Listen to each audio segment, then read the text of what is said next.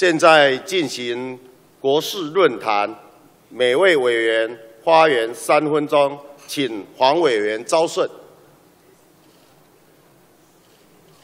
请黄委员招顺。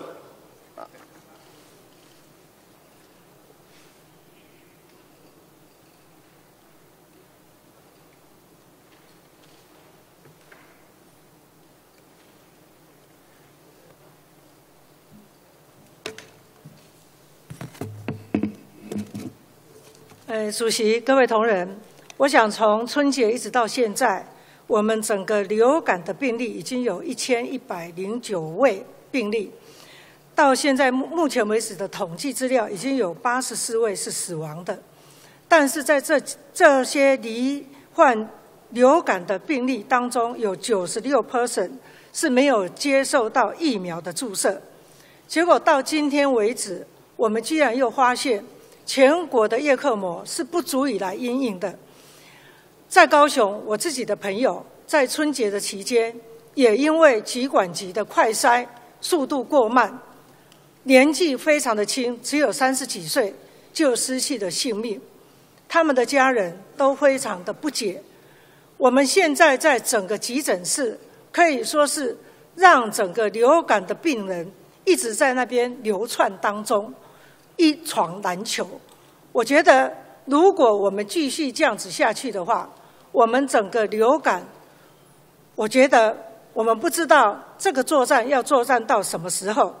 我想防疫如作战，所以我在这里请求卫福部，第一个，因为我们现在流感免费治疗是免费打疫苗，是六十五岁以上才是免费，五十到六十五岁是。高风险的才免费。我们在这本席在这里郑重要求，我们卫福部能不能把疫苗的注射赶紧把它的标准降低，让更多的民众能够施打疫苗？这是第一个。第二个，本席也郑重要求，我们记得 SARS 的时候，我们政府是启动成立专责医院，让整个流感、让整个 SARS 的病人在医院治疗。能够降低症状之后，再整个转出来，同时也解决整个医学中心没有办法在这个时候人力的不足，所以我们期待我们整个卫福部能够在最短的时间内，第一个解决叶克膜全部的调度，第二个我们希望整个的疫苗的施打能够把整个的标准降低，第三个。我们希望能够专责的医院来处理，以免整个的流感再继续再串流。所以我们希望，呃，整个防疫的工作如同作战。我们希望我们的政府能够把握时间。以上，谢谢。谢谢黄委员，谢谢。现在请陈委员移民。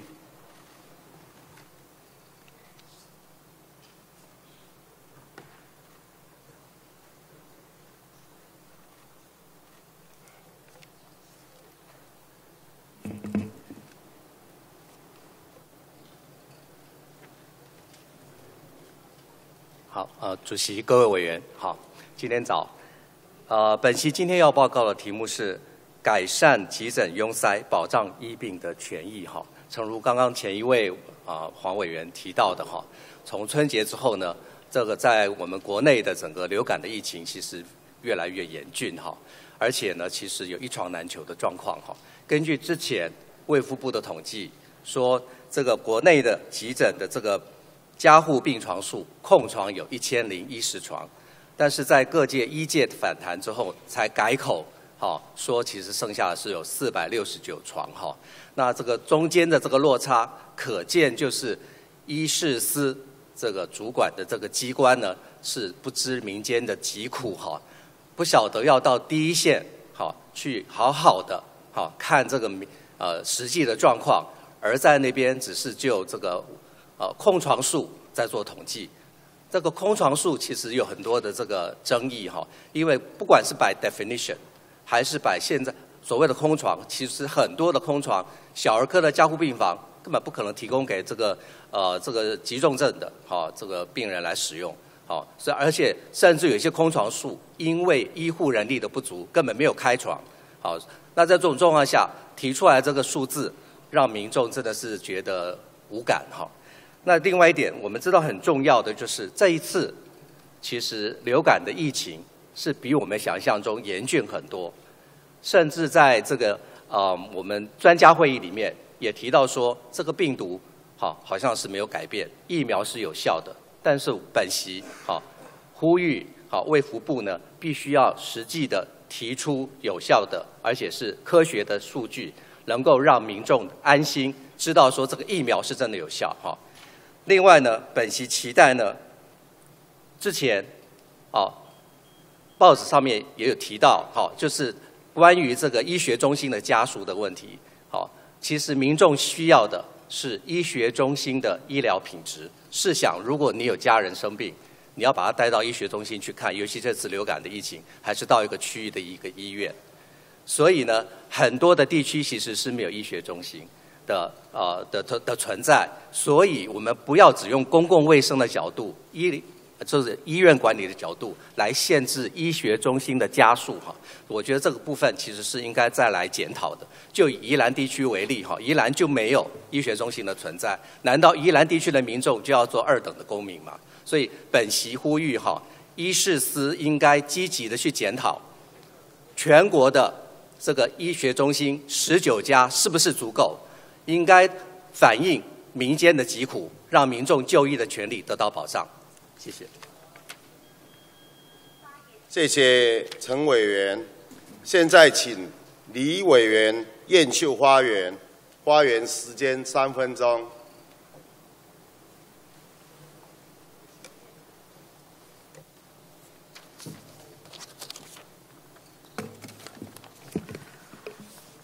院长、各位院内的同仁、各位媒体朋友、各位行政团队的啊好朋友们，大家早安哦！我想这两个星期很重要的国事论坛，除了是类流感整个医院急救系统的问题，我今天也要透过国事论坛的时间，再一次跟所有的好朋友分享另外一个最近婆婆妈妈很痛苦的。其实不只是婆婆妈妈今年很痛苦，长期以来每一年在过年前后菜价。都是让婆婆妈妈买不下手，今年又再一次发生。到今天为止，菜价还没有办法下下，还没有办法降下来。我们看到这一张图片，不是年轻人去排队买演唱会的门票，现在幻灯片片是所有的婆婆妈妈听说大卖场。哪一天有特价？还不是特价，是蔬菜高丽菜回归到去年的价格。婆婆妈妈一听说，变成跑到大卖场排队去买高丽菜。我们成何几时？我们需要去大卖场抢购这个便宜的蔬菜。也因此，虽然我们政府每一年我们有两套机制来去处理抑制菜价。的调节的问题，除了冬夏季储存计划之外，我们另外还有一个进口蔬菜。但是我们农粮署有这两套方法，但是在婆婆妈妈或甚至在市场卖菜的摊贩，包括自助餐饮业上这个这些餐厅，都感受不到政府对于抑制菜价的手段跟方法。我认为这两个议题，包括类流感的议题。包括菜价的议题，其实都是民众感受最深的哦。所以我期望透过今天，我们再一次把民生菜价让婆婆妈妈买不下手这个议题，我们希望跟行政团队分享。虽然我们的行政团队到现在大概执政还有两个多月的时间，如何在下台之后这两个月留下一个漂亮的身影，让民众。对于现在的执政团队，觉得我们尽了最大的努力，关注在民生议题上，包括刚才我提到的这个菜价的议题，其实每一年都在发生。我们如何？虽然菜价它有可能是这个市场调节的机制，但是政府的手段如何在这些补救措施做得更好？包括未来温室的栽培，哦，包括扩大彻底有一些弹性硬硬的执行的方法，我觉得，呃，我们农粮署、我们行政团队应该说明的更清楚。这些作为其实都是可以让民众有感的。我想以上用这个菜价最近这一波上涨的情形，也跟所有的行政团队分享，留一个漂亮的身影、努力的身影，让民众知道我们尽了最大的努力。以上，谢谢。谢谢李委员。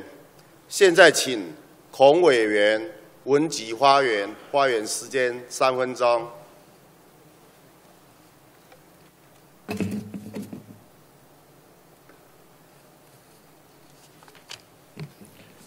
好，我们立法院的苏院长、行政院的张院长，还有我们各部会首长，啊，我们各位委员同仁，啊，大家早安。啊，我们立法院刚开议啊，大家都在谈转型正义。这个转型正义呢，我们听到民进党啊，他们提出来啊，有的说要呃拆掉国父遗像，还有的说要成立二二八真相调查及和解委员会，甚至于。啊，有时代力量的啊，要定两岸协议监督条例，这个两岸啊，用台湾跟中国，那我觉得这个都是需要讨论的。啊，这个转型正义也不是只有民进党的委员在喊，我们原住民也要转型正义啊，啊，原住民也要转型正义。那原住民要什么样的转型正义呢？啊，那我们蔡英文五月二十号这个就任总统之后。他已经答应在原住民日八月一号那一天，要跟全国原住民道歉。本席是希望，啊，未来蔡总统呢不是只有口头道歉，他应该要给我们原住民真正的转型正义，要拜托我们民进党党团，不要再背个这个原住民自治法，不要再背个土地及海域法，也拜托民进党跟动保团体的。不要再背个我们原住民的猎人的这个权益，还有环保团体，不要再背个我们原住民啊，要在山上开这个农路。本席在立法院这么多年，这些法案都没有成，都没有成功。问题都是政党在那边啊，这个利益呃算计政党的利益的这这样的一个算计啊。呃，今天我要在这边特别有一个我们原住民的团体。要到司法院啊去那边抗议啊，他这边有一个声明，我在这里把它念出来，是有关狩猎的这个方面。他说，千百年来生活在台湾这块土地上的原住民族啊，坚持传承祖先狩猎传统文化，到了今天呢，却一个个沦为犯人。过去十多年来，全国约有两百三十位原住民。为自己或族人上山狩猎遭司法审判，其中百分之九十七的族人啊，都是以野生动物保育法被判决六个月以上的有期徒刑。这些族群则以布农族最多。所以我在这里是不是要诚恳的呼吁大家，朝野能够坚气成见，大家真的要为我们民生的法案、福国利民的法案、我们原住民教的狩猎，我拜托大家。啊，是不是能够让我们原住民上山打猎，不会因为触犯啊野生动物保育法或枪炮弹药法而判刑？所以这个是我们原住民教的转型正义。谢谢。谢谢孔委员。现在请陈委员欧博花园发言时间三分钟。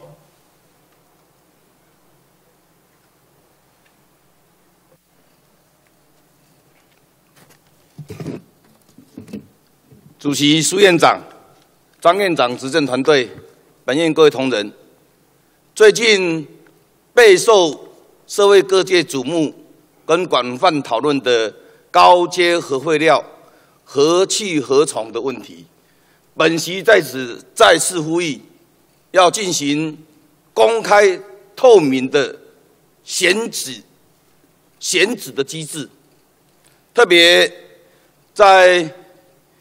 核一、核二核三厂到今年的一月底，总共啊已经有一万七千五百二十二束的所谓燃烧过的燃料棒，这些高阶核废料，这个数量呢会随着我们核电的使用呢来增加。大家要晓得，高阶核废料的处置，目前全世界。都没有完善的机制跟方法。那当这些高阶核废料的高辐射量的啊这些啊影响到我们人类的时候，会产生呕吐、眩晕、脱发、白内障，甚至呢死亡、不孕等等这些对生命、对个人、对环境的一些严重的影响。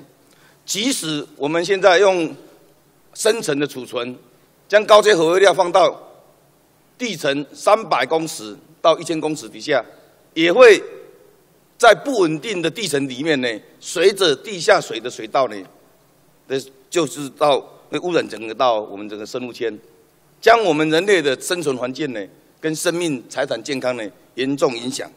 在一百零三年初的时候，我得知台电公司呢，针对金门、马祖、乌丘以及大南澳地区进行母岩原址的调查，各项的指标都指向极有可能放在大南澳地区，也就是宜兰县的南澳乡跟花莲的和平乡、秀林乡这个区块。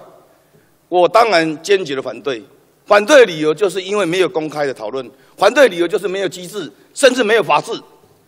在这个情况之下，台电不应该进行偷偷摸摸的一个啊这样的一个作为。所以我在啊一百零三年的五月呢，我成立一个用过核子燃料最终处置小组的研究小组。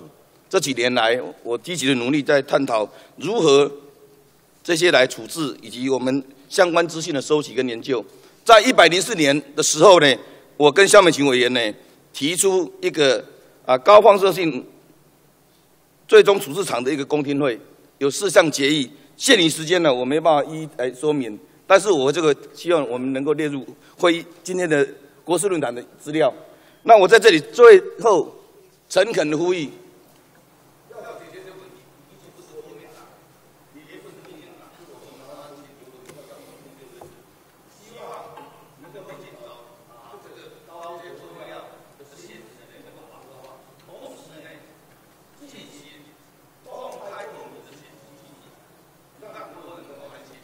好，谢谢陈委员。现在请徐委员抒华花园花园时钟花园时间三分钟。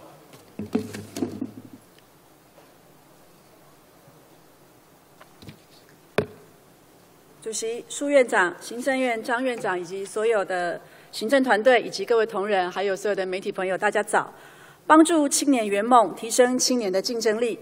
台湾的经济能够源源不绝呢，活力新生，来自于创新创业的产业。面对国际产业竞争与全球化的一个趋势呢，青年创业的环境更是面临挑战。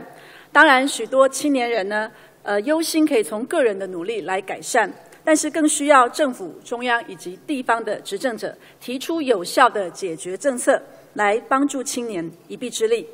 政府为了协助青年创业的环境国际化与加强国际的视野，经济部中小企业处在推动了全台首创一站式的创业服务据点——行政院青创基地，以网实整合的概念，提供青年咨询政府创业资源、参与创业社群活动或多元课程的创业聚落，连结了创业网路、乡镇社区。使得青年呢可以享受普及便民的政府的创业服务。自从去年的一百零四年八月启动至今一百零五年一月止呢，已经成功辅导了四百零一位的创业家，成果也逐一的展现。新创基地落实加一式诊断，夜市的辅导呢涵盖了科技、文创、行销以及财会、法律的领域。提供处呢，从零点五到一的创业阶段的适当领域呢，除了咨询辅导外，也透过举办创业课程与活动，积极打造创业聚落的氛围。从去年至今一月止呢，所举办的创业活动呢或课程已经达到了一百一十八场，共计有五千多人参加。青创基地也可以成功，呃，我们可以说成功的辅导多位青年的创业家。一百零五年，青创基地呢将持续以 Hub 的形式提供创业咨询服务、创业各阶段活动与课程，强化政府以及民间的社群串联。创业巡回车亦将带着创业资源至全台，一起吸手民间的活力，扩大服务范围，进而于台湾催生自我资源的创业生态圈。而创业台湾呢，三六八的行动巡回服务也会提供更多的网络资讯产业价值的相关活动，包含了重新集合去年各领域呃我们讲者的安口导师月、Facebook 企业行销活动设计的实务课程，以及国际交流论坛，提供更多元的服务。本席期许行政部门呢，能够加强跨跨部会的整合，提出贴近青年的需求，及让青年有感就业促进措施，协助青年创业以及就业，让年轻人有更多的发展机会，借以展现我国的软实力，提升台湾的竞争力。谢谢。谢谢徐委员，现在请徐委员真为花园。发言时间三分钟。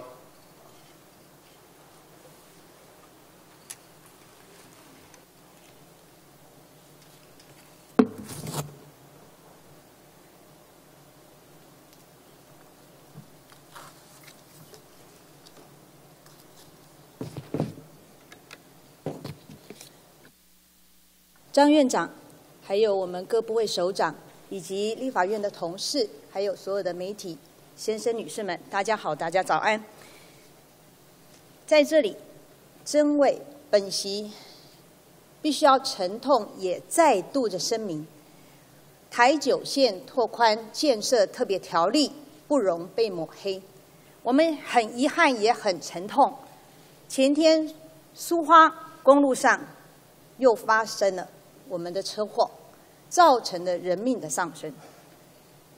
九十九年梅基台风造成土石流，让一辆创意旅行社旅行社的这个游览车滑落山边，造成二十六死。所以今天有苏花改善道路，我们恳请张张院长，希望苏花改善道路能如期如职的完工，保障花东乡亲。的生命以及我们的公路正义。第二个，为什么本席要在我们的台九线建设特别条例提出特别条例？有迹可循。第一个，苏花高速公路，八十九年二月核定新建，九十二年发包征地也动工，但是。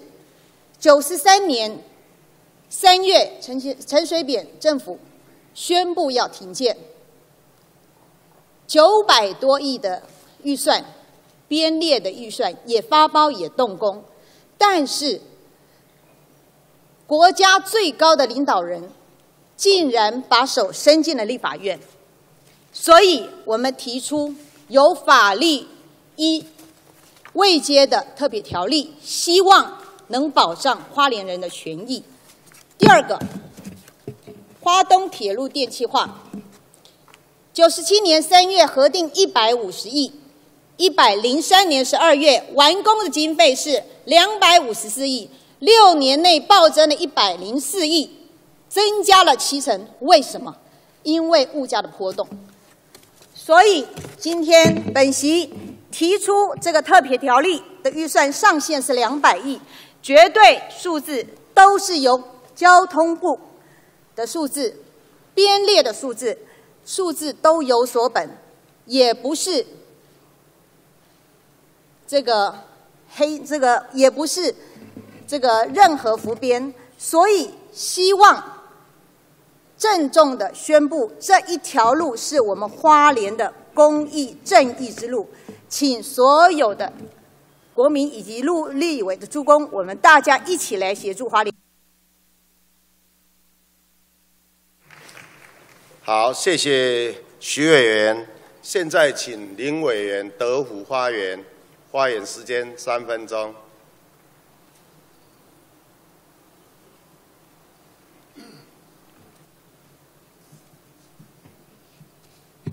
啊，大会主席啊，苏院长。还有行政院张院长以及所有的团队，啊，我想我们都知道，啊，元月十六号啊，啊，这个民进党蔡英文啊，这个当选啊总统以后，啊，当然他在竞选过程当中，他的一句口号就是点亮台湾，但是我们看到这段时间呐，啊，啊这个很多民进党这些委员呐，他们为了对蔡表示始终，所以说他们的表现呐，让大家感觉到今天不是点亮台湾，而且不是让人亮眼，而是让人傻眼，因为有的就提出违宪的交接条例，有的是拿掉国务的遗像，有的来扭曲粉饰二二八，这些忍者处五年以上的徒刑，甚至于用那种抄家式的来对国民党党产的这些条例来提出来，甚至于十八岁以下每个月可以领三千块的这些津贴，啊，甚至于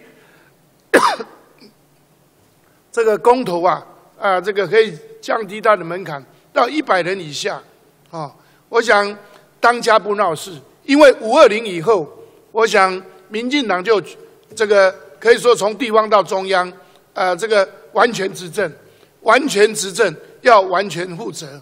我们认为说，一个国家需要安定，而且族群要和谐，哦，两岸要和平。但是这一段时间，我们所看到，民进党很多委员呐都想表现，但是那种表现的方式啊，真的是让很多人呐是傻眼，不是亮眼。所以说，如何去点亮台湾？我相信呐，人民都看在眼里，哦，尤其。啊，这个蔡英文他说希望啊两岸能够维持现状，但是我们都知道要如何维持现状哦，我相信这个哦这个要以智慧啊去化解，而且啊从过去国民党执政，两岸就是以九二共识作为基础，跟对岸互动很好。我们希望未来啊啊民进党完全执政哦，着重应该在民生经济。上面的法案，啊，这个去推去做，并不是每天呐用那种抄家式的，用那种转型正义，呃，去把它作为一个化身呐，然后来进行政治斗争。我相信这不是人民所乐意看的看到的。所以说我呼吁民进党在这方面呢，好好的为民生经济打拼。以上，谢谢林委员登记国事论坛。花园的委员均已花园完毕，现在休息。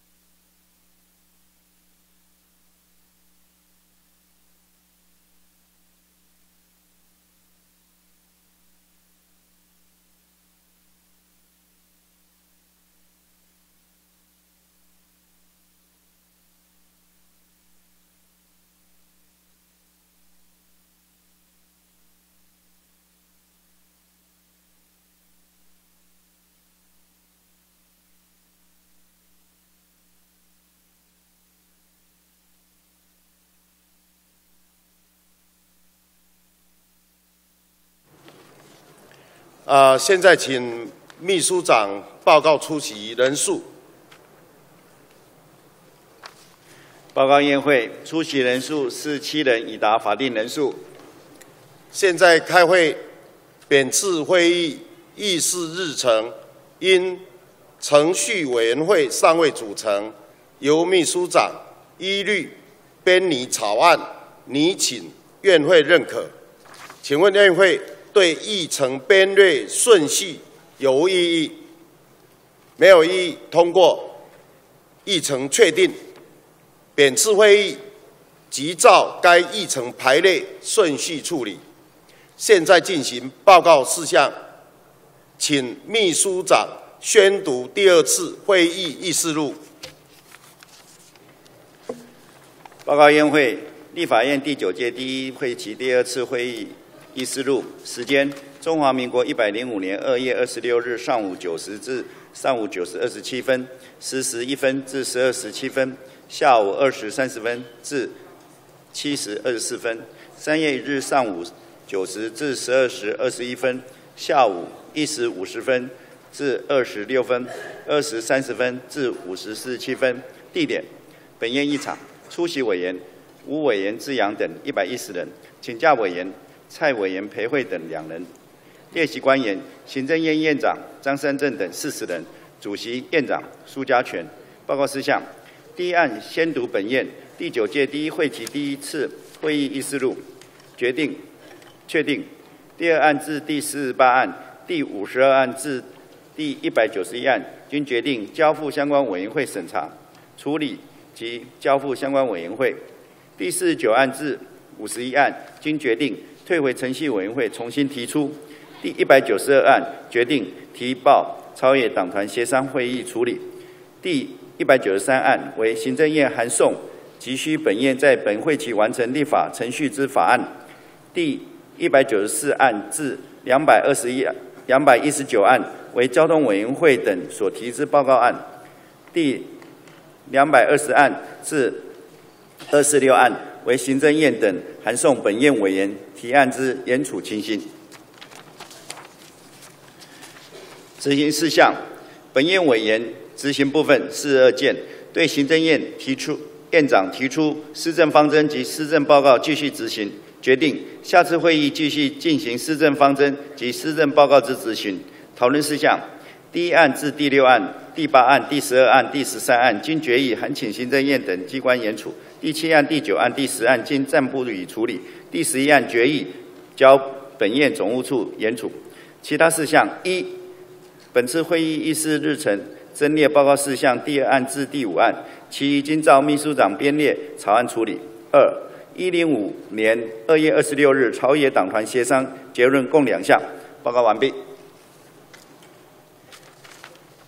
报告院会针对第二次会议。议事录，并无委员或党团提出错误或疏漏之处或遗漏之处，做以下之宣告：第二次会议议事录确定，请宣读第二案。本院委员徐正卫等二十一人拟具《花通快速道路建设特别条例》草案，请审议案，议事处意见，拟请院会交交通委员会审查。请问院会有没有意见？没有意见，照议事处意见通过。第三案，本院委员姚文智等十六人拟具《食农教育法》草案，请审议案，议事处意见，拟请院会交经济委员会审查。请问院会有没有意见？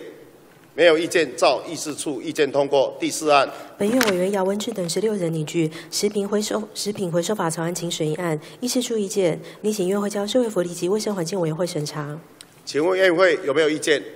没有意见，照议事处意见通过。第五案，本院委员王定宇等二十人拟具建筑法部分条文修正草案，请审议案，议事处意见，拟请院会交内政委员会审查。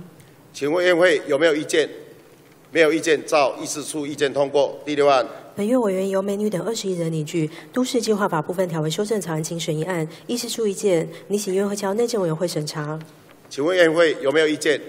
没有意见，照议事处意见通过。第七案，本院委员由美女等二十三人拟具住宅法部分条文修正草案，请审议案，议事处意见，拟请院会交内政委员会审查。请问院会有没有意见？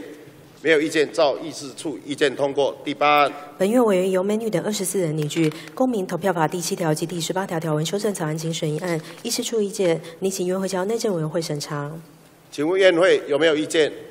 没有意见，照议事处意见通过。第九案，本院委员由美女等二十二人拟具《公职人员选举罢免法》第五十七条及第五十九条条文修正草案，请审议案，议事处意见，拟请院会交内政委员会审查。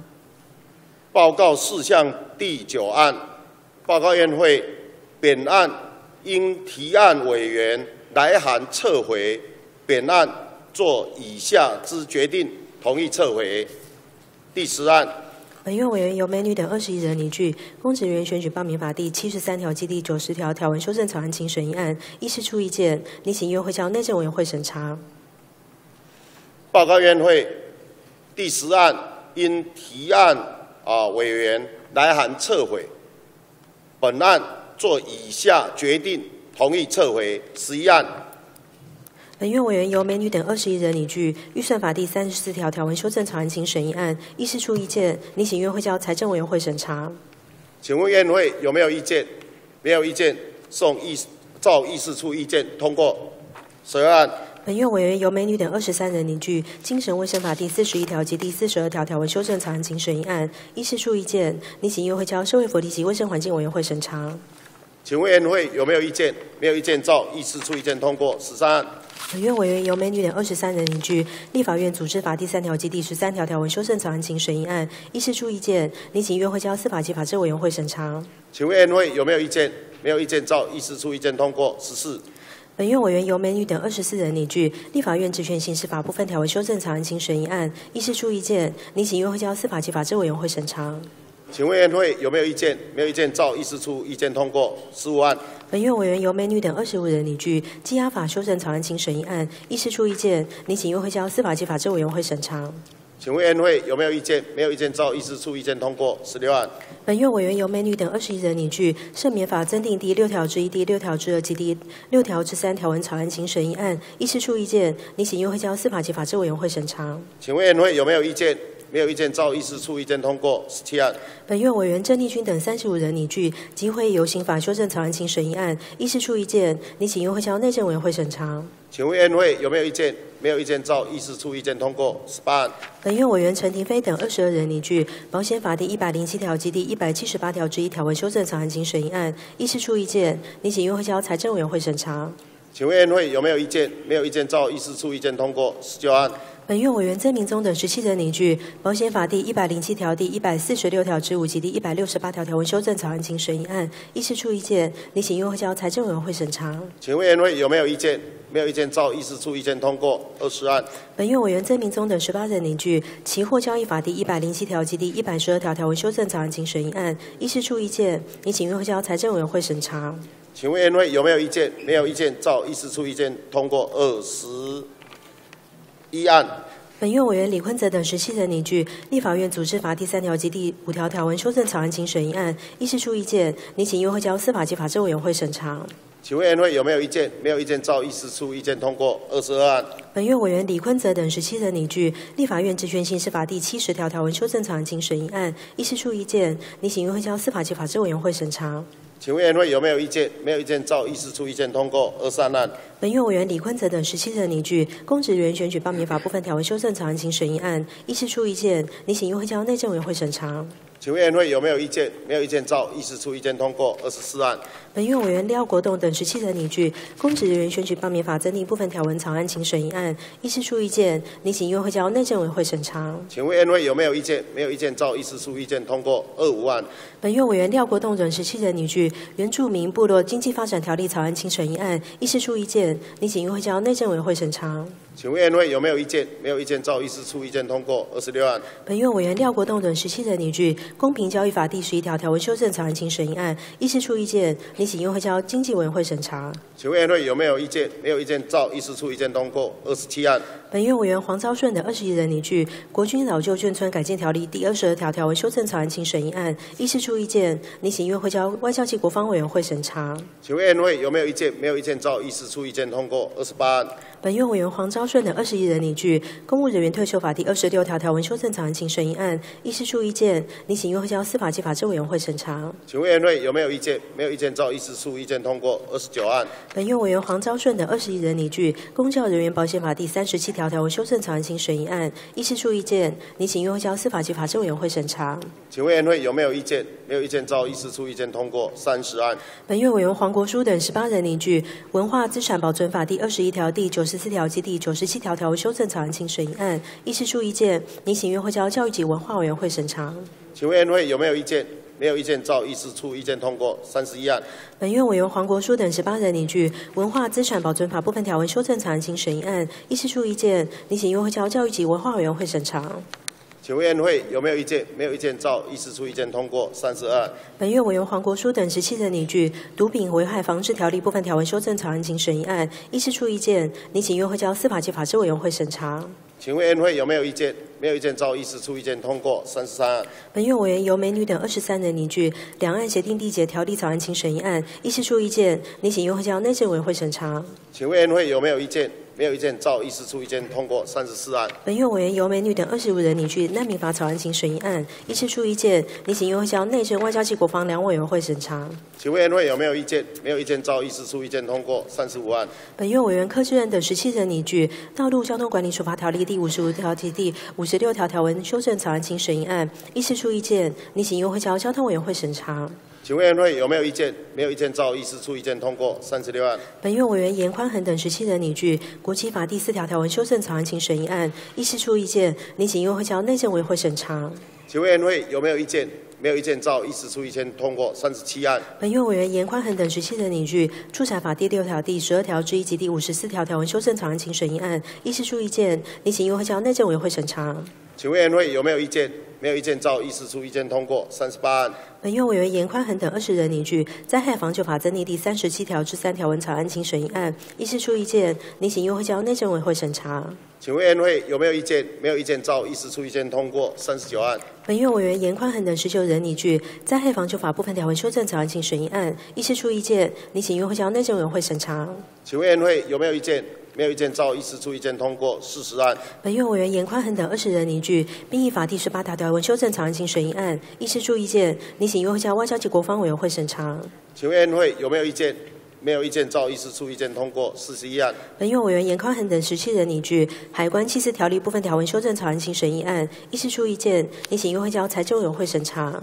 请问院会有没有意见？没有意见，照议事处意见通过。四十二案。本院委员严宽恒等十八人凝聚《流域综合治理特别条例》部分条文修正草案，请审议案，议事处意见，拟请院会交经济内政财政三委员会审查。请问院会有没有意见？没有意见，照议事处意见通过。四十三案。本院委员严宽恒等十八人凝聚《国民年金法》第十二条条文修正草案，请审议案，议事处意见，拟请院会交社会福利及卫生环境委员会审查。请委员会有没有意见？没有意见，照议事处意见通过。四十四案。本院委员严宽恒等十八人拟具《台湾地区大多地区人民关系条例》第五十六条及第六十五条条文修正草案，请审议案，议事处意见，拟请院会交内政委员会审查。请委员会有没有意见？没有意见，照议事处意见通过。四十五案。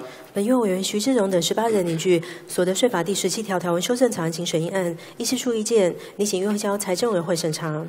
请委员会有没有意见？没有意见，照议事处意见通过。四十六案。本院委员徐志荣等十八人拟具《中华民国刑法》第七十七条及第二百七十二条之一条文修正草案，请审议案。议事处意见，拟请院会交司法及法制委员会审查。请委员会有没有意见？没有意见，照议事处意见通过。四十七案。本院委员徐志荣等十七人拟具《劳动基准法》第三十二条条文修正草案，请审议案。议事处意见，拟请院会交社会福利及卫生环境委员会审查。请委员会有没有意见？没有意见，照议事处意见通过。四十八。本院委员林淑芬等二十一人拟具《废弃物清理法》部分条文修正草案，请审议案。议事处意见，您请院会交社会福利及卫生环境委员会审查。请委员会有没有意见？没有意见，照议事处意见通过。四十九案。本院委员林淑芬等二十二人拟具《废弃物减量及循环利用法》草案，请审议案。议事处意见，拟请院会交社会福利及卫生环境委员会审查。请委员会有没有意见？没有意见，照议事处意见通过。五十案。本院委员刘世芳等二十一人拟具《立法院组织法》第五条及第十六条条文修正草案，请审议案。议事处意见，拟请院会交司法及法制委员会审查。请委员会有没有意见？没有意见，照议事处意见通过。五十一案。本院委员林俊宪的二十一人拟具立法院组织法部分条文修正草案请审议案，议事处意见，拟请议会交司法及法制委员会审查。请委员会有没有意见？没有意见，照议事出意见通过。五十二案。本院委员林俊宪的二十一人凝聚立法院各委员会组织法第八条及第九条条文修正草案请审议案，议事处意见，拟请议会交司法及法制委员会审查。请委员会有没有意见？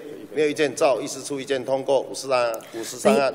本院委员林俊宪的二十人拟具立法委员行为法部分条文修正草案请审议案，议事处意见，拟请院会交司法及法制委员会审查。请委员会有没有意见？没有意见，照议事处意见通过。五十四案。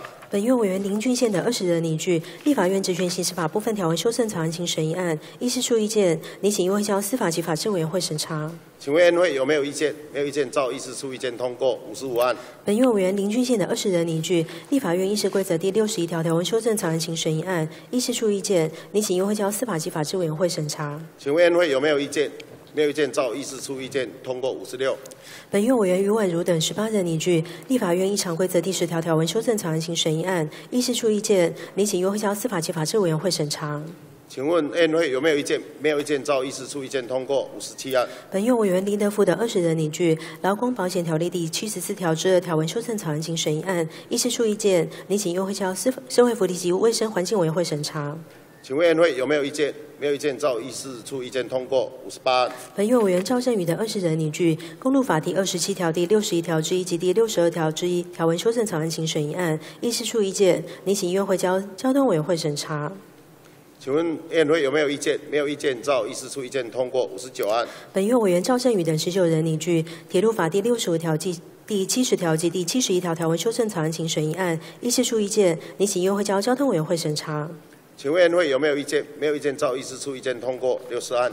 本院委员庄瑞雄等二十一人拟具政治献金法第十五条条文修正草案请审议案，议事处意见，拟请院会交内政委员会审查。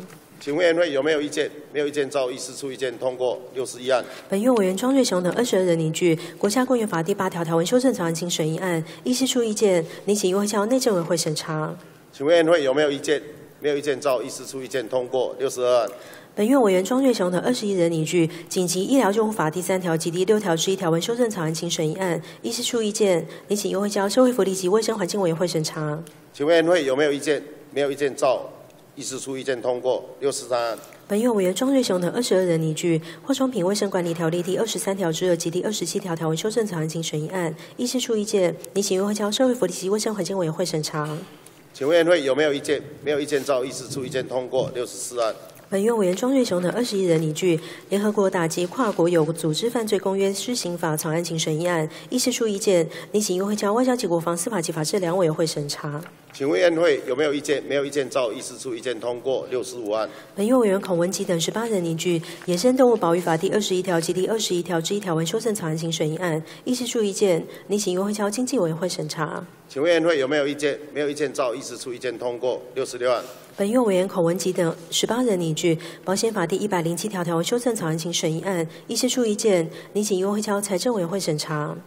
请委员会有没有意见？没有意见，照议事处意见通过。六十七案。本院委员徐志荣等十六人拟具保险法第一百零七条条文修正草案请审议案，议事处意见，拟请院会交财政委员会审查。请问会有没有意见？没有意见，照议事处意见通过。六十八案。本院委员陈怡杰等二十八人拟具保险法第一百零七条条文修正草案请审议案，议事处意见，拟请院会交财政委员会审查。请问会有没有意见？没有意见，照议事处意见通过。六十九案。本院委员王定宇等三十四人拟具保宪法第一百零七条及第一百七十八条条文修正草案请审议案，议事处意见，拟请由会交财政委员会审查。请委员会有没有意见？没有意见，照议事处意见通过。七十案。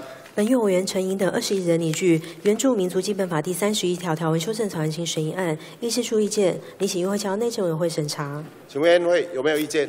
没有意见，照议事处意见通过。七十一案。本院委员顾立雄等二十人拟具公职员选举罢免法第七十三条条文修正草案请审议案，议事处意见，拟请议会交内政委员会审查。请委员会有没有意见？没有意见，照议事处意见通过。七十二案。本院委员徐国勇等三十二人拟具公职员选举罢免法部分条文修正草案请审议案，议事处意见，拟请院会交内政委员会审查。请问会有没有意见？没有意见，照议事处意见通过七三案。本院委员徐国勇等二十七人拟废止中华民国红十字会法庭审议案，议事处意见，拟请院会交社会福利及卫生环境委员会审查。请问会有没有意见？没有意见，照议事处意见通过七十四案。本院委员黄昭顺等十八人拟具长期照顾服务法第二十二条及第六十二条条文修正草案请审议案，议事处意见，拟请优惠交社会福利及卫生环境委员会审查。请问会有没有意见？没有意见，照议事处意见通过七十五案。本院委员邱志伟等二十二人拟具人民团体法部分条文修正草案请审议案，议事处意见，拟请优惠交内政委员会审查。请问会有没有意见？没有意见，照议事处意见通过七十六案。本院委员邱志伟等十六人拟具国军老旧村村改建条例部分条文修正草案请审议案，议事处意见，拟请院会交外交及国防委员会审查。请问会有没有意见？没有意见，照议事处意见通过七十七案。本院委员邱志伟等二十五人拟具兵役法第三十七条条文修正草案请审议案，议事处意见，拟请院会交外交及国防委员会审查。请问会有没有意见？没有意见，照议事处意见通过七十八案。本院委员邱志伟的二十人拟具国营事业管理法第十四条条文修正草案请审议案，议事处意见，拟请院会交经济委员会审查。报告院会，本案因提案委员来函撤回。本案做以下决定，同意撤回七十九案。本院委员邱志伟等十九人拟具《著作权法》第五条第八十条之三及第八十条之四条文修正草案请审议案，议事处意见，拟请院会交经济委员会审查。请问院会有没有意见？没有意见，照议事处意见通过。八十案。本院委员邱志伟等二十二人拟具《公共场所母乳哺育条例》第二条及第五条条文修正草案请审议案，议事处意见，拟请院会交社会福利及卫生环境委员会审查。请问院会有没有意见？没有意见，照议事处意见通过。八十一案。本院委员邱志伟等二十二人拟具《行政程序法》第一百一一百十七条条文修正草案请审议案，议事处意见，拟请院会交司法及法制委员会审查。请问院有没有意见？没有意见，照议事处意见通过八十二案。本院委员吴玉琴等十七人拟具财团法人法草案请审议案，议事处意见，拟请院会交司法及法制委员会审查。请问院会有没有意见？没有意见，照议事处意见通过八十三案。本院委员王定宇等十八人拟具公民投票法部分条文修正草案请审议案，议事处意见，拟请院会交内政委员会审查。请问院会有没有意见？没有意见，照议事处意见通过八十四案。本院委员王定宇等十八人凝聚公职人员选举罢免法部分条文修正草案请审议案，议事处意见，拟请院会交内政委员会审查。请问院会有没有意见？没有意见，照议事处意见通过八十五案。本院时代力量党团凝聚原住民族基本法第二十一条条文修正草案请审议案，议事处意见，拟请院会交内政委员会审查。请问院会有没有意见？没有意见，照议事处意见通过八十六案。本院时代力量党团拟具原住民身份法第二条条文修正草案请审议案，议事处意见，拟请院会交内政委员会审查。请问院会有没有意见？没有意见，照议事处意见通过八十七案。本院时代力量党团拟具我国与中华人民共和国缔结协议处理条例草案请审议案，议事处意见，拟请院会交内政委员会审查。请问院会有没有意见？没有意见，照议事处意见通过八十八。本院委员陈廷飞等二十三人拟具《教育基本法》增订第十条之一及第十二条之一条文草案请审议案，议事处意见，拟请院会交教育及文化委员会审查。请问院会有没有意见？没有意见，照议事处意见通过八十九案。本院委员陈廷飞等二十三人拟具《高级中等教育法》第四十三条条文修正草案请审议案，议事处意见，拟请院会交教育及文化委员会审查。请问院会有没有意见？没有意见，照议事处意见通过九十案。本院委员陈廷飞等二十三人凝聚《国民教育法》第八条条文修正草案请审议案，议事处意见，拟请院会交教育及文化委员会审查。请问院会有没有意见？没有意见，照议事处意见通过九十一案。本院委员陈廷飞等二十二人凝聚《有机农业促进条例》草案请审议案，议事处意见，拟请院会交经济委员会审查。请问院会有没有意见？没有意见，照议事处意见通过九十二案。本院委员黄伟哲等十九人拟具《劳动基准法》第四十三条条文修正草案请审议案，议事处意见，拟请院会交社会福利及卫生环境委员会审查。请问院会有没有意见？没有意见，照议事处意见通过九十二案。本院委员黄伟哲等十八人拟具《保险法》第一百零七条条文修正草案请审议案，议事处意见，拟请院会交财政委员会审查。请问院会有没有意见？没有意见，照议事处意见通过九十四案。本院委员费宏泰等二十人拟具《保险法》第一百零七条条文修正草案请审议案，议事处意见，拟请院会交财政委员会审查。请问会有没有意见？没有意见，照议事处意见通过。九十五案。本院委员徐有明等十七人拟废止中华民国红十字会法请审议案，议事处意见，拟请院会交社会福利及卫生环境委员会审查。请问会有没有意见？没有意见，照议事处意见通过。九十六案。本院委员徐有明等十六人领具传染病防治法部分条文修正草案请审议案，议事处意见，拟请院会交社会福利及卫生环境委员会审查。请问会有没有意见？没有意见，照议事处意见通通过。九十七案。本院委员李俊义等二十四人拟具台湾与中国缔结协议处理条例草案请审议案，议事处意见，拟请院会交内政委员会审查。请问会有没有意见？没有意见，照议事处意见通过。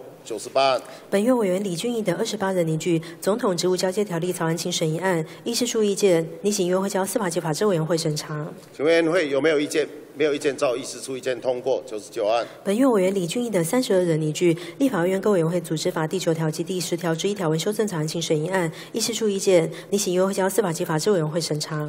请问会有没有意见？没有意见，照议事处意见通过。一百案。本院委员李俊义等二十四人拟具立法院职权行使法部分条文修正草案请审议案，议事处意见，拟请议会交司法及法制委员会审查。请问会有没有意见？没有意见，照议事处意见通过。一零一案。本院委员李俊义等二十七人拟具立法委员行为法部分条文修正草案请审议案，议事处意见，拟请议会交司法及法制委员会审查。请问会有没有意见？没有意见，照议事处意见通过。一零二案。本院委员李俊义等三十一人拟具立法院议事规则第五十七条及第六十一条条文修正草案请审议案，议事处意见，拟请院会交司法及法制委员会审查。请问会有没有意见？没有意见，照议事处意见通过。一零三案。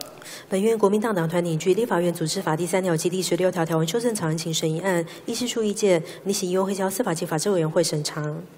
请问会有没有意见？没有意见，照议事处意见通过。一零四案。本院国民党党团拟具立法院各委员会组织法第三条至四条文修正草案请审议案，议事处意见，拟请院会交司法及法制委员会审查。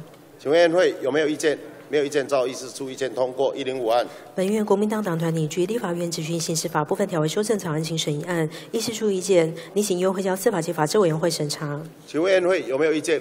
没有意见，照议事处意见通过。一零六案。本院国民党党团拟具立法院执行刑事法部分条文修正草案请审议案，议事处意见，拟请院会交司法及法制委员会审查。请问会有没有意见？没有意见，照议事处意见通过。一零七案。本院委员叶义经拟撤回前提之儿童及少年抚养抚养津贴条例草案案，议事处意见，拟请优会同意撤回。请问会有没有意见？没有意见，照议事处意见通过。一零八案。国家发展委员会函送自由经济示范区规划与效益评估专案检讨报告，议事处意见，你请院会交经济委员会处理。请问会有没有意见？没有意见，照议事处意见通过。一零九案。国家发展委员会函为百零五年度中央政府总预算决议，针对促进产业发展冻结四分之一案及送解冻专案报告，请列入议程。议事处意见，你请院会交经济委员会处理。请问会有没有意见？没有意见，照议事处意见通过。一一零案。国家发展委员会函为一百零五年度中央政府总预算决议，针对管制考核向下市政计划管制冻结二分之一案，件送书面报告。议事处意见，你请院会交经济委员会处理。请问会有没有意见？没有意见，照议事处意见通过。一一案。内政部函为百零五年度中央政府总预算决议，针对警政署及所属基本行政工作维持业务费办理治安满意度调查相关经费七百二十万元，冻结三百六十万元，报告并经同意后，使得动之一案检送专案报告，请安排报告。议事处意见，你请院会交内政委员会处理。请问会有没有意见？没有意见，照议事处意见通过。一二案。内政部函为百零五年度中央政府总预算决议，针对安全警卫及中央座位警勤务原列一亿二千九百四十七万三千元，冻结七百万元，进行专案报告并经同意后，使得动职一案解送专案报告，请安排报告。议事处意见，您请用会交内政委员会处理。请问会有没有意见？没有意见，照议事处意见通过。一三案。内政部函为百零五年度中央政府总预算决议，针对移民署入出国及移民管理业务冻结五百万元，提出书面报告，时的动之案检送书面报告。议事处意见，拟请院会交内政委员会处理。请问会有没有意见？没有意见，照议事处意见通过。一四案。内政部函为一百零五年度中央政府总预算决议，端正警察风气及强化各警察单位内部管理，原列二亿四千零四十四万元，法定预算数二亿三千七百四十四万一千元，冻结五百万元，进行专案报告并经同意后，使得动之一案件送专案报报告，请安排请安排报告。议事处意见，您请院会交内政委员会处理。请问会有没有意见？没有意见，照议事处意见通过。一五案。内政部函为百零五年度中央政府总预算决议，办理黑鹰直升机总指员训练暨初次航材筹补计划，原列八亿零七百二十万元，冻结五千万元进行专案报报告，并经同意后，使得动之议案解送专案报告，请安排报告。议事出意见，拟请院会内政委会处理。请问委员会有没有意见？没有意见，照议事出意见通过一七一一六案。内政部函为百零五年度中央政府总预算决议，地震义务向下原列三亿九千九百六十九万三千元，冻结一千万元，进行专案报告，并经同意后，使得动之议案解送专案报告，请安排报告。议事出意见，拟请议会交内政委会处理。请委员会有没有意见？没有意见，照议事处意见通过一一七案。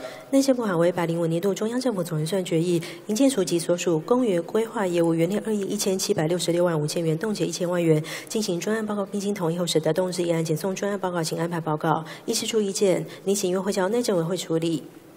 请委员会有没有意见？没有意见，照议事处意见通过一一八案。内政部函为百零五年度中央政府总预算决议，针对垦丁国家公园经营管理编列三亿零六百七十一万五千元，解除解说教育计划一千二百八十万元，保育研究计划二千八百二十二万四千元之外的经费，冻结一千万元，提出书面报告，使得动之议案简送书面报告。议事处意见，拟请院会交内政委员会处理。请委员会有没有意见？没有意见，照议事处意见通过一一九案。内政部函为百零五年度中央政府总预算决议，针对玉山国家公园经营管理中经营管理计划四千五百四十余万三千元，冻结一千万元，进行专案报告，并经同意后，使得动之议案简送专案报告，请安排报告。议事处意见，拟请院会交内政委员会处理。请委员会有没有意见？没有意见，照议事处意见通过一二零案。内政部函为百零五年度中央政府总预算决议，针对泰鲁阁国家公园经营管理边内园区游客保险机制推动计划，原列四百万元，冻结二百万元，提出书面报告，使得动之一案仅送书面报告。议事出意见，拟请议会交内政委会处理。请委员会有没有意见？没有意见，照议事出意见通过一二一案。内政部函为百零五年度中央政府总预算决议，推动建筑许可、施工管理及使用维护等工作之永续智慧城市整合推动方案原列第一年经费三千万元，冻结四分之一，进行专案报告，并经同意后，使得东之议案简送专案报告，请安排报告。议事出意见，你请院会交内政委会处理。请委员会有没有意见？没有意见，照议事出意见通过一二案。内政部函为百零五年度中央政府总预算决议，入出国及移民管理业务冻结三千万元，进行专案报告，并经同意后，使得动之以案简送专案报告，请安排报告。议事处意见，你请议会交内政委会处理。请委员会有没有意见？没有意见，照议事处意见通过一二三案。内政部函为百零五年度中央政府总预算决议，执行外来人口管理服务及违法调查处理业务经费一亿四千二百三十九万四千元，冻结四分之一，进行专案报告，并经同意后，使得动之议案请送专案报告，请安排报告。议事出意见，你请院会交内政委会处理。请委员会有没有意见？没有意见，照议事处意见通过一二四案。内政部函为百零五年度中央政府总预算决议，对替代役役男办理转介智商辅导及办理伤残替代役役男心理智商辅导所需业务费八百九十三万一千元，及办理替代役役男法纪教育讲习等经费八百八十七万五千元，合计一千七百八十万六千元，冻结六百万元，提出书面报告，使得动之议案件送书面报告。议事处意见，拟请院会交内政委会处理。请委员会有没有意见？没有意见，照议事处意见通过一二五案。内政部函为百零五年度中央政府总预算决议，航务机务及飞安编列办理飞机维护五年中程计划第二年所需经费原列十二亿二千七百五十六万元，冻结二千万元。报告并经同意后，使得动之议案简送中央报告，请安排报告。议事出意见，拟请院会交内政委会处理。请委员会有没有意见？没有意见，照议事处意见通过一二六案。内政部函为百零五年度中央政府总预算决议，自然人凭证创新应用服务推广计划原列七千一百二十八万六千元，冻结一千万元，进行专案报备报告，并经同意后，使得动之一案简送专案报告，请安排报告。一是出意见，你请院会交内政委会处理。请问内会有没有意见？没有意见，照议事处意见通过一二七案。内政部函为一百零五年度中央政府总预算决议，营建业务原列十二亿三千一百六十三万六千元，冻结五千万元，进行专案报告，并经同意后，使得东芝一案简送专案报报告，请安排报告。议事处意见，你请院会交内政委会处理。请问委员会有没有意见？没有意见，照议事处意见通过一二八案。内政部函为百零五年度中央政府总预算决议，移民辅导人口贩运防治及居留定居管理之补助新中营发展基金原列三亿元，冻结三千万元，提出报告经同意后，使得东之议案简送专案检讨报告，请安排报告。议事出意见，拟请院会交内政委会处理。请问委员会有没有意见？没有意见，照议事出意见通过一二九案。文化部函为百零五年度中央政府总预算，该部主管第一项决议十一简送书面报告，议事出意见，拟请约会交教育及文化委员会处理。请问委员会有没有意见？没有意见，照议事出意见通过一三零案。外交部函为百零五年度中央政府总预算决议，针对一般行政项下档案及资讯处理冻结五百万元提出书面报告后，使得动之议案简送书面报告，议事出意见，拟请约会交外交及国防委员会处理。请问委员会有没有意见？没有意见，照议事出意见通过一三一案。外交部函为百零五年度中央政府总预算决议，简送驻外机构业务项下驻外使领单位基本行政工作维持之一般事务费冻结五百万元之书面报告，议事出意见，拟请约会交外交及国防委员会处理。请问会有没有意见？没有意见，照议事出意见通过一三二二。行政院农业委员会函为百零五年度中央政府总预算决议，简送畜产试验所检讨并合理调整植物宿舍使用收费标准专案报告，请列入议程。议事出意见，拟请约会交经济委员会处理。请问委员会有没有意见？没有意见，照议事处意见通过一三三案。行政院农业委员会函为一百零五年度中央政府总预算决议，简送该会加强山坡地土地可利用限度查定进度及提升山坡地超限利用整体改善率专案报告，请列入议程。议事处意见，拟请约会交经济委员会处理。请问委员会有没有意见？没有意见，照议事处意见通过一三四案。交通部海为百零五年度中央政府总预算决议，冻结运输科技应用研究业务项下海空运科技研究计划低碳运输系统发展计划三千零三十八万元之四分之一，提出书面报告，使得动之议案件送书面报告。议事处意见，拟请约会交交通委员会处理。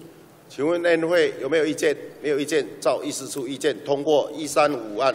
交通部函为百零五年度中央政府总预算，该部主管第六项决议八十四十五，冻结公路新建及养护计划编列时空资讯云落实智慧国土计划二千万元至四分之一，提出书面报告，时得动之议案简送书面报告。议事出意见，拟请优惠交交通委员会处理。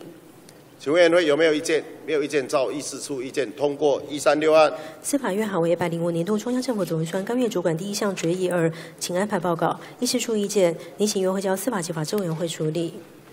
请问委员会有没有意见？没有意见，照议事处意见通过一三七案。司法院函为百零五年度中央政府总预算，该院主管第一项决议三，请安排报告。议事出意见，拟请优惠交司法及法制委员会处理。请问委员会有没有意见？没有意见，照议事处意见通过一三八案。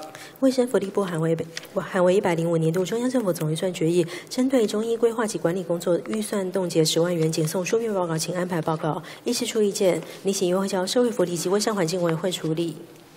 请问委员会有没有意见？没有意见，照议事处意见通过一三九二。卫生福利部函为一百零五年度中央政府总预算决议，针对中医药政策发展业务预算冻结十万元，简送书面报告，请安排报告。议事出意见，另请议会交社会福利及卫生环境委员会处理。请问委员会有没有意见？没有意见，照议事处意见通过一四零案。卫生福利部函为百零五年度中央政府总预算决议，针对医院营运辅导向下补助所属医院偏远地区医院重整服务效能计划预算冻结十分之一，简送书面报告，请安排报告。议事处意见，拟请优惠交社会福利及卫生环境委员会处理。请问委员会有没有意见？没有意见，照议事处意见通过一事一案。卫生福利部函为百零五年度中央政府总预算决议，有关中央应负担国民年金款项裁员预算编列严重不足，恐影响民众缴费意愿，并加重国民年金保险财务缺口，简送健全国保财务结构之改善计划报告。议事处意见，拟请优惠交社会福利及卫生环境委员会处理。请问委员会有没有意见？没有意见，照议事处意见通过一事二案。教育部函为百零五年度中央政府总预算决议，减送冻结国立社教机构及公共图书馆之辅导与充实之补助国立图书馆各直辖市及县市政府公共图书馆强化服务功能五百万元解冻书面报告。议事处意见，拟请优惠交教育及文化委员会处理。请问委员会有没有意见？没有意见，照议事处意见通过一四三案。教育部函为百零五年度中央政府总预算决议，简送冻结二零一七台北世界大学运动会筹备计划十二亿元解冻专案报告，请安排报告。议事处意见，拟请优惠交教育及文化委员会处理。请问委员会有没有意见？没有意见，照议事处意见通过一四四案。教育部函为百零五年度中央政府总预算决议，简送冻结体育署基本行政工作维持项下特别费二分之一解冻书面报告。议事处意见，拟请优惠交教育及文化委员会处理。请问委员会有没有意见？没有意见，照议事处意见通过一四五案。教育部函为百零五年度中央政府总预算决议，简送冻结终身教育行政及督导中推动社区教育一百万元简动书面报告。议事处意见，另请优惠交教育及文化委员会处理。请问委员会有没有意见？没有意见，照议事处意见通过一四六案。教育部函为百零五年度中央政府总预算决议，减送冻结国家体育建设中推展竞技运动二百万元减动书面报告，议事处意见，拟请优惠交教育局文化委员会处理。请委员会有没有意见？没有意见，照议事处意见通过一十七案。教育部函为百零五年度中央政府总预算决议，减送技职教育行政革新与国际交流及评鉴之发展技。职校院评鉴制度原列二千七百五十一万九千元，冻结十分之一解冻书面报告，议事处意见，你请优惠交教育局文化委员会处理。请委员会有没有意见？没有意见，照议事处意见通过一四八案。教育部函为百零五年度中央政府总预算决议，减送冻结技术职业教育行政级督导中奖励科技校院教学作业计划一亿元，解冻专案报告请安排报告，议事处意见，你请优惠交教育及文化委员会处理。请委员会有没有意见？没有意见，照议事处意见通过一四九案。教育部函为百零五年度中央政府总预算决议，减送冻结辅导改进技专校院之管理发展八千万元，解冻书面报告及办理高教创新转型业务专案报告，请安排报告，议事处意见，你请优惠交教育及文化委员会处理。请委员会有没有意见？没有意见，照议事处意见通过一五零案。教育部还会百零五年度中央政府总预算决议，减送产学合作及技职教师研习原力二十五亿三千零八十万五千元，冻结二二十分之一，解冻专案报告请安排报告，议事处意见，拟请优惠交教育局文化委员会处理。请委员会有没有意见？没有意见，照议事处意见通过一五一案。教育部函为百零五年度中央政府总预算决议，减送一般行政中基本行政工作维持原列一亿一千一百五十二万九千元，冻结十分之一，解冻书面报告，议事处意见，拟请优惠交教育局文化委员会处理。请委员会有没有意见？没有意见，照议事处意见通过一五二案。教育部函为一百零五年度中央政府总预算决议，减送冻结终身教育行政级督导中推动高龄及妇女教育二百万元，解冻书面报告，议事处意见，拟请优惠交教育及文化委员会处理。请委员会有没有意见？没有意见，照议事处意见通过一五三案。教育部函为百零五年度中央政府总预算决议，减送国际级两岸教育交流中吸引国际学生来台就学原列三亿四千三百九十三万三千元，冻结之十分之一，解冻书面报告，议事处意见，拟请优惠交教育及文化委员会处理。请委员会有没有意见？没有意见，照议事处意见通过一五四案。教育部函为一百零五年度中央政府总预算决议，减送冻结终身教育行政及督导中推行家庭教育一千万元，解冻书面。解冻专案报告，请安排报告。议事处意见，你请优惠交教育及文化委员会处理。请委员会有没有意见？没有意见，照议事处意见通过一五五案。教育部函为一百零五年度中央政府总预算决议，减送冻结高等教育中国立大学校院教学与研究补助一千万元，解冻书面报告。议事处意见，拟请优惠交教育及文化委员会处理。请委员会有没有意见？没有意见，照议事处意见通过一五六案。教育部函为一百零五年度中央政府总预算决议，减送冻结一般行政中推展一般教育及编印文教书刊二百万元，解冻书面报告。议事处意见，拟请优惠交教育及文化委员会处理。请委员会有没有意见？没有意见，照议事处意见通过一五七案。教育部函为一百零五年度中央政府总预算决议，减送冻结体育行政业务中体育行政及督导五百万元，解冻书面报告。议事处意见，拟请优惠交教育及文化委员会处理。请委员会有没有意见？没有意见，照议事处意见通过一五八案。教育部函为一百零五年度中央政府总预算决议，减送冻结国际级两岸教育交流中办理国际华语文教育五百万元，解冻书面报告。议事处意见，拟请优惠交教育及文化委员会处理。请委员会有没有意见？没有意见，照议事处意见通过一五九案。教育部函为一百零五年度中央政府总预算决议，减送推动及改进。大学招生制度原列一亿五千一百七十四万五千元，冻结十分之一，解冻书面报告。议事处意见，你请优惠交教育及文化委员会处理。请委员会有没有意见？没有意见，照议事处意见通过一六零案。教育部函为一百零五年度中央政府总预算决议，减送冻结师资培育、艺术教育行政及督导中健全师资培育三千万元，解冻专案报告，请安排报告。议事处意见，你请优惠交教育及文化委员会处理。请委员会有没有意见？没有意见。照议事处意见通过一六一案。教育部函为一百零五年度中央政府总预算决议，减送冻结高等行教育行政级督导中强化人才培育及产学合作机制四千万元，解冻专案报告，请安排报告。议事处意见，拟请议会交教育及文化委员会处理。请委员会有没有意见？没有意见，照议事处意见通过一六二。教育部函为一百零五年度中央政府总预算决议，减送冻结国际级两岸交流中。鼓励国外留学计划一千万元，解冻书面报告。议事处意见，您请优惠交教育及文化委员会处理。请委员会有没有意见？没有意见，照议事处意见通过。一六三案。教育部函为百零五年度中央政府总预算决议，减送冻结一般行政中人员维持二千五百万元减动书面报告，议事处意见，您请议会交教育及文化委员会处理。请委员会有没有意见？没有意见，照议事处意见通过。一六四案。教育部函为一百零五年度中央政府总预算决议，减送冻结资讯科技教育行政级督导资讯系统及网站为运营业务一百万元减动书面报告，议事处意见，拟请议会交教育局文化委员会处理。请委会有没有意见？没有意见，照议事处意见通过。一六五案。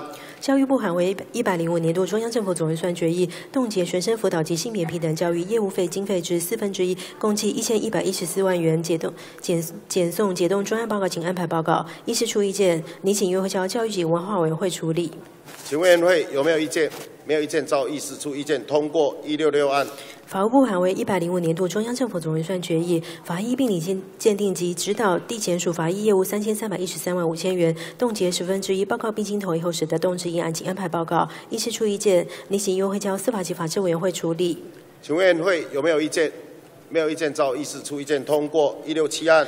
法务部函为一百零五年度中央政府总预算决议，矫正业务向下人员维持之奖金十亿四千二百六十六万六千元，其中编列之医师不开业奖金八十一万六千元，冻结十分之一。报告后使得动之一案，请安排报告。医师出意见，拟请议会交司法及法制委员会处理。请问委员会有没有意见？没有意见，照医师出意见通过。一六八。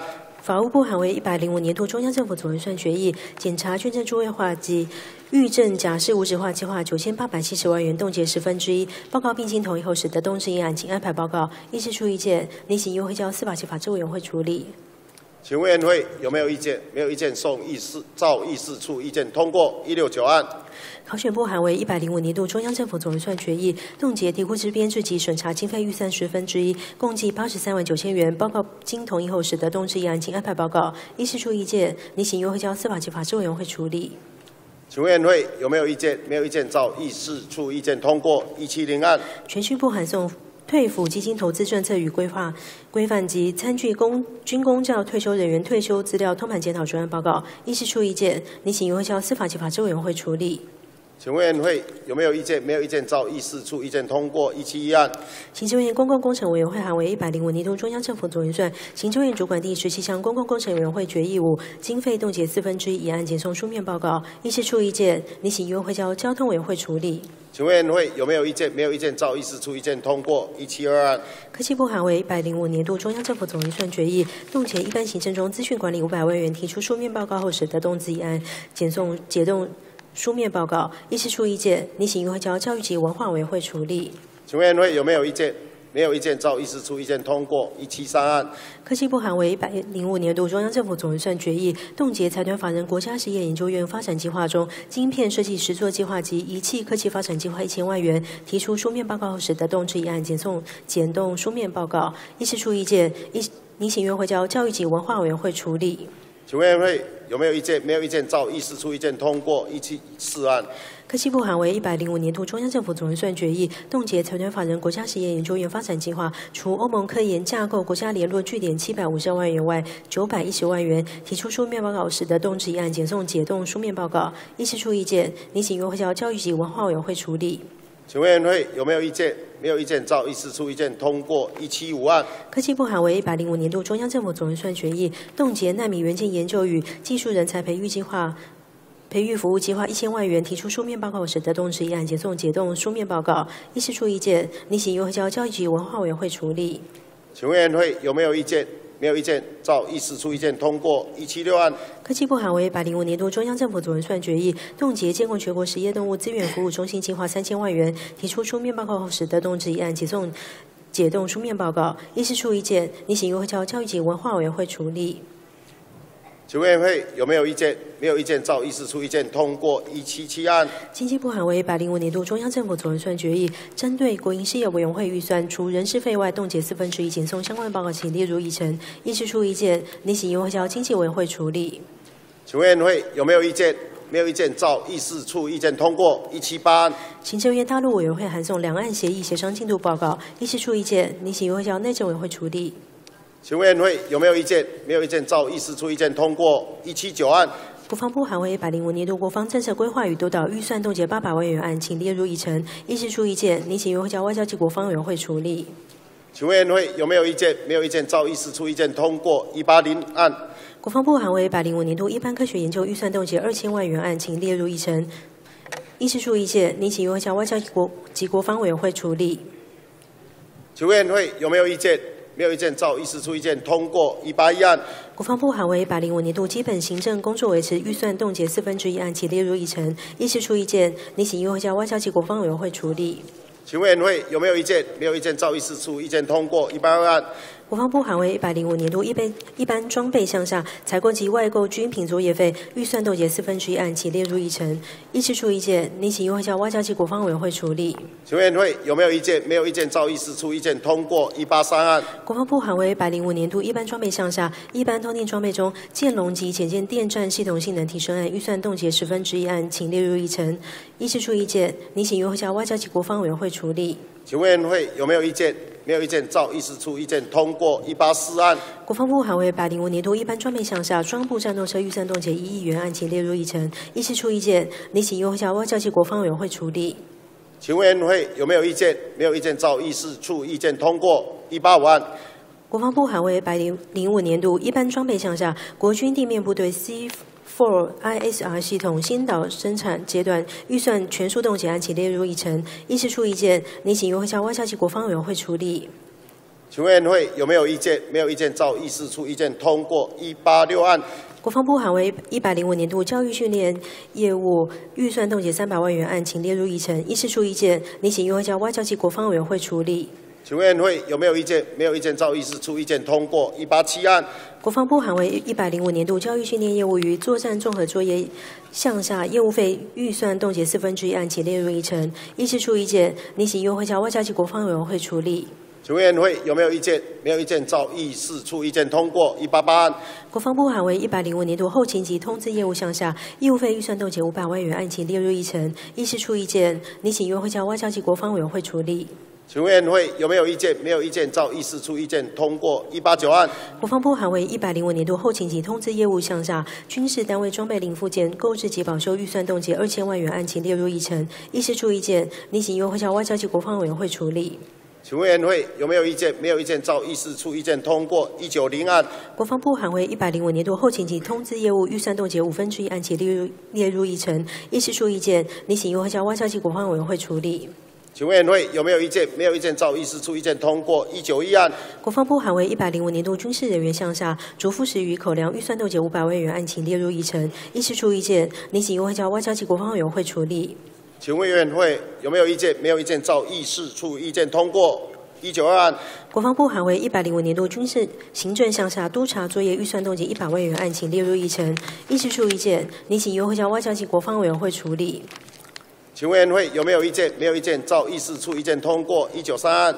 国防部函为一百零五年度中央政府总预算该部主管第二项决议一军事行政预算冻结五百万元案，请列入议程。议事出意见，拟请议会交外交及国防委员会处理。请委员会有没有意见？没有意见，照议事处意见通过一九四案。国防部函为一百零五年度中央政府总预算该部主管第二项决议二军事行政预算冻结一千万元案，请列入议程。议事出意见，拟请议会交外交及国防委员会处理。请委员会有没有意见？没有意见，照议事处意见通过一九五案。行政院主计总处函送中华民国一百零四年度中央政府总预算第二预备金动支数额表刊物表，议事处意见，拟请议会交财政委员会会同有关委员会，并一百零四年度中央政府总预算第二预备金动支数额表案处理。请委员会有没有意见？没有意见，照议事处意见通过一九六案。外交部函送驻南非共和国台北联络代表处与驻台北南非联络办事处司法合作协议，议事处意见，拟请议会交外交及国防委国防委员会。本案民进党党团提议改交审查，提交外交及国防委员会审查。报告院会第一百九十七案以下，请一并宣读。宣读后均准预备查。开始宣读。一百九十七案至二百一十三案为行政院函送本院王委员易名、玉名、蒋委员乃新、林委员淑芬、前委员陈碧涵、前委员李桂敏、前台湾团结联盟党团、前委员吴玉生、严委员宽恒、前委员周年安、前委员杨玉兴等所提临时提案之严处情形。二百一十四案为本院人事处函送立法院第九届第一会期各委员会召集委员名单。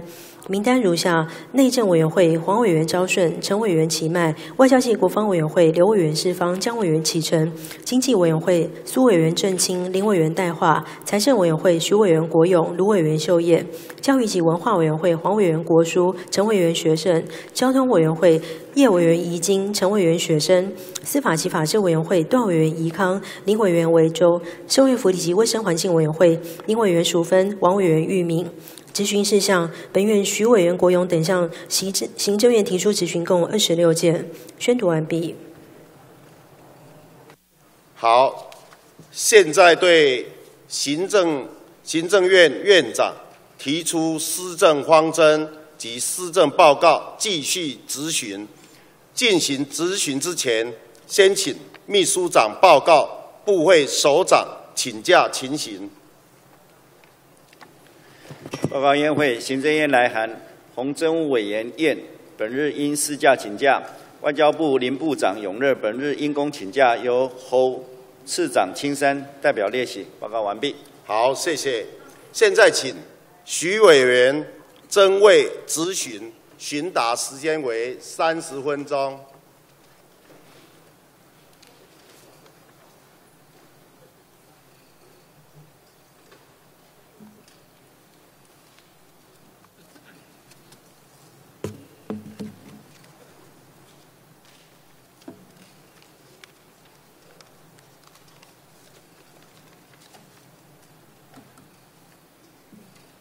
主席，啊，我们麻烦有请张院长。请张院长。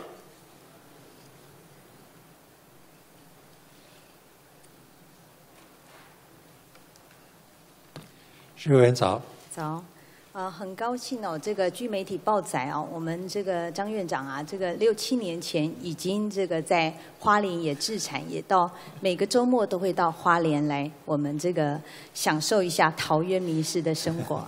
所以啊，我们这个花莲呢，还有我们的国会助理团呐，跟我们这个张院长封了一个我们这个现代陶渊明啊。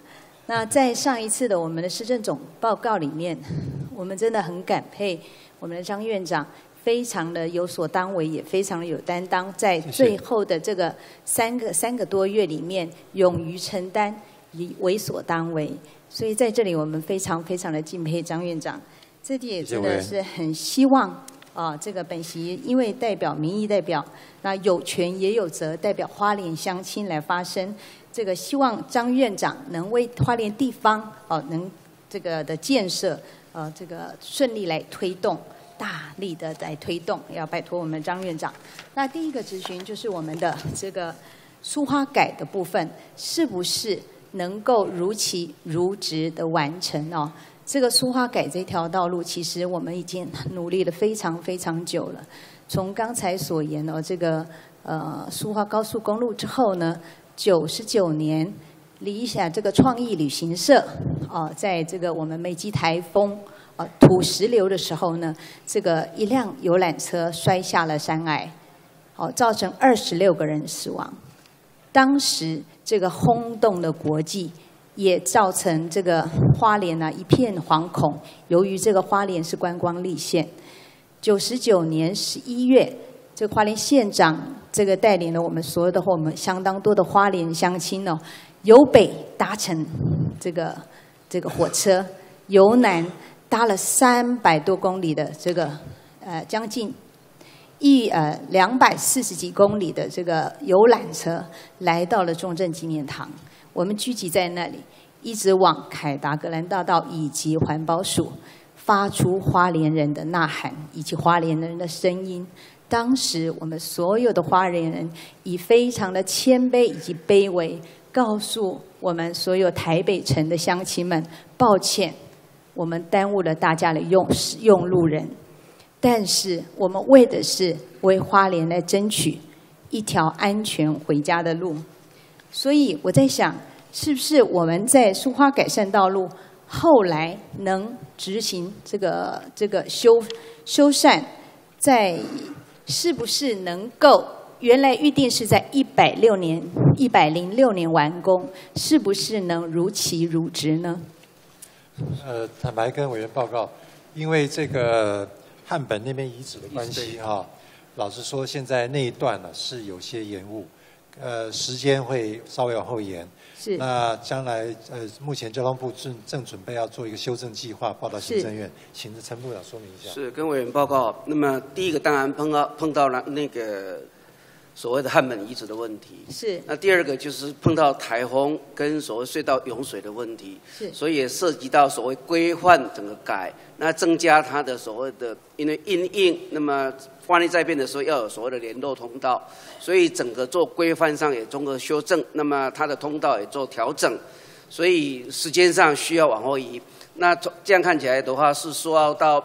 美东澳到南南澳的部分呢，大概是一一个是一零六，分作三个区段。是。那南澳到南澳一个一一零六底，一零六七，一零六八，就是那么到大清水那边是一零八。那这个整个是因应地质状况跟所谓的遗址的问题，不得不做这样的变化。所以我们很快会。所以您的意思是在我们的一百零六年，我们北段可以完成，是北段可以通车。一百零七年。中段可以通车，一百零八年全线可以通车。对对对，那么我在想，我们汉本遗址的部分已经耽误了将近快两年的时间了。这个台北的忠孝桥都可以在八天之内把它拆除完成，而且加大人力，加了三倍的人力。是，我相信我们中央政府也有这个效能，还有这个力量，加大我们的人力，将我们这个汉本遗址赶快出土。哦，原来是委托中研院那边在做处理，那现在已经加另外一个团队进来。那三月一号已经绝标了，所以年底理论上来讲，这些事情都可以处理完毕。感谢感谢我们的部长。所以这个书花改的部分，我们真的是希望能如此如期如职啊！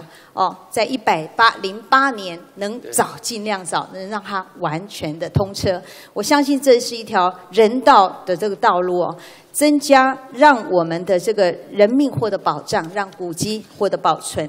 好，再来就是呃，院长啊，这个您是科技界的高这个专才啊，也替国家写了第一本的科技白皮书。我想在这个我们这个一票难求的部分呢，我想这个在城市上的设定和设计应该不是太难的问题。我们真的很希望这个花莲的子弟。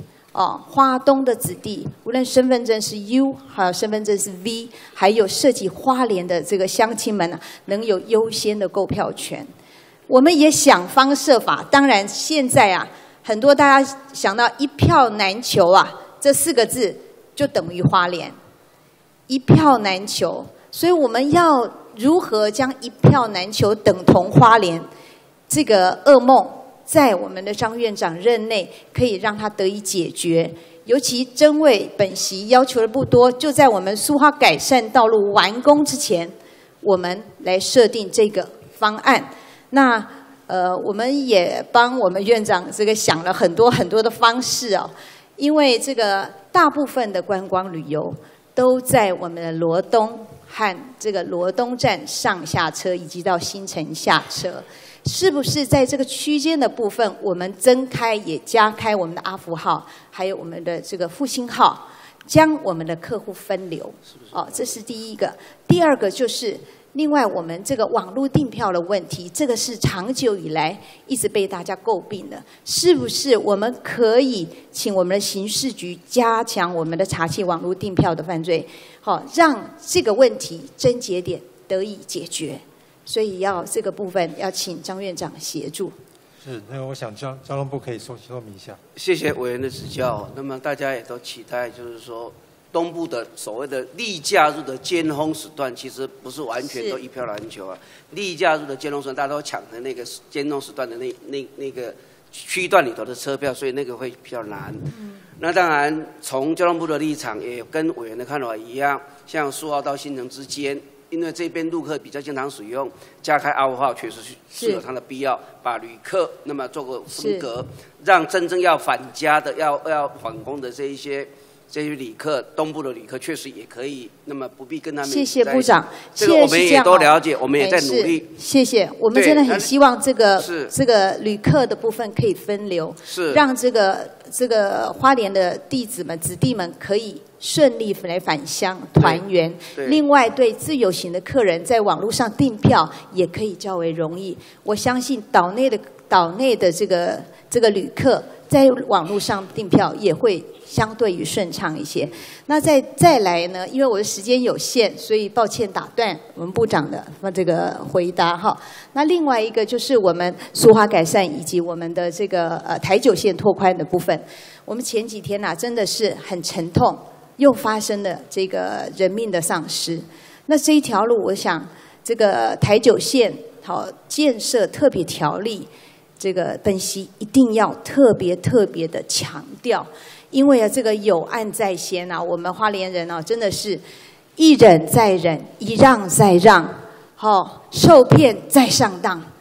苏花高速公路从我们八十九年，我们看核定了也新建，哈、九十二年发包动工，我们土地都征收了。九十三年，扁政府说停喊停，这是真的不尊重立法院的决议。所以，一个国家的最高的领导人如果不尊重我们立法院的决决议的话，我们就要保障花莲人的权益。所以，我们要提一个有法律慰藉、有法律依据的特别条例。所以，在这个部分，我们提出的特别条例是专款专用，绝不容这个外面的媒体或其他有心人士来造谣抹黑。哦，所以在这边还有一个，还有一个我们华东铁路电气化的问题。铁路电气化现在这个九十七年核定一百五十亿，一百零三年完工的时候是两百五十四亿。我相信这六年的暴增，为什么？很大的原因是一个这个通货膨胀、物价的波动。所以呢，所以这个已经这个多了七成了。所以在我们特别条例里面，特别将我们的九十九年交通部，好，我们交通部排的这个我们的一百四十亿，一百四十亿，再加上全国省道工程改善的工程，好，两百四十一亿，除以在花莲的台九线，一共有一百六十几公里，相对于全台湾是一个四分四分之一，占了四分之一，所以我们抓了一个六十亿。所以这个东西通通依法有据，而且是交通部的数字。我们希望用专款专用的方式提特别条例，让它三年能执行完毕，剩余款回归到花东公路的这个维养基金。所以这个部分真的很希望我们的张院长还有部长能全力来协助。我想。全国啊，现在已经台湾已经是已开发中的已开发的国家了。如果我们国家级的省道还有两线道，那真的愧对花莲人。另外，西部的交通，我们的台铁、高铁，我们的这个公路网这么密密麻麻，一日生活圈多么多么的便利。花莲的公路还是两线道，花东。快速道路还没有，另外我们的铁路双轨啊，没有全线双轨耶，还是部分路段双轨。所以以这三种道路来说，花莲一项都没有剧组，在这里真的代表花莲台东的乡亲，拜托我们的张院长，能给花莲最大最大的协助，请张院长。呃我想提案立法，这是委员的权利哈，呃，我们都尊重。但是委员您真正的顾虑是经费的额度跟时间要快哈。是。这个实事实上在我们行政面来讲是有办法来做哈。我想请部长说明一下。是因为院长特别提示哦，那么有一个比较好的做法，那要我们交通部来研究。是。因为立法坦白讲，旷入费时了哈。那如果可以确保刚刚所谈的花东的这个路段，那么我们现在是原来是把它纳列入所谓的花东的三期的后续计划里头去。是。是那如果可以把它提升单列，把一次核定的所谓的专案计划提到母计划里头来，当做一次核定的专案计划的话，那分年来编列它的预算，跟分期来编列预算，那这样的话一次性就核定下来，那个经费就就在了，就不会跑掉了。所以，我我院长的这个提示，我们是觉得，就是说，从交通部的立场，可以赶快来办，那也不必再去立法，而且很快就可以确保这这种所谓花东如果三期的处理。如果交通部可以核定送院，哦，那我们张院长这个审定，但是我们的期程真的不要太长，也不要逐年逐年的核定，整个把它框列下来，具备法律的效用的话，这个本席可以来接受。也可以来研议目前特别条例的这个这个案子。我想我们这边在作业上可以配合，就是尽快把这个台九线的计划提升到院核定计划，尽快来做，回去马上做。是。然后一旦核定以后，现在正在编明年一百零六年开始的预算，我们会把它名列在一百零六年后续的可能是几年的预算。就符合委的期待。是，谢谢。我想台九线的这个用地啊，这个整个路线的编列也都是我们交通部很久十几年已经编好的，所以这个应该都是没有问题。我们只要确保这一条路的经费被框列下来，而且不要被挪用，这个尽速赶快来执行，这个让花莲的这个公路正义能够实现，也这个维护花莲的交通权益。另外，在这个这个花东快的部分，我想这个建设一定要有前瞻性嘛。我刚才讲，本席已经讲了，在这个西部交通已经密密麻麻，这么这么的方便了。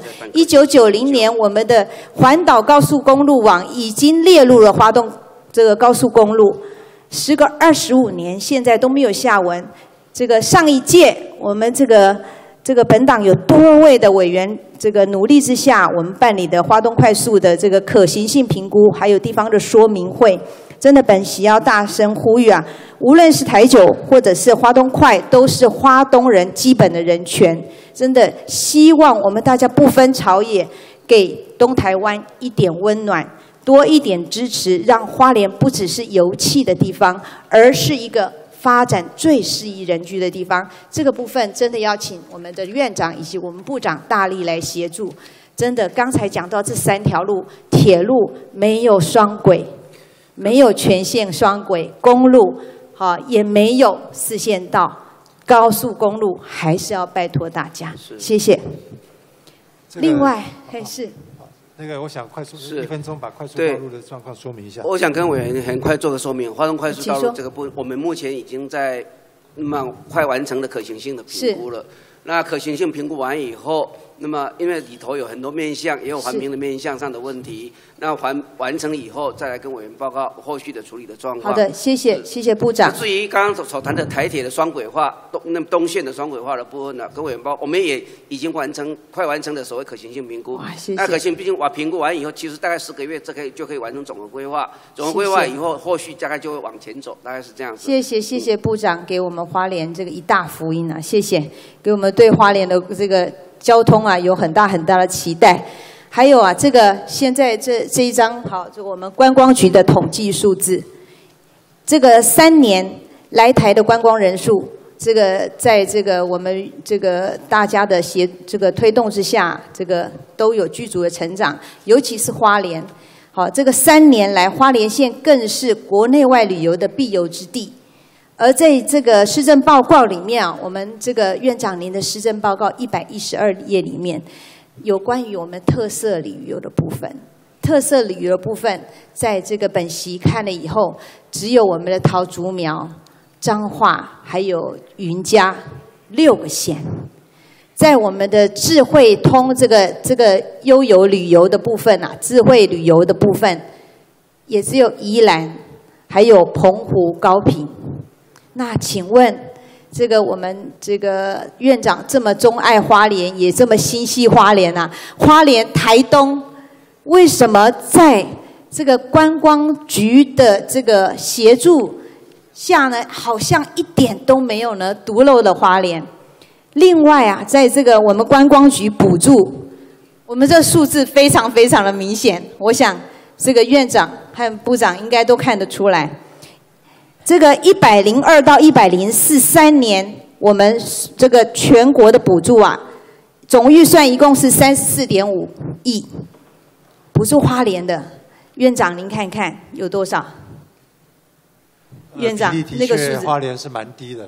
那个事实上，我接任以后也特别呃找观光局了解过，请他们呃在近期内尽量能够替花莲的观光能够多多呃支持。谢谢，因为我知道这个去年前三年不是在院长任内，但是真的只有一亿一千七百万，只有少少的零点零三，对花莲来说，真的以一个观光立县，好、真的是太少太少了。花莲的乡亲非常非常的努力，成为国际的都会。我们看这个东大门夜市，开幕不到六个月，有九十万人次。我们在开幕之前用县预算来执行，来建设东大门三条街。好，您看右边的对照，这是这一次我们的农历春节，还有二二八连假，人山人海，做得红红火火。我们在这里要拜托我们的观光局、我们的部长、我们的交通部长帮忙的，就是在这个我们的东大门夜市旁边有一个日出观光香榭大道。您看那个是我们规划是整体一体的，而且它只有一点四公里，也就是一千四百公尺。我们希望能打造成观光日出日出观光香榭大道。它是整体整体的规划，所以在这个部分，是不是可以请部长大力的协助协助？请部长。是跟委员报告，因为县长跟委员都有提过这个案子哈。是那原则观光面向上的说明，部里头当然尊重。是。那这因为这一个这个案子是国发会要部里头这边观光局这一边来整合各部位的意是见。那我们也把各部位的意见，那么也已经送给国发会。是。那国发会会交给所谓这个发东有一个这条例的推动审议小组去做审议。那到到那个地方，我们再来再做补充说明，好不好？谢谢谢谢部长，这个可能要请部长这个这个美言，而且再加把劲，让国发会能能尽量尽速让这个我们的香榭大道能通过。我们可以看到，我们香榭大道原这个在原来是一个我们的自由大排水沟，所以我们现在把它加盖以后，我们真的很希望能成为台湾的这个日出大道、香榭大道。这个在台这个花莲呢、会将这个国际的视野会增加也提升。另外，我们真的这个在鲤鱼潭观光水舞的部分，我们真的要谢谢交通部。好、这个我们纵管处已经纳入了 BOT 计划，而且已经上网招上网招标了。我们真的谢谢好，但是我们还是希望部长好能这个继续来督促执行。会的，会的。另外啊，我想这个建设啊，哈、一定要有我们的前瞻性。还有呢，在这整个过年期间，以及整个因应我们这个疏花改善道路的完工，我们真的本席希望在呃院长的协助之下，我们能打通花莲的市区的交通的任督二脉。所以在我们的这个呃东部的部分，我们有一个福德段，好、福德段的大型的停车塔塔必须将从苏花改善道路过来的车流量，以及西部的我们的这个四维段两两条路，这个苏花改善道路进来大量的观光客，我们需要有大型的停车塔。疏解我们的交通流量，让我们这一部分呢，这个车辆不要进入花莲市的老城区。这个如果得到了我们院长以及部长的协助，哦，对不起，这个应该是内政部营建署是部长，谢谢。我我先说明一下，是，因为事实上的话，县府这边在一百零三年其实自己做有做一个研究计划案，是。那这个研究计划里头特别报告，当然跟委员刚刚所提的有关。那这里头提到呢，其实花莲县呐、如果要建停车塔或者是是停车找出停车场的用地，其实有一个三部曲的。是第一个就是要先有一个所谓新辟的公车路线，是把这个所谓的公车所谓的这个这一个公车的这个覆盖率啊，把它加大，让进出的人家多。那第二个就是要有所谓的转乘测试，就刚刚所谈的转运站里头所谈的转运站。是。第三的就是所谓的新建停车停车是部分。那我要特别说明的就是说，那么只要就是有关于新辟路线或者是转运站的部分，其实部里头站在部里头全责可以协助，没有问题。是谢谢要按照规定来做处理。但是停车的部分呢，因为现阶段里头，因为你从民国九十年里头就已经把所谓的中央跟对地方直辖市的补助办法里，把停车这部分已经拿掉了。那拿掉怎么办呢？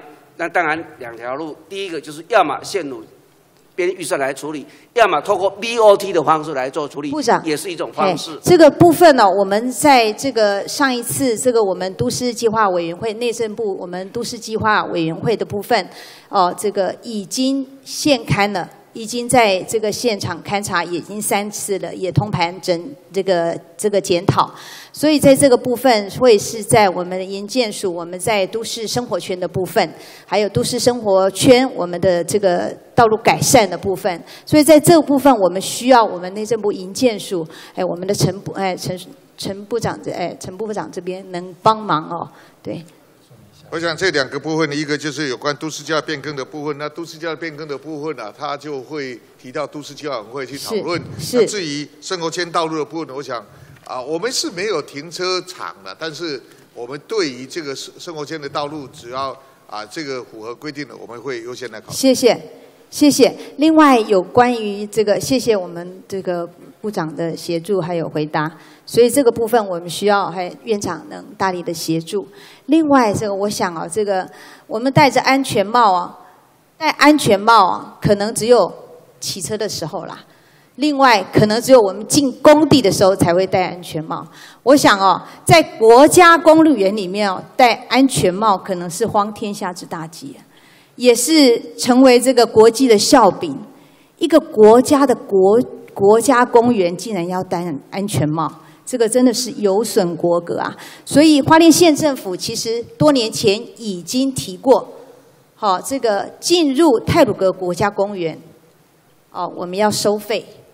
之后呢，这个收费，泰鲁格国家公园每一年观光局这个我们的营建署的统计，每一年几几乎有六百六十万人次。我们把它算除去二分之一好了，最少三百三十万人。如果好，我们的这个国国外的游客，我们来收费定标准的话，我想我们本国人到国外去旅游啊，到国家公园，到任何地方，通通要收门票。没想到我们台湾的国家的公园竟然通通都不用收门票，都是免费的。所以这个这个，所以我们这个国家的付出会这么大，负担也这么大，连一个石头掉下来，我们自己都没有办法喂养。所以如果这个我们的这个部长哦，陈部长能够这个呃接受我们国家公园可以收门票，我们以这个我们国外旅游哈、国外来这个国外客人来说，一个人收五百块。我们如果两百八十万人的话，我们就可以收十四亿。如果是本国人呐、这个非花莲县级的人，这个四十万人的话，我们可以收零点八亿。所以这个就十四点八亿的花莲人，当然花莲人这个大概也不会去泰鲁格国家公园啊，因为已经常去了嘛。好，所以花莲人免费。所以这十四点十四点八亿呀、如果十亿我们能再来做泰鲁格国家公园我们的边坡，做铁网，然后做直批，以及我们这个这个所有的维养的话，我想一年十亿，十年就一百亿了，不用中央再编经费了，门票收入就可以注意。另外，在四点八亿的部分，我们在推动绿能，我们在推动环保这个部分，我们真的可以买绿能电车，让他要进国家公园的时候，我们只要这个搭乘绿能电车就好。我想这是一个帮我们这个国家公园找财源，另外帮我们国家公园做一个安全的国家公园，也提升中华民国我们国家公园。的这个能见度也提升我们的国格，在这里要这个这个恳请我们的院长和部长能来协助，大力的来通过。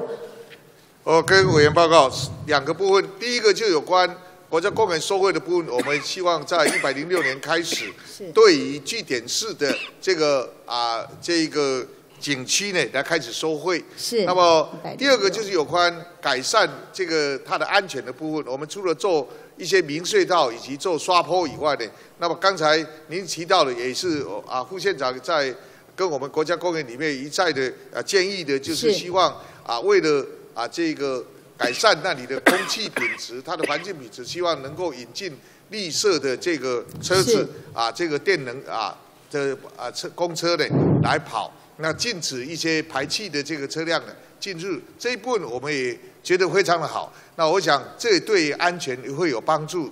那这一部分我们也都请国家公园在进行规划谢谢。谢谢两两位陈部长，请回座，谢谢谢谢。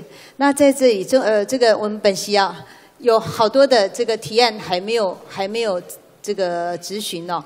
那整本席这个稍微念一下好了。这个希望我们的院长能大力来协助。这个还有一个是非常重要的，我们的智慧科技图书馆的部分，我想。这个智慧科技图书馆花莲是偏乡，所以我们对于这个智慧科技图书馆的部分非常非常的期待。尤其花莲的学子，其实在我们的大学的这个这个呃大学这个表现也都非常非常的优秀，还有国际的这个创意以及这个发明竞赛里面也都非常非常的优秀。所以我们找了一个地点是在我们花莲最精华，在麦当劳的对面。哦，做了一个二十四，希望能做一个二十四小时的听这个图书馆，让我们的青少年学习创作还有发挥。我们真的很谢谢我们的这个这个吴部长，好给予大力的协助。我们这个以东发基金这个的华东基金来挹助，我们也谢谢部长给给这个华林县有相当相当多的指导，让我们的智慧科技以图书馆。能这个能够提案也能够顺利，我们在这里要谢谢吴部长，还要拜托吴部长能大力的预陈和支持，更希望院长能加以让推动，让他继续来执行。呃，在这里本席啊，再把其他的这个议题先把它这个念一下，真的要拜托，也期待我们的院长能大力支持。哦，有一个我们翻转价值花莲果菜市场，还。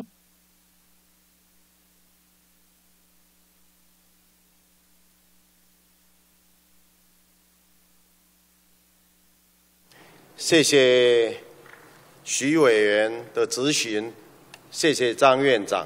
现在请吴委员施瑶执行，询答时间三十分钟。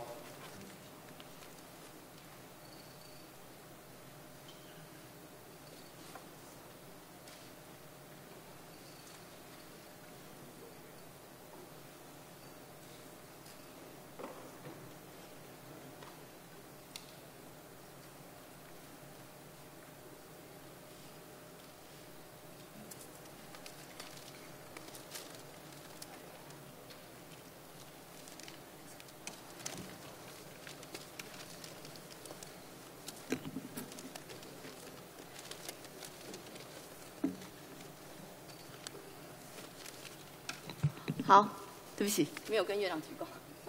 谢谢苏院长，啊，有请我们张院长。张院长，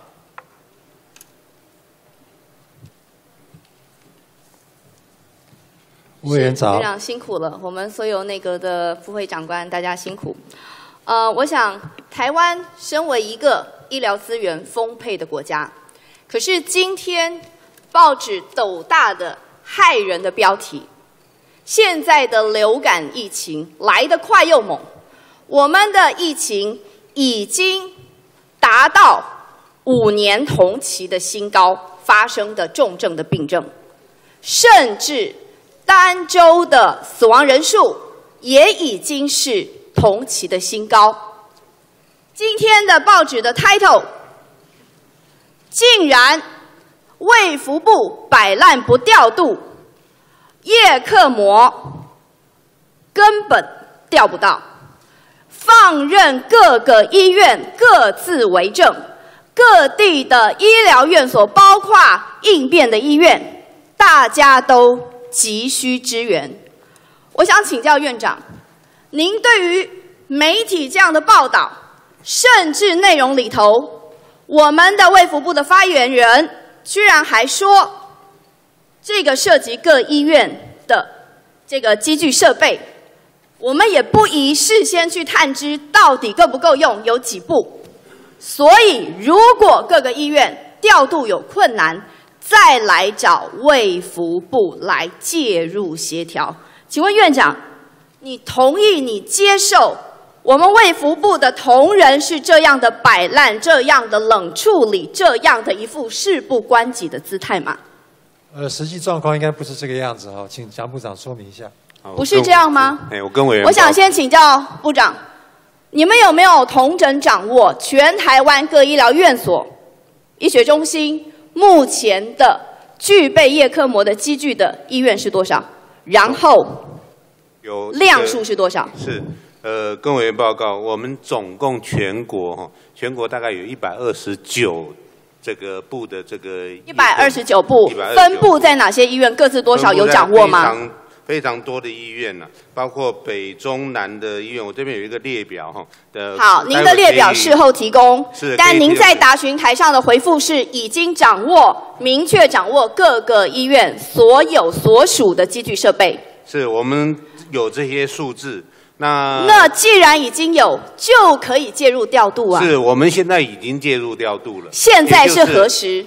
哎今天吗？没有从报载的新闻出来了，才开始被动的回应吗？我们昨天就开始，所以是昨天才开始喽。不是叶克膜的事情哦。我先跟委员报告，叶克膜它要调度，它不是一个机器而已。第一个人病是啊，人如果需要叶克膜，当然是它不。适所以，当我们预知我们的流感的病症的疫情如此严厉的此刻，怎么会是到昨天开始来做？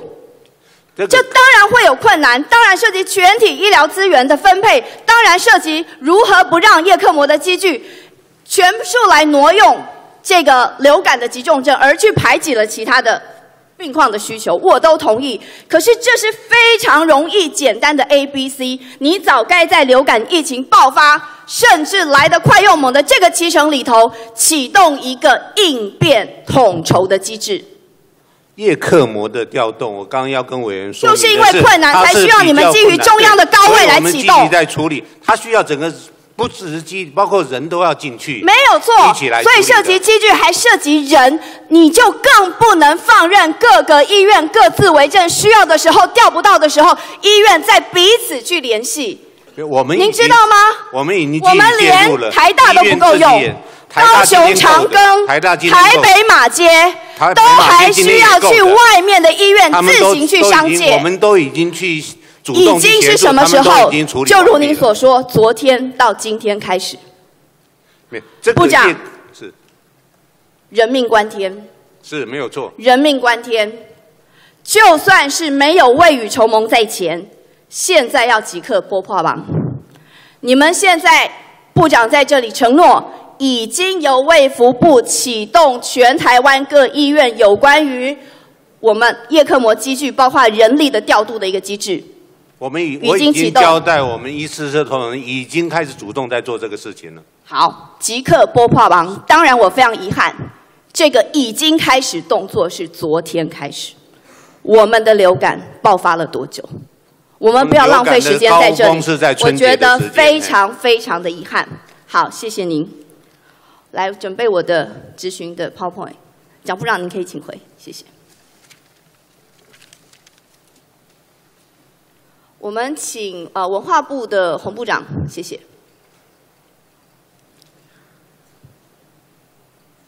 院长，呃，您这季呃，您最近在整个看守内阁的期间，那表现确实还不错。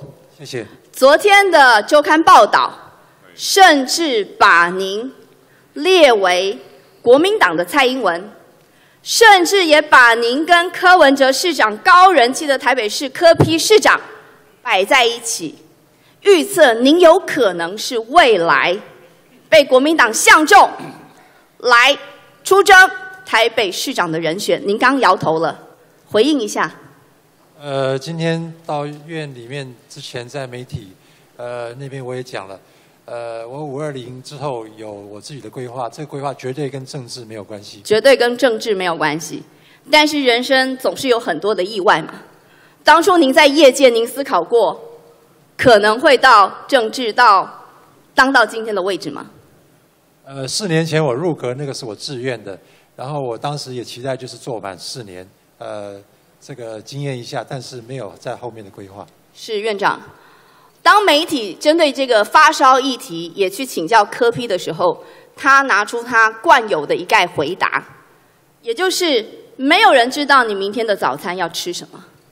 其实我想告诉柯批，如果你想让明天拥有元气满满的一天，你是可以提早准备明天早餐吃什么。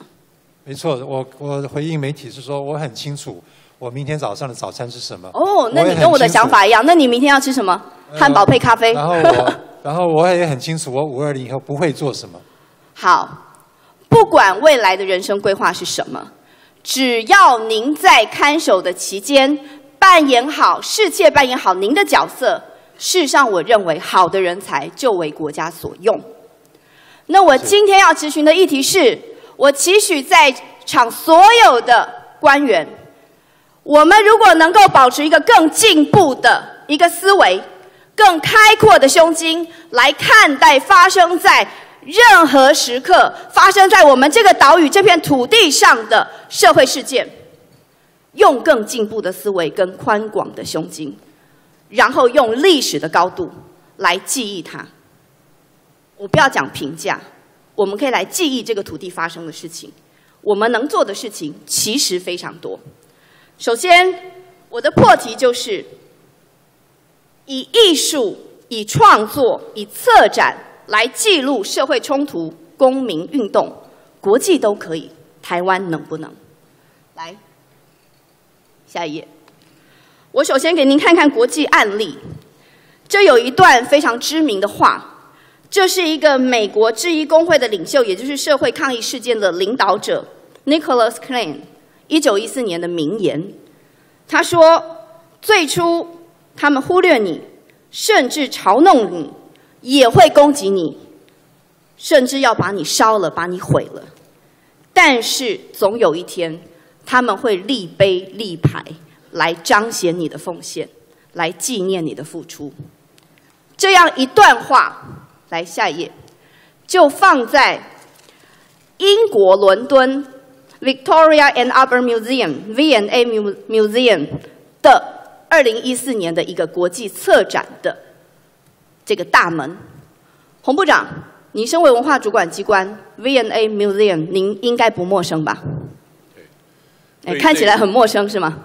对对，这个事实上我们都我在经常在接触哈。都是经常在接触。那您知不知道，他二零一四年有这样一个非常进步的策展？那么事实上就是我们在我在呃在工作的执行上，这个一直是在鼓励这方面。很好，我们来看看您如何鼓励。这个 V&A Museum 在两年前策的这个展，展出了从一九七零年代起，全国、全球三十几个国家的社会改革运动，具指标性的九十九件抗争道具，包括创作品。为什么是九十九件？因为他不要让它到一百件，他要让它永远是一个 endless 继续的这个过程，这是一个艺术的手法。他展出的展件涵盖全球的各类的社会抗争的事件，反核、反战、环保、学生议题、同志议题、性别运动等等都有，包括美国的占领华尔街运动，包括阿拉伯之春，包括香港的战中运动。都有把相关的在整个社会事件里头创作的艺术家在地创作，甚至是参与者他们手做的一些标语文宣，都收纳在这个展当中，收纳在这个展当中。但是非常遗憾，没有来自台湾的任何一个抗争的物件，而台湾是华人世界民主最为典范的一个国家。来，我们看下一页。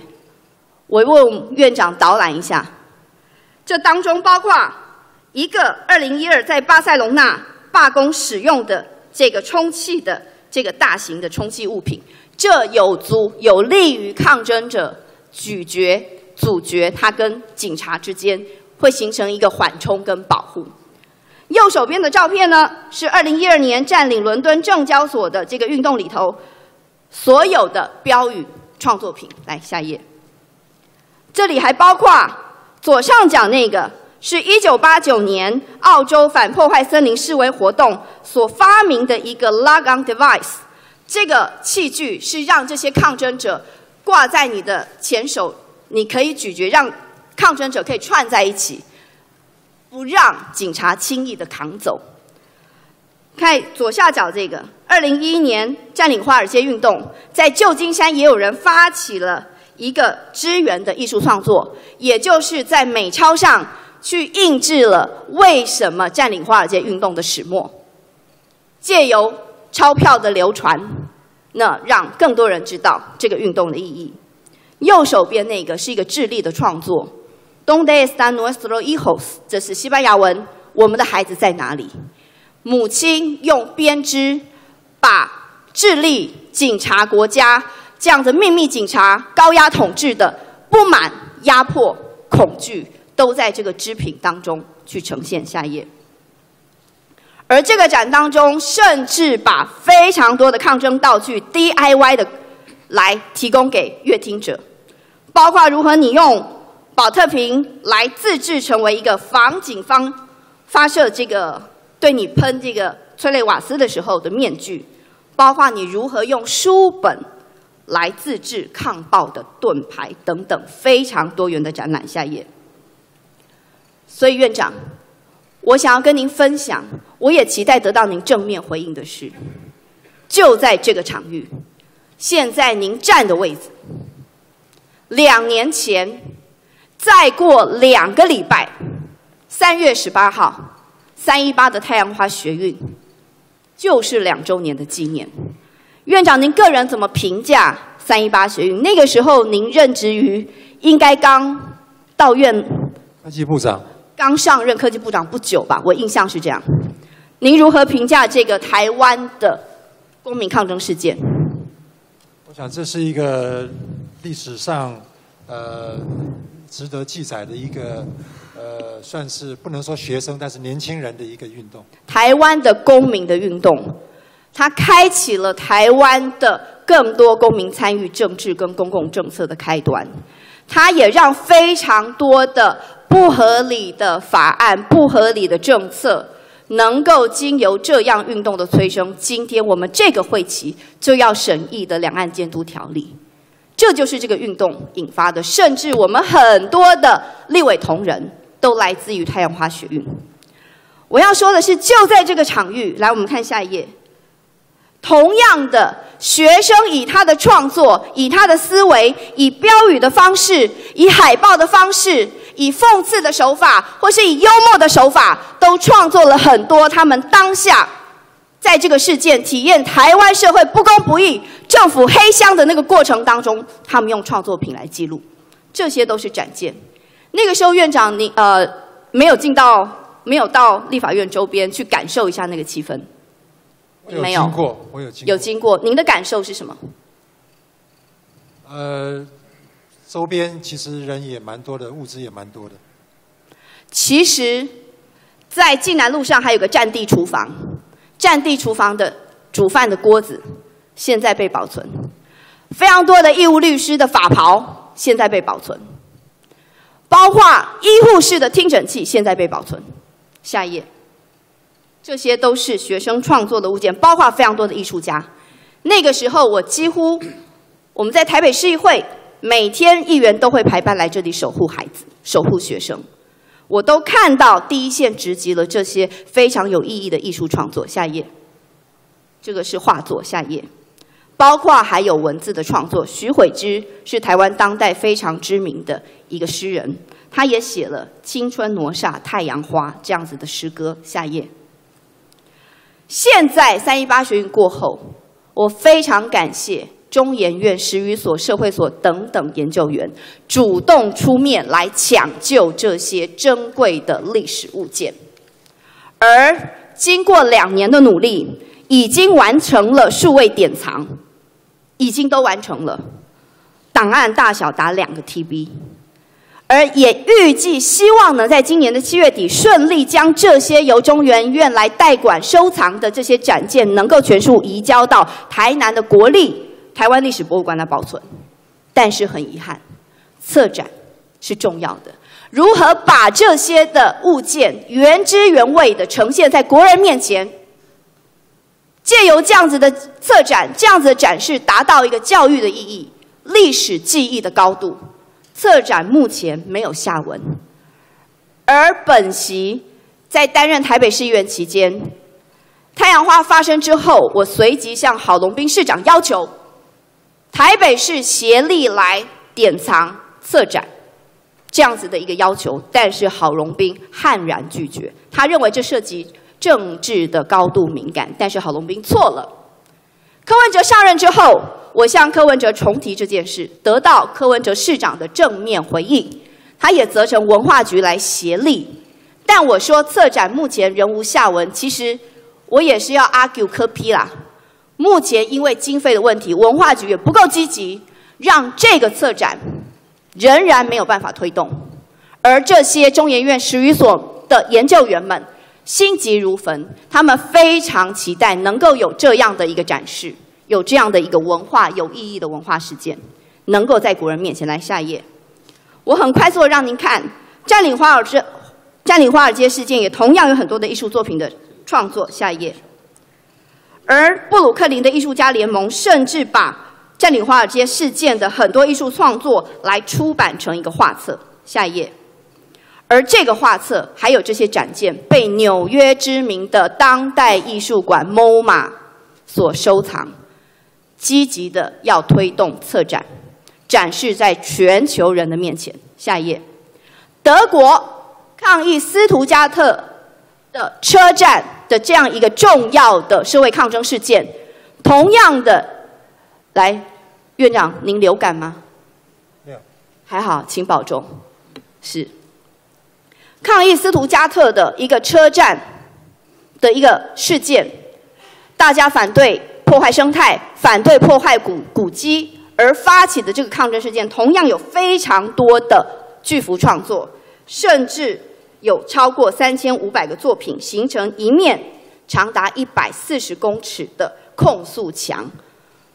文化界称它为户外美术馆。下一页，这些都是展件。下一页。这些都是当时的创作。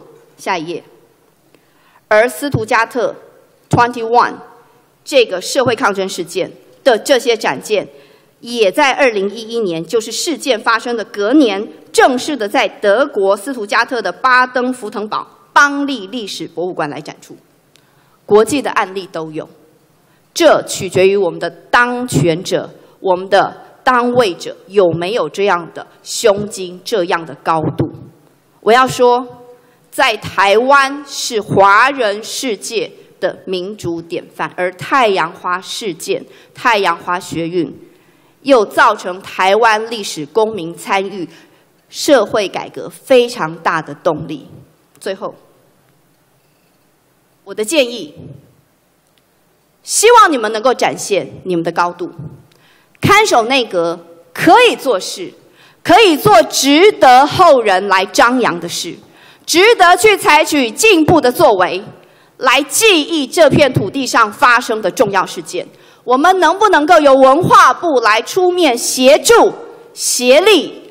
不管是台北市政府要参与策展，或是由文化部来主导协助中研院的这些研究员们，顺利的将这些展件做一个通盘的整理，以一个展览的方式。而空间非常多可以选择，甚至在充满着转型正义代表的中正纪念堂的展厅都可以被选择。院长，您个人认为呢？呃，那个台南，您刚才提到的历史博物馆，呃，没有在策展这个事情，我刚刚也请教过。他们目前在收藏，但策展还是需要国家来协助。呃，博物馆本身收藏跟策展都可以做。那三一八现在已经事过境迁，当时是一个政治事件，现在回头来看，呃，已经呃三一八所所导致的一些发展已经都都都定定型了。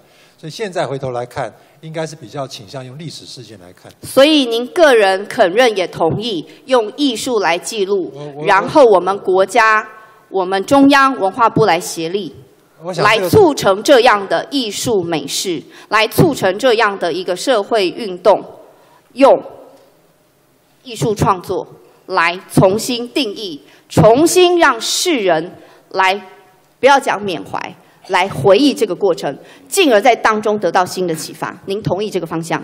呃，我想策展本身牵涉到场地跟经费，这个等一下再请文化部去处理。但是我觉得，方向上您同意？我觉得现在我们呃没有什么道理用政治的理由来阻碍这很好个策展，很好但是这策展，这就是您的高度。我们不要用意识形态，用政治的争议来定位一个艺术的创作展但。是但是实策展有策展的实物的这个好，没有问题问题您方向同意，那部长您愿意来协力？对，那个很抱歉，我是刚刚才晓得七月份啊要办这个事，那我如果这个七月没有要办，七月只是要把这些展我件。跟你报告，这个事情我一定支持。好那如果办策展的话，我想我我们会把它的我们所管的文化馆所非常多，我们有非常多专业的策展人员。会把它的高度拉到像贝克吉登斯所提的反绅士的民主啊，很好这一个概念来很好。那所以那我期待希望你们来积极的来协助这些中研院的研究员，是不是能够文化部一个月内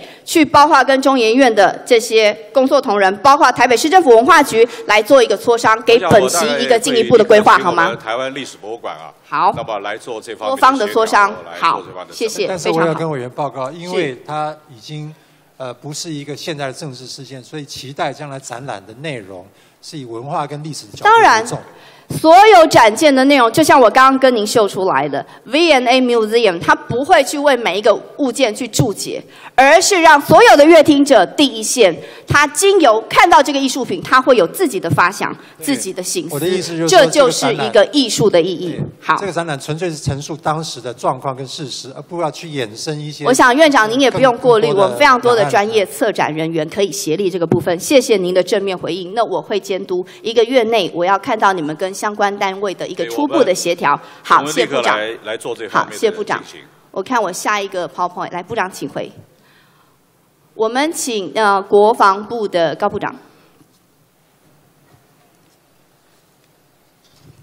来请高部长好。时间有限呢、我快速的讲重点。国防大学的复兴岗校地，校地释出是铁板一块，永远没得谈吗？下一页。下一页。这个照片，我跟院长报告，我今天特别拿了这些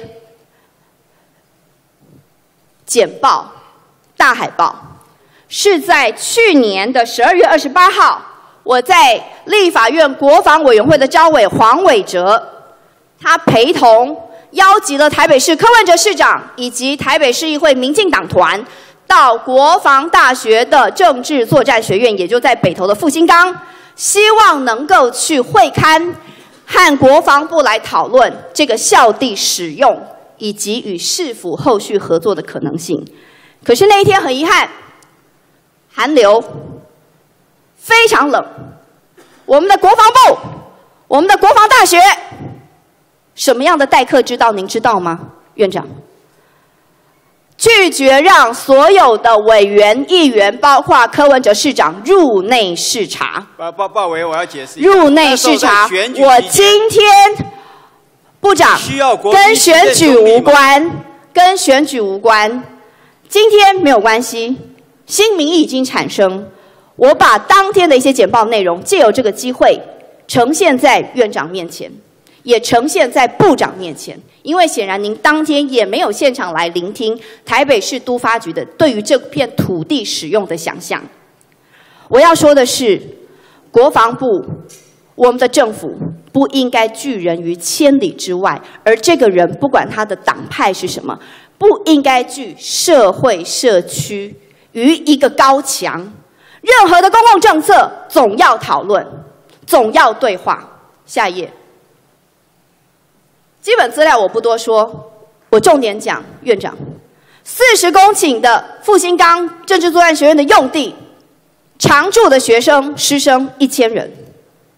非常的低度利用。下一页，我们在国防大学复兴岗校区的每一个师生，平均可以用的校地比，是一个人可以用一百二十一平，四百平方米。我们相对应于台北市各级学校每个学生可以使用的校地空间，政治作战学院复兴岗校区的师生是别人的二十倍。下一页。这个校区有多大？十六个地堡，五点六个空总，六点二个广慈博爱院，这些都是非常珍贵的土地。台北市政府努力的想找出未来的新想象、新可能。下一页，它的优势非常多：基地大、完整，利于大规模的建设计划，利于打造一个 TOD 的大众运输导向的紧密城市。可以平衡都市发展，带动边陲区的一个建设。当然，它周边有非常丰沛的医疗资源及观光资源。下一页，这个是它的 location。下一页，我简要的讲，院长，台北市政府的提案没有要全拿，没有要全吃，我们希望能够跟国防部共赢、双赢来协商。如果能够四十公顷释出二分之一的土地，而台北市政府的方案是什么？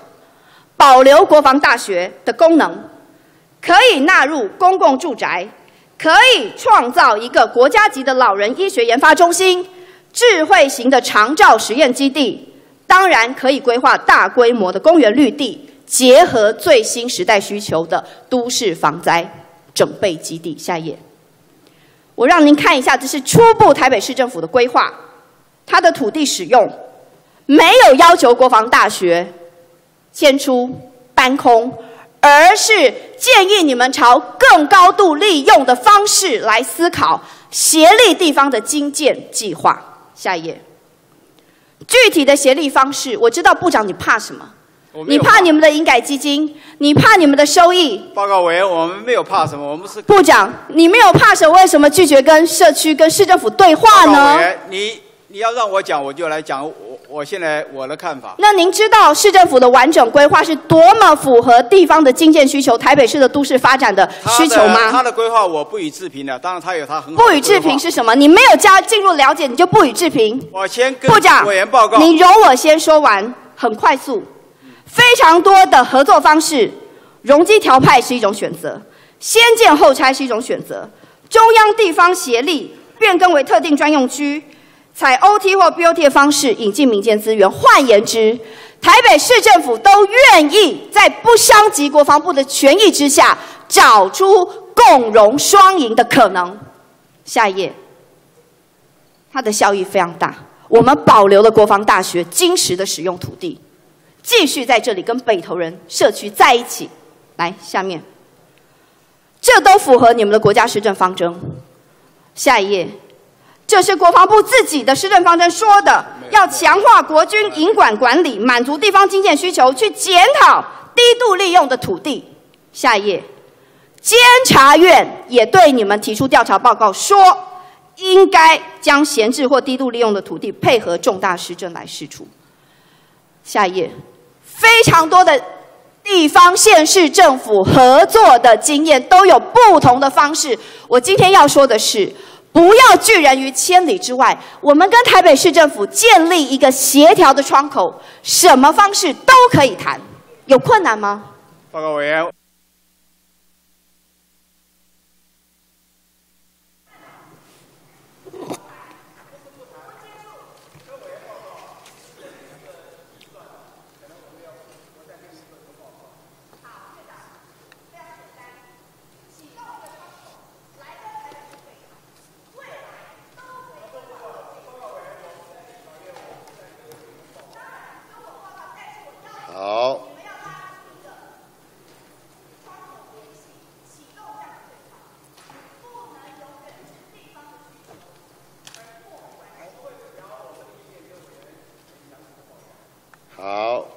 谢谢吴委员的咨询，谢谢张院长。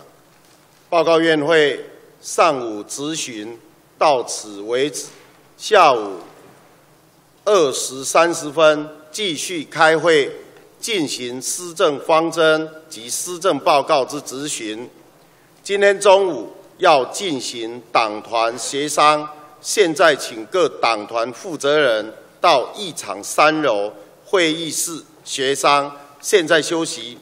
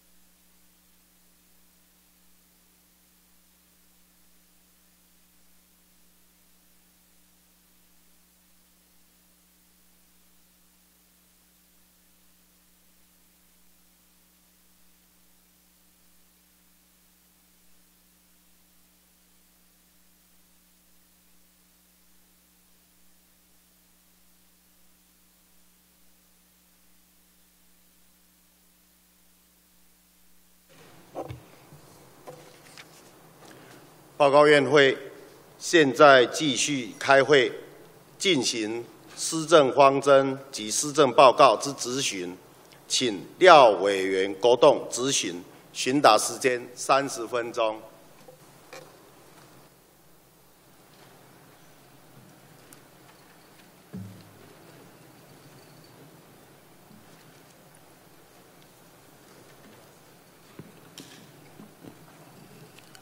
啊，院长，啊，各位行政官员，我们请张院长好吗？请张院长。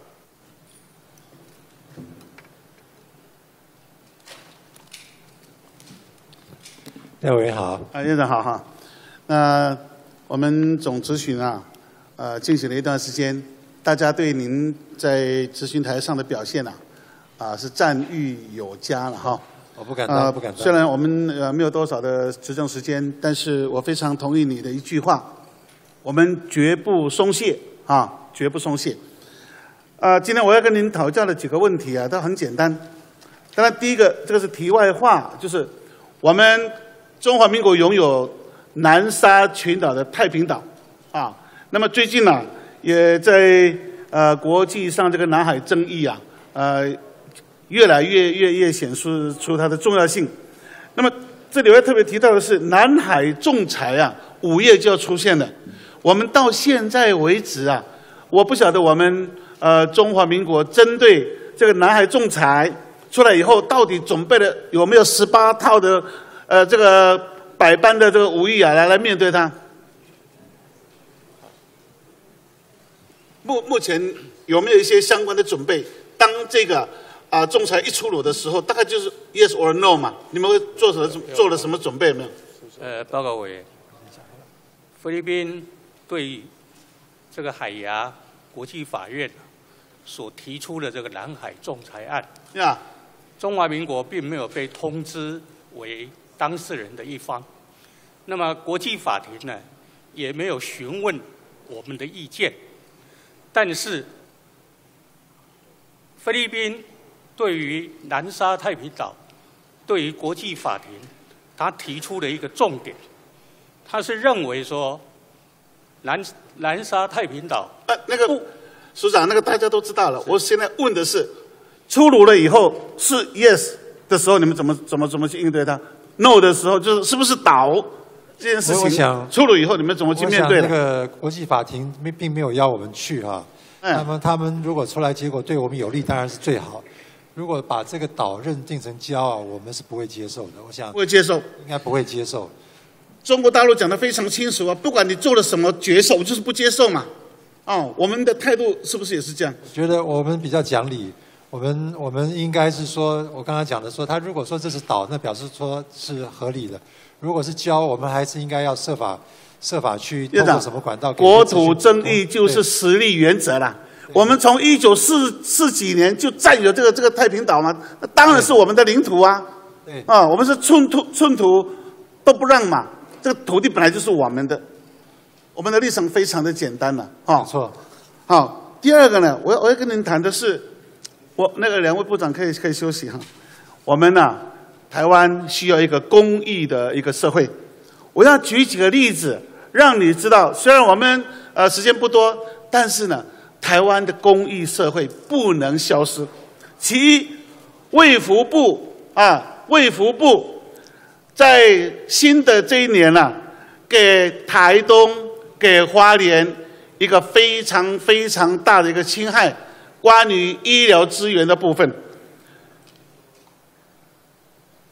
我们有一个紧急医疗资源缺乏地区的一个呃急救责任医院呐、哦，急救责任医院，最近确定台台东花莲中间的玉里玉里的分院呢，部署紧急医疗资源不足地区的急救责任医院，所以他们的健保急诊呢就没有加成，这个造成了呃第一。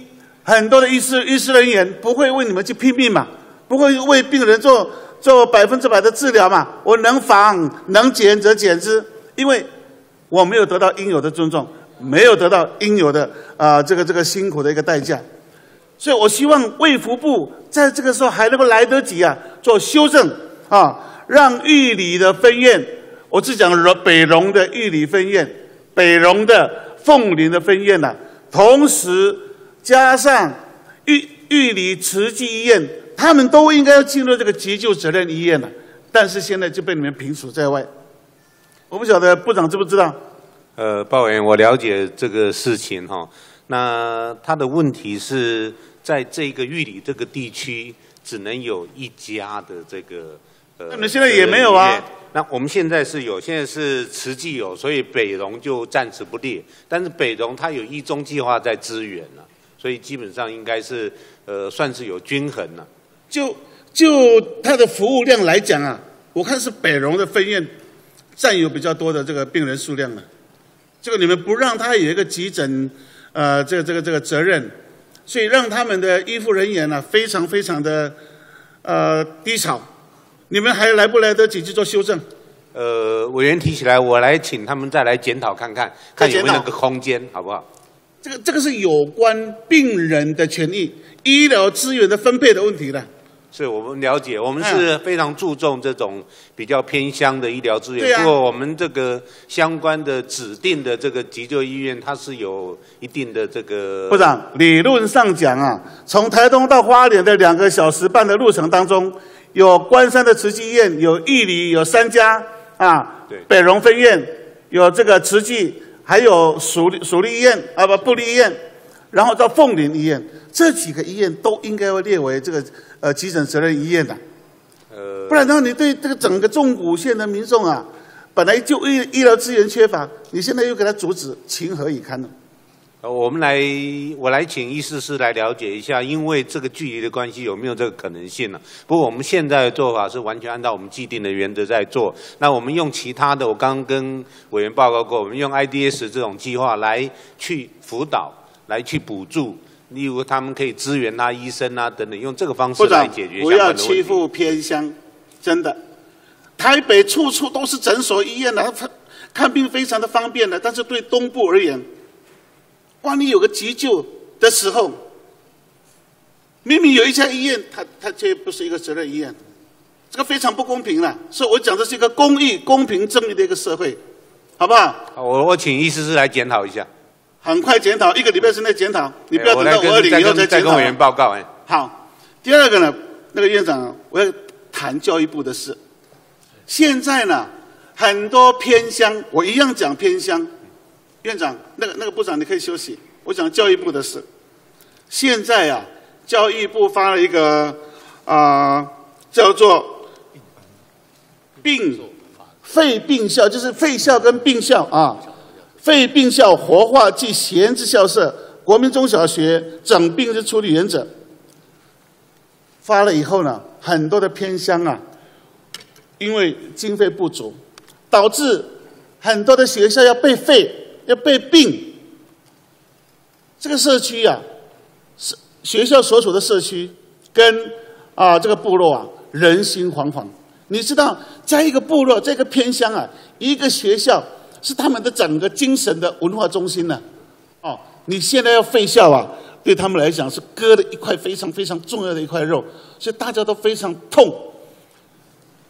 我台东啊，有很多学校都几乎要被废了。现在教育部又说，新生不足三个就不开班，那不开班就没有学生，学生越来越少，最后就只好废校。这个对偏乡而言非常非常的不公平啊，院长。我不晓得教育部有没有什么看法？呃简单的讲，我跟委员报告，其实我们对于偏乡一直都希望从正面的角度积极来帮助他们发展，所以我们有一个偏乡的创新发展方案是前年度开始实施。那我们一直希望从正面的角度哦帮偏乡增加它的活力，不管是它在教育创新或者教学实验，如果它社区的情况本质上不能改变，其实是学生离开学校，而不是说学学校会被并掉。我们并没有这个意思，说要强迫的去并掉哪一个学校。部长，一个学一个学生，部落跟部落之间的距离是非常远的。是这我们你不在这个学校，因为你这个学校废校以后，他得到更远的地方啊去就学。了解。对这个学生而言，对家长而言呢、家庭的负担呢、所以我们今这不应该的。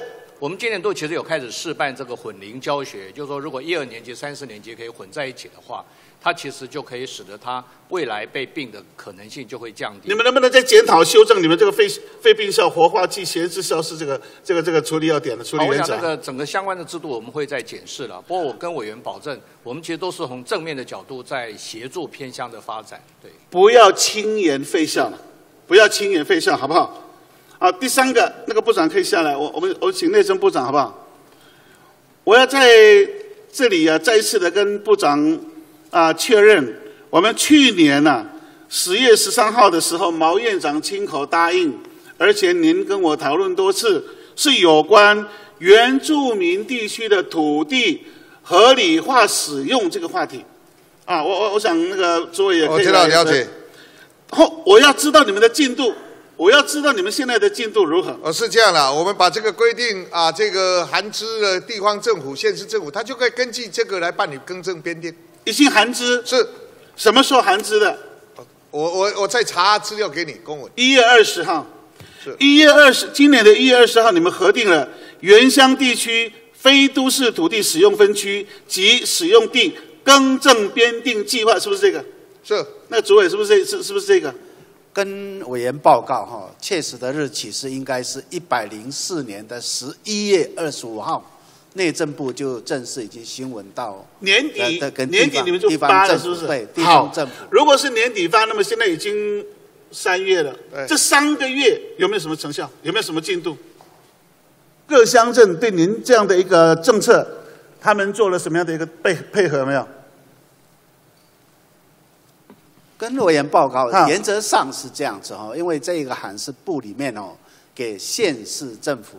那么我们会里面呢，在这一年今年的一月初啊，已经跟地方政府做了一个协商。那我们根据部里面的函释的内容，包括呢这个乡村区的人人数调整到从原来的两百调整到一百，一百哦等等。所以呢，我们呢已经拟了一个工作计划。一倍这个工作计划是到明年的十二月三十一号为止。一年嘛，哎，对，我们选定了最需要第一第一阶段一定要急着要做的三十个部落，三十个部落，所以我们现在在推动这个工作。三十个部落，对对对。是比较大型的部落，是不是？对，最不是最重要是这几个部落呢，它长期以来，我跟委员报告一个数目是，我自己看了也都很伤心呐、嗯，原住民地区，包括平地原住民乡镇跟山地原住民乡镇，总共的户数是十万三千多户，居然有五万八千多幅是没有使用执照的。对啊，所以我们们就是要处理这件事啊面对这个问题啦。所以我们现在先去处理这几个这个。部长，你你要补充一下。我我指出一下，这个使用执照，这个其实是这样的，应该针对哈，在编定开始编定之时，它的人口数未满两百人，未满两百人这这一个中型部落，那现在因为降为一百人嘛，对，那他就有机会从这个山坡地保育区编定为乡村区嘛。对，那有编定的乡村区以后，它就可以编定为丙种建筑用地吧，那就可以是合法的建地。对，合法建地，它当然可以申请建筑，或者是补领建、补申请建筑执照等等这些手续啊。所以我现在就是问你们嘛，三个月来你们有没有什么任何进度嘛？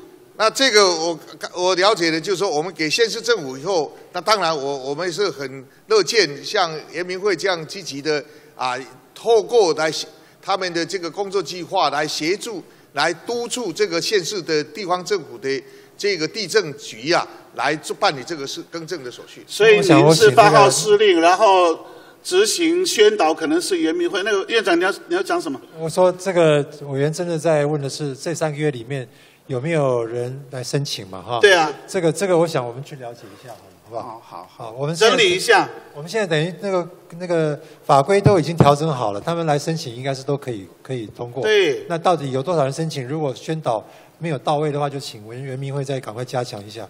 我们最最最最担心的，过去的经验就是这样的。个院长，我我跟您说啊，一个政策下去到县到乡以后啊，通常无疾而终啊。要不就是这个乡镇长可能不怎么重视，又看到是又是原原住民的事，他就摆着。所以我们一定要有一个追踪考核的一个办法，对，不要让那个美意啊，到了地方以后变成没有消息。对对，了解。所以我我要追踪你们的进度嘛，那个人人民会应该要要要做相关的宣导之后，也要追踪了。当委员报告，我们跟地方政府的土地的这个相关的同仁哦，都保持非常高度的一个一个一个联络，跟是呃定期的一个开会。所以这个工作是我们今年很重要的一个工作。OK 建地合理化的一个工作，是我们今年非常重要的一个对工作。谢谢部长，既然它是一个非常重要的一个政策，我拜托你啊，在五二零交接的时候要列为重要事项交接。是。好。那么第三个，我要请经济部跟公平会两两位部长可以可以可以休息哈。那个院长啊，是。如果你看到这个图，我不晓得，当然每个人看都想法不一样，看到的也不一样了哈。我只是要让你想想，等一下我要讲的几个问题。你看到这个图，你会想到什么？你会想到什么？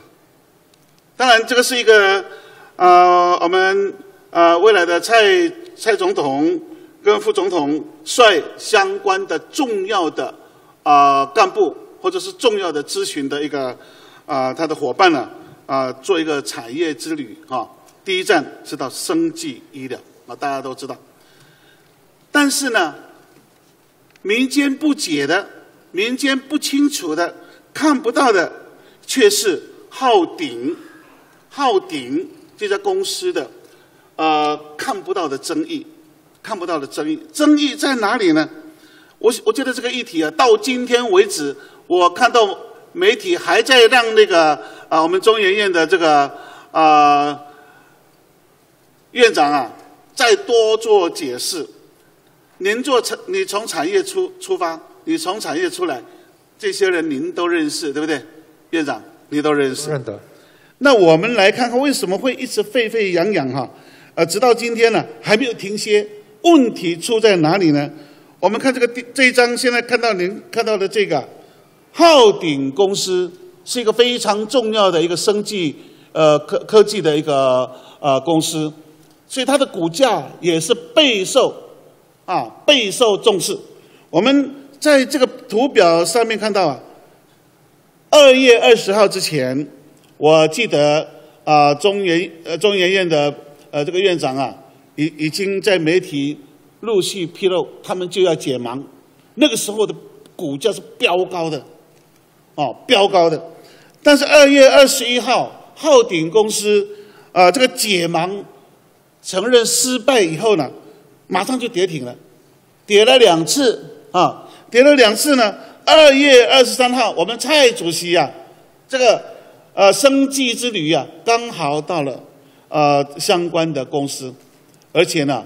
啊，在那边碰到了我们浩鼎公司的张念慈张董事长，欲以加冕，欲慰问，隔天，他的股票就停止，就不再跌了。你会不会觉得这个当中有一些啊，这个政治力的介入，有没有这个可能性？啊，院长。呃我想实这个实在是很难讲。我想蔡主席讲的话。是给他鼓励了哈，也也没有说他一定会成功或不成功，呃，但是媒体有大幅报道，当然对股价是会有些影响。对啊，这是一定的嘛，这一定会发生一定而且非常大的作用嘛，不是小作用啊，啊，所以我们强烈的质疑当中政治力已经介入，呃，这个股民的市场了。你看那个过去呢，基亚一样公布解盲失败，连跌了十九天呢。才停止呢，但是浩鼎啊是何等的有能耐，跌两次，第三第三天就停了，而且呢当中啊经济部跟公平会，当然你你们不能在这个时候介入了哈，不能这时候介入，但是呢，啊我觉得你们应该要关心，啊应该要关心。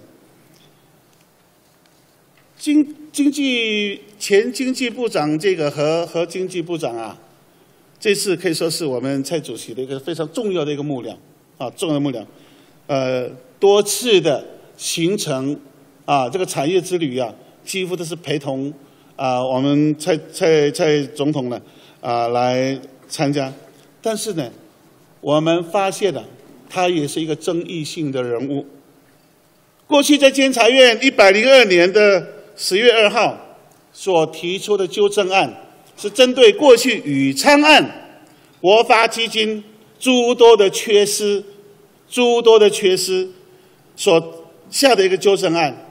那么这个纠正案里面指出，诸多的缺失才做的这个纠正哈。当时的主管是谁呢？何美月，金建会主管国发基金的主管就是何美月。我们后来也发现了何美月部长啊，现职是什么？那个院长你知道吗？就是我列的这些，啊，他是高雄银行的独立董事，友达光电的独立董事，金宝电子的独立董事，更重要的是，他是日月光的独立董事。什么时候开始？去年的六月二十四号，日月光出事以后，啊。日月光在高雄出事以后的半年呢，就聘了啊这个何美业部长呢担任他们公司的独立董事，到今天还是独立董事。所以他以这样的一个身份，然后陪着我们蔡总统周游在业界之间，你说不会有影响力吗？有没有影响力？我实在很难讲。我想何美很难讲，以他过去在经济部的资历。在业界有人请他担任独立董事，也是呃蛮可能发生的事情了。一定会有影响的嘛，卡他修嘛在，对不对？那我现在那个是引导为代机了，但是我要讲经济部跟公平会。经济部有内鬼，公平会也没有好好的审查。我们来看这个这个这个表，这一张也也可以看，啊，那个是哦倒回来这这一张对。二月二十二号，今年呢哈，二月二十二号的时候呢，经济部这是报纸写的，不是我讲的哦。说有一个神秘官员向媒体表示，有一点在逼。我现在已经讲到日月光跟细品案了，啊，逼着细品，告诉他说：“你今天再不整病，明天就等着被病。”神秘官员呢，部长，这个神秘官员是谁？你有没有去彻查？他可以这样子发表吗？在两军对阵，而且是非常这个这个这个保密防谍的时机，哎，他居然他可以代表经济部说：“你再不病，再不整病，我就马上把把你病了。”他可以这样讲吗？你有没有去查这个是谁？已经两个礼拜了，部长。那个那个包委员，您知道这个有些时候报纸上的报道。那我可以在这边跟您，呃，非常呃，就是就是跟您报告哈，非常清楚的报告。这神秘官员绝对不是我啦，啊，不是你，绝对不是我，哈。那应该查一下是谁啊？因为影响到了经济部的整体形象啊。那我包委员，我们也一直在提关于这个事情。我们说任何事情呢，有关于公司层次的这个运作，我们是不表示意见的。但是有任何有帮助产业的事情，经济部是一定要去帮忙。但是这个是关于公司之间的这个运作，我们一直都很持续。对，啊，就就表示我们这个立场，所以这个应该就是经济部的立场了。你差一点点有语病，差一点点。啊，因为你现在也是一言一行也是要非常谨言慎行啊。是。因为现在是两兆，这两兆啊，正在进行非常重要的联姻。啊，或或者是要各自努力啊的一个时机，我们的公平会啊，也是要荒腔走板呐。那个主委啊，嗯，除了经济部的这个秘密官员以外啊，秘密官员以外，你看那个二十二月二十四号呢，日月光还大拉拉的说，这个公平会啊。一定会在三月十七号以前完成审查了。呃，他怎么可以这么那么那么那么主观的大方？他主观的相信了。主观的相信。对，并没有任何客观的依据。听说这个日月光的子公司有一个人跟你里面的委员会的委员视为至交。是这个，我们有收到这方面的指控啊。是。但是我跟委员报告，这一位委员呢，他从一开始他就自请、自动请求了回避，所以我们所有的讨论案，这位委员都不参与，而且我们所有的会议资料也都这个用机敏案件来处理，他连会议资料都看不到。啊，所以这位委员是从头开始就没有接触这个案子。这你们的会是整体的委员都要开会啊？是，但是只要一讨论这个案，他就出去，他就离开委员会议室。只要他离开，那个影响力就不在了吗？呃，他我我我们行了。他不能够讨论，他不能。他只是不讲话而已，他使个颜色，就影响力就出来了。啊，这个这个不会不没有那么严重。不会那么严重吗？每一位委员都是依法律依职权啊，依法律行使他独立的职权。日月光三月十七号这样的说，说三月十七号公平会一定会审查完，哎。这个简直在跟你下指导棋耶！不是，他是希望他是他期望，期望。因为他们公开收购的截止日期就是三月十七号，可是我们审查的截止日期是在那个之后。而且院长啊，提早能够审出来。公平会在处理这个，为什么会被人家质疑？你知道吗？哎，他们很厉害啊，院长，利用农农历过年，利用二二八年假，哈，哇，赶工啊！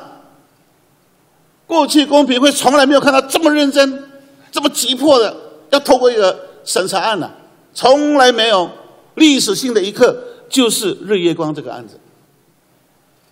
不是，你有合理的解释吗，主委？我跟委员报告，因为我们也知道这个案子，因为他们公开收购期间哈，最后是三月十七号啊，那这个案子影响我国的这个半导体产业非常非常重大，而且深远。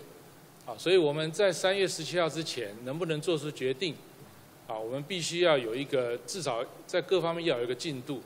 啊，所以在过年期间，同同仁们就牺牲假期哈，对这个案子做一些初步的审查。但是正如您的资料所指示，我们这个座谈会一直到二十三号才开。对啊，是不是？而且现在又延到五月了嘛。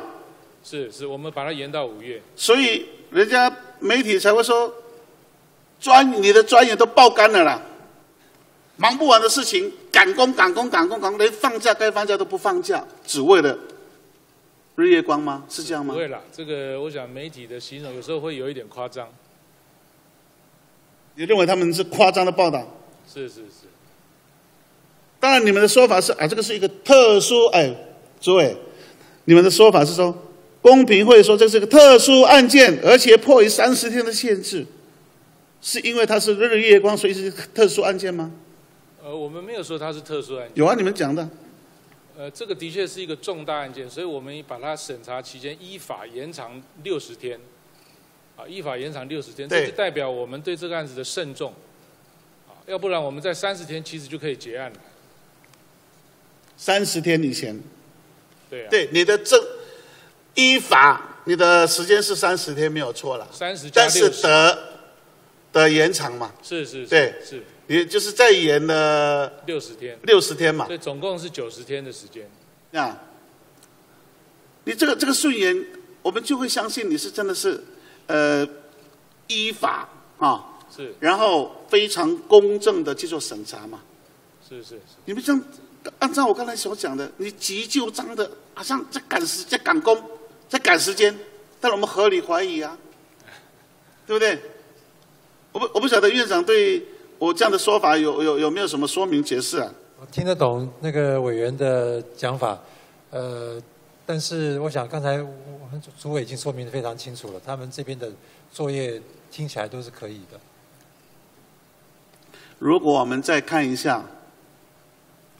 日月光这这那一段时间跟细品啊，日系练好了，人家是夏红练了，这个是日系练了，但是练得非常的辛苦哈。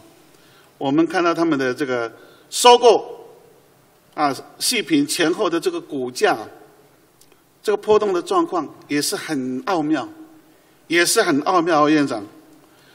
这个这个这个图表来看呢，我们也不得不怀疑呀。这个日月光并购细品案呢，很可能也有内线交易。哎，最近我们一直在谈浩浩浩鼎案，啊，是有内线交易。我看这个也有内线交易呢，要不要查办一下？呃，我相信如果有确实证据，我们呃法务部那边会会去。那你要先交办查办啊。也是要有证据了，我手上是没有这种证据。你还没有证据？啊，不不不长出来了，要讲两句话。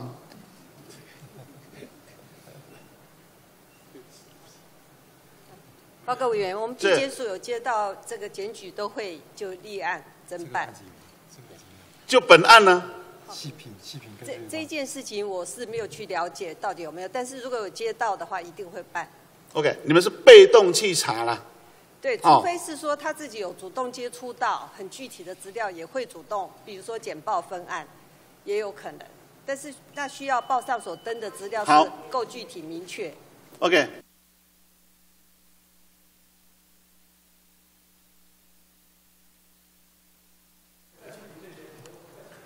好，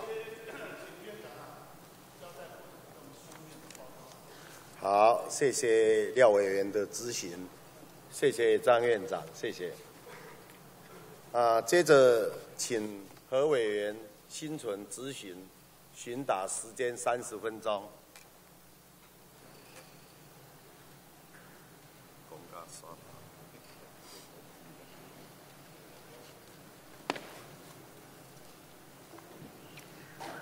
谢谢主席。呃，我们请张院长。张院长。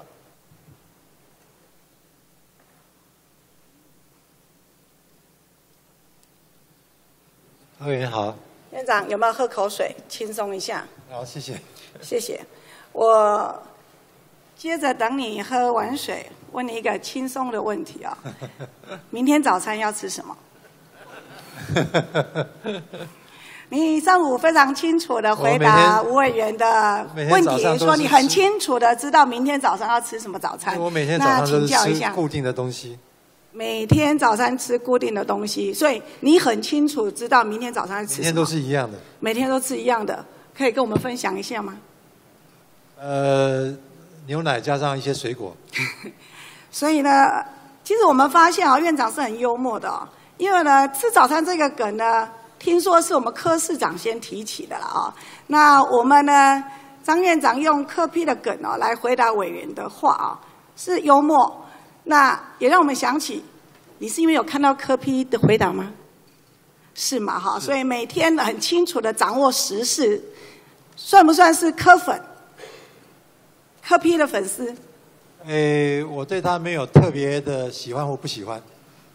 OK，但是你很呃跟他不一样的是，你很清楚的知道明天的早餐要吃什么，所以你也很清楚的回答了委员说，五二零之后你从事的绝对跟政治没有相关的工作。是。那我可以请教一下，那你心目中的生涯规划五二零之后回业界吗？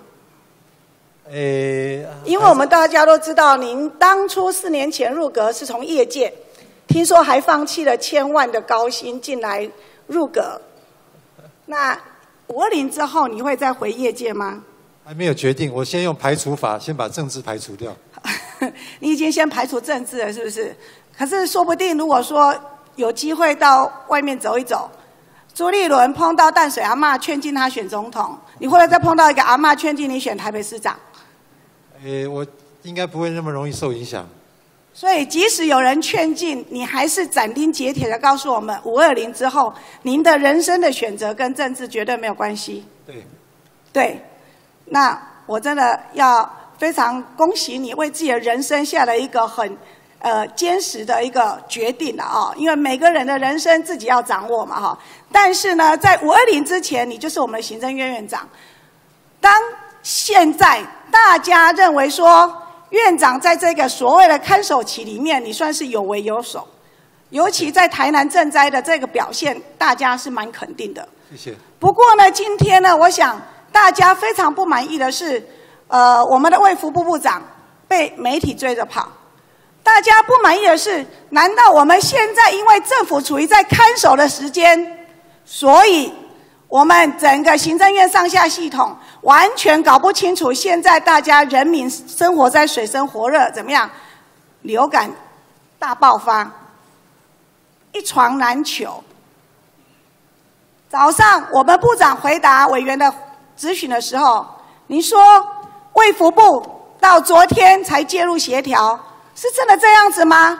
如果说卫福部一直到昨天才开始介入协调，我想请教院长，当大家称许你在台南赈灾的时候，这么一个非常让人家肯定的一个作风，怎么会搞得从农历年前流感已经大爆发，而我们政府卫福部门完全置身事外，完全无感，一直到昨天才介入协调？院长，那个各位跟跟委员报告一下，我们刚讲说昨天介入协调是叶克膜的事情，而叶克膜是这两天我们才得到讯息说他有一些状况，所以我们才去协调。部长，你到底有没有清楚、精准的告诉院长，整个这个流感大爆发，影响了这么多、这么多的医疗资源的调度，还有呢，第一线医护人员他们的辛苦，还有呢，我们等等很多很多的生病的病患等不到病床。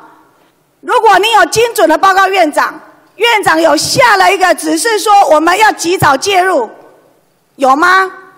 呃，跟委员报告，事实上在上礼拜没有嘛四的行政院院会院长就指示我做做特别的这个上个说明，上个礼拜的行政院院会，是礼拜四。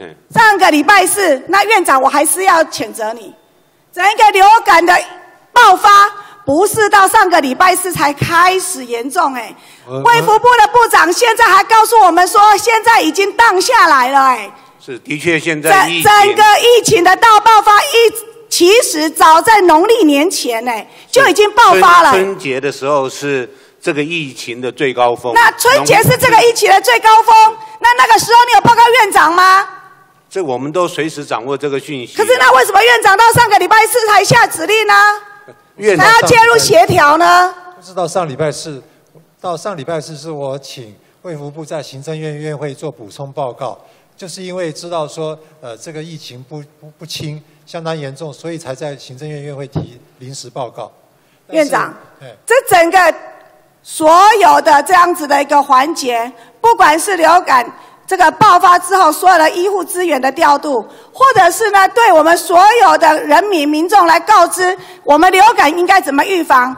今天大家都在谈谈我们的政府，因为是在看守期，所以呢，大家的我想不是只有慢半拍啦。我们民间一般一般是认为我们政府已经慢了好几拍啊，不知道政府在哪里。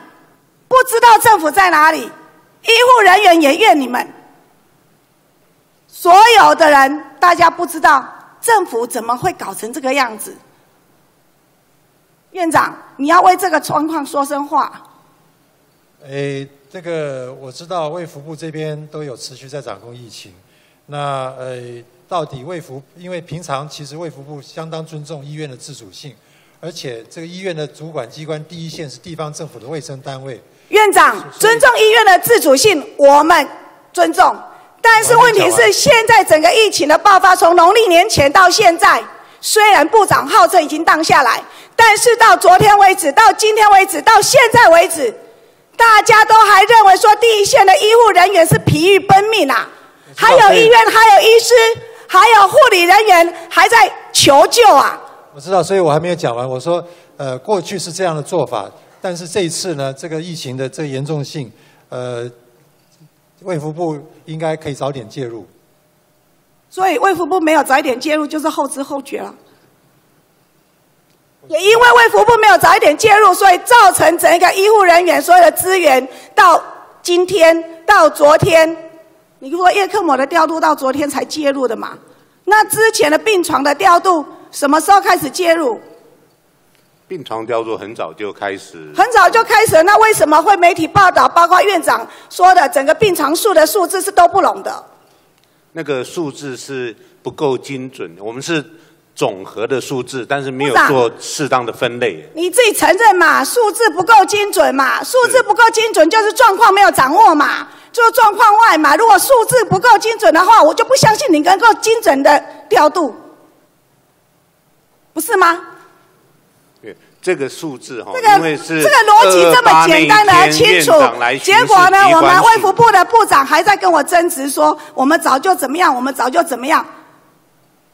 部长，你的认知跟我们的民间啊差距非常遥远啊。张院长，你如果要在五二零非常漂亮的离开政治这个领域，我们期许这一次的流感大爆发这一件事情，这个这么重要、关心到人民的生命的这样子健康权益的事情，我们行政院好好给人民一个交代。刚刚院长说，确实卫福部应该可以早一点介入，可事实上没有。那院长，你觉得应该如何处置？呃，我自己对于这个医疗体系不是很熟哈，在我过去熟悉的领域里面，我觉得主管机关对于医院里面的一些重要资源，不管是病床也好，或是夜克膜也好，平常应该有一个自动的系统，可以随时掌握这些数字的变动。那院长，请问有吗？呃，这次看起来是没有，所以我才要跟您回报。这个等这个疫情稍微告一段落，医疗人员不会那么忙的时候，我会责成医卫福部把这个重要的医疗系统，看是什么样的疫情、什么样的病会需要到什么样的医疗设备资源。刚刚讲的叶克膜也好，呼吸器也好，病床也好，做一个全国统一的资料库。然后呢，如果没有疫情的时候，呃，可能一个礼拜更新一次；有疫情的时候，可能要每天更新。如果到了一个门槛地步，觉得这些资源不管哪一种资源有这种调度不过来的时候，这个时候应该自动发警讯，要主动介入去协调。这个是我这次经过这个这个这个整个过程我的一个体会。那等这个最近比较不忙以后，我会来要求卫福部来设法做建立这个制度跟系统。院长，这你的专长嘛？是通讯产业的专长嘛？整个资讯的整合嘛？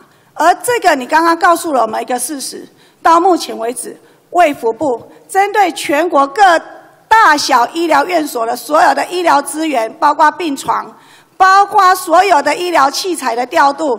完全是没有基础的数字，没有透过一个医化的系统，没有透过一个现在资通讯的一个系统，我们没有一个办法、一个系统来做全盘的掌握，对不对，院长？这个是我不了解的地方，或许有，或许没有，这个我事后会去检讨。那部长有没有？院长刚刚才是啊，他说他不了解啊，部长有没有？我们有一些系统，但是我必须承认这些系统没有整合在一起，所以其实我们已经在卫福部在规划一个战情中心，就是要把所有的这些系统去做一个整合。我们今天碰到流感疫苗，还有之前碰到 SARS，我们难道经历过这么多次的一个疫情？我们到目前为止都还没有一个整合系统。就整个资通讯的系统，坦白说，那还没有完全整合好。换句话，它没有办法是及时的。为什么效能这么慢？院长，你入阁也四年了，你当初入阁是说资通讯的一个产业的一个专家，你要入阁，你就要带领我们整个政府的一个医化，还有跟结合资通讯，好好的来推动政府的一个效能跟效率。可是我们到目前为止，你看。你今天告诉我的是，连卫福部都还没做好。我等一下还要再跟你讲其他更严重的事情。连病床的调度，连我们叶克膜等等的医疗器材，连全国各大小医疗体系的一个全盘性、整合性的一个资讯的掌握系统，我们卫福部没有。天哪，这是一个很可怕的一件事。刚才部长说的还没有整合。那个也也刚才前面跟有员委员报告，院长，我们现在的政府效能这么低落，就是在于什么？大家各自有各自的系统，每个系统回报了出来的数字呢都都不同，然后呢各自做各自的解释，然后呢完全没有一个横向的沟通，没有一个横向的整合，这个就是我们现在为什么效能那么低落啊？所以我刚才跟委员报告说，过去卫福部的作风应该是尊重医院跟尊重地方政府，但是尊重的。同时，还是要建立一个制度系统，所以这个是会会来补强。尊重的同时，我们的卫福部还是要全盘能够掌握，啊，他不能置身事外啊，他不能状况外啊，他不能让媒体追着跑啊。所以我我刚才跟委员报告说，这个系统的这个补强，我们在在事后会来会来做。院长，你讲到系统的补强，我刚刚才称许你说在台南赈灾啊做得好，大家都很肯定。九二一赈灾到现在已经十几年了。台湾对这个防震啊，还有整个灾防啊，我们做的真的还不够多。我现在就是要告诉院长，院长，你刚刚讲到卫福部啊，资讯没有整合。其实政府上上下下各部会啊，不是只有卫福部的资讯没有整合。我们的赈灾，你告诉我们三月土地异化的状况要公告，院长，请问要怎么公告？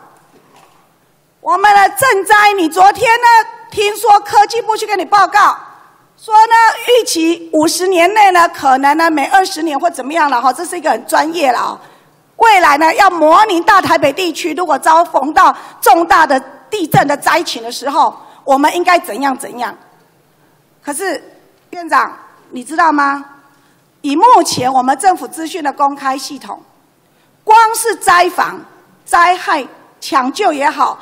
预防也好，我们有多少个网站？我刚刚刚今天从我们所有的政府的医化政府里面所有的网站上面，有灾防一起来，有防灾资讯网，有灾害防救专家咨询委员会，有灾防科技中心，有防救灾的数位学习网，还有呢校安与灾防通报，还有等等等，光是在每一个部会。都有不同的一个灾防网站，光是内政部就有好几个灾防的网站，而这些资讯有整合起来吗？院长，你知道吗？呃，因为防灾的工作散在各个部会手上，所以每一个部会都会有相关资讯。我们几年前开始推防灾云，在这个云上面有把这些部会的资讯都兜在一起，是一个单一入口。我截取了几个出来了啊，我们内政部的便民窗口里面。号称所谓的一直通啦，哈，保定有你来家己试看卖下的啦。有一万六千九百三十五人下载。这整个整个所谓的，不管是网站或者是 APP 装置系统，我们看到便民窗口、灾情报报、一九九一报平安、土石流防灾、行动水情、环境即时通，所有灾防的网站、所有的 APP 的下载，散落在各部会里面，而下载数呢不等。最惨的还只有一百个人下载而已，最多的呢是二十二万。环境即时通，这爱个鹅肉啦，所有的部会来对讲一雄这啦，二十二万啦。最少的是内政部的消防署一百啊，然后呢，内政部的便民窗口一万六千九百三十五人次下载，但是我要跟院长跟部长讲。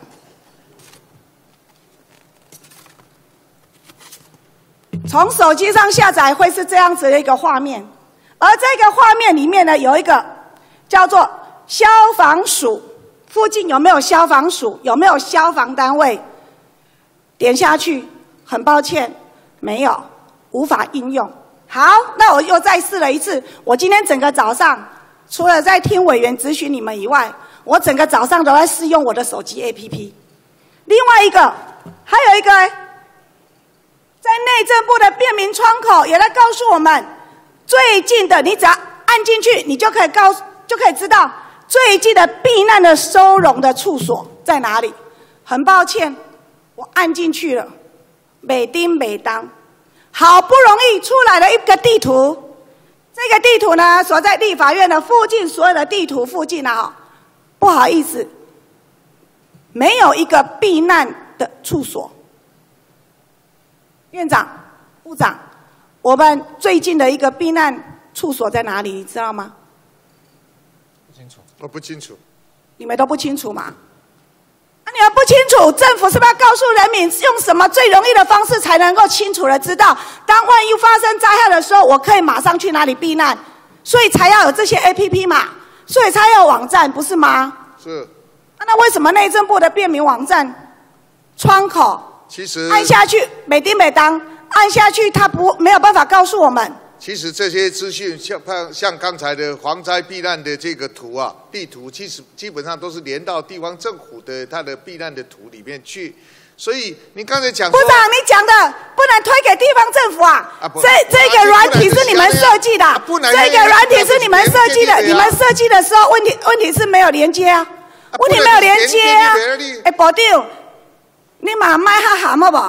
头端一丢跟你讲卫福部公哦，所有全国的各大医疗体系，所有的医疗资源，我们要能够掌握，要透过医化，要透过资通讯，我们现在的这样子的高端的一个科技做得到，我们要能够掌握。啊，你今嘛讲讲那是地方政府的代志，我讲吼，我你嘛讲回答讲，我内政部应该负起责任，我来统整整个灾防的资讯。但是这样，我们是把各个。可需要可能用的这个资料在这里都可以找到，譬如说像刚您提到的这个水。部长，你现在回去拿你的手机，你自己的手机有没有内建？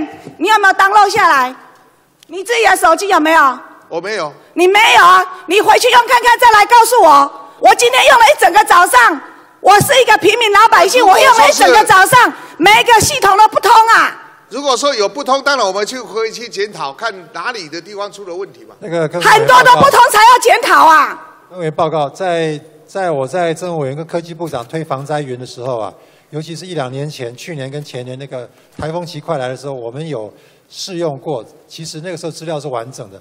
那委员您这边看到这个资料不完整，我们回去看一下是是什么样，是网站有问题，还是资料很久没有更新？这我们回去看一下。院长，资料很久没有更新了。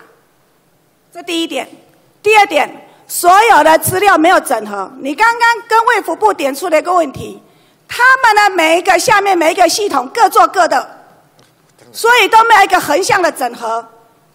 今天内政部里面他下面管管了灾防，他管了很多，包括建筑法规。未来当我们院长在跟全国人民讲说，我们全国的老屋要建检，我们所有的建筑物也通通要去做鉴定。人民第一时间想的是什么？政府能不能来告诉我，我今天买的这个房子已经住了二三十年，它到底是不是安全的？它所在的位置，它下面的地质到底是脆弱的，还是有潜在有危险的？还是所谓院长你说三月底要公告的，它为土壤异化的区域，这整个资讯不是只有政府公告出来就好啦？公告之后要怎么样，院长？公告是让。民众要用简单易懂的方式，而且是非常方便的方式去取得资讯，去搞懂那个资讯，去保障民众的安全啊！现在就是在是吗，院长？就资料公开以前，我们就是在做这个准备，就是让民众好用。那我们要打算怎么做？所有的资料你公开了之后，再来就是什么？实用啊！所以这个月为什么现成的资料我们不马上公开，要等一个月？就是把配套也一起规划好。那可不可以告诉我们，土壤异化？你说三月底要公告，如期吗？三月中如期，应该如期会公告。如期会公告。那请问现在正在演绎的配套是什么？内政部跟经济部都有一些配套。我丢你讲啊！啊，这些配套是这样的哈。这个第一个就是，当然我们这里面要告诉人家怎么解读这里面你所看到的资料。啊，这些资料代表什么意义？第二个，当你发现你的土地可能是坐落在这个土壤异化区的时候，你可以采取什么样的一个步骤？那这些包括啊，是不是进一步的去做调查，再或者是做房屋的鉴检？那这个房屋鉴检发现有问题的时候要怎么办？那我们有一系列的这样的。那部长，我再请教。除了土壤异化公布之后呢，那昨天科技部在报告的所有因为台湾的断层带他们所演绎出来的震灾、地震的影响的所有的相关的环境资讯有没有在里面？我跟你报告，这个就是您刚才所说的，其实就各部会所建立的资料都是由他来建立，但是我们会让他在这个地方有一个呃这个 super link，这个让他一个超连接。如果你要去 hyperlink，你要去看到说这个地方。你要想看地震的部长，你这样子的观念就落后了，请院长来告诉部长啦。院长，你记不记得你刚入阁的时候，你有跟 Google 业者有合作了？台湾第一步，Google 把台湾的所有的灾害天灾，通通纳入在一个 APP 里面，它会及时跑出来告诉你今天有没有达到空屋的止报的标准，它会跳出来，它会告诉你说今天的雨量。大到多少？是不是好大雨？他会告诉你你所在的位置是不是有可能有土石流的红色警戒线？你记不记得你曾经设计过这样子、推动过这样子的东西？是我们相关部会提供资料，让 Google 在它的 Google Map 上面把这些不同部会的资料做一致性的呈现嘛？那院长，你可不可以告诉部长，先进的一个平台界面是什么样？还要部长刚刚讲的说，我还要去点进去，还要去 link 到哪里去？然后还要怎样怎样？我今天要求是政府要让民众能够清楚、简单的告诉我们，知道什么？政府提供的资讯是整合套汇成一个整合性的系统。现在那个土壤异化的前世的图，我们在做的就是要跟内政部现有的这个街道跟门牌的图要整合在一起。可是还是只有土壤异化的单一的问题啊！现在我们还有台湾断层的地图。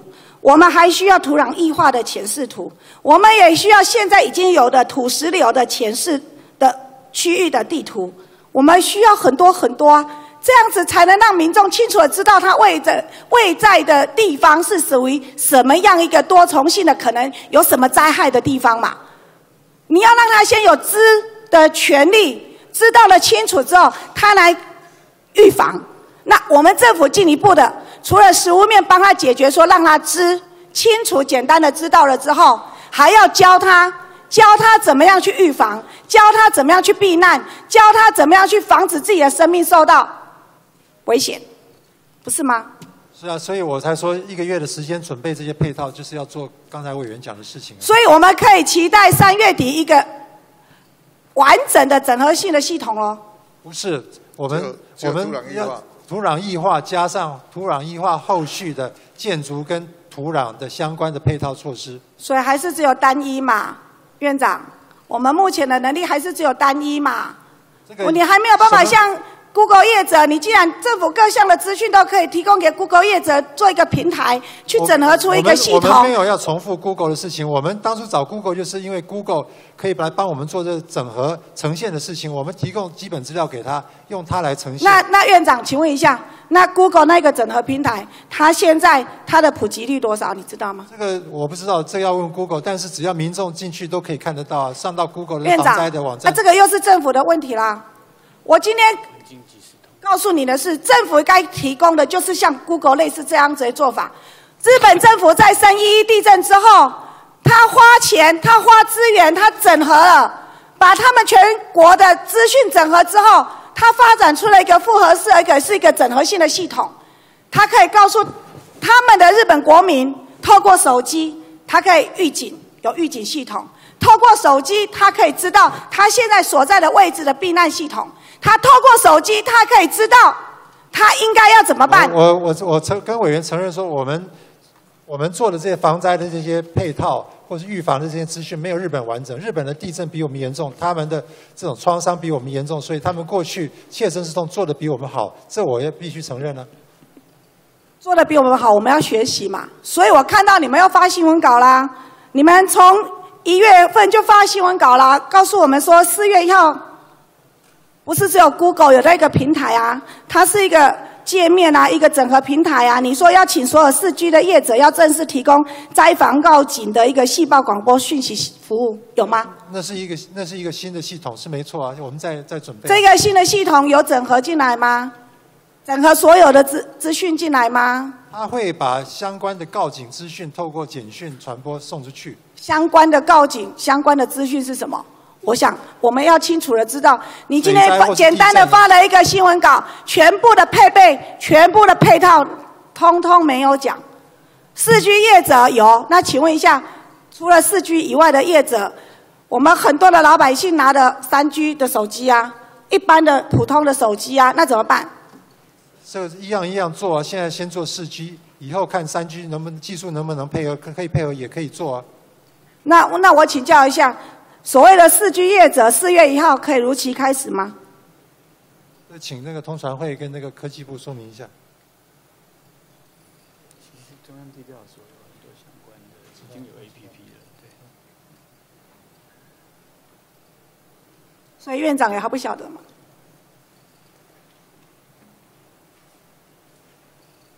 这个新闻你们应该预告了好几次了。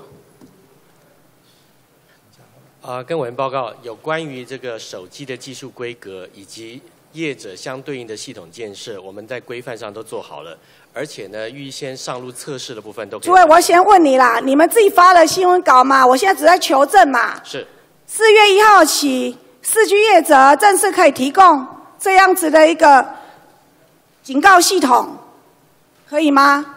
啊，跟我们报告，这涉及上中下游三个环节。你先告诉我嘛，这是恁给你发的新闻稿嘛？说了，第一个手机部分要具备这种功能可以接收。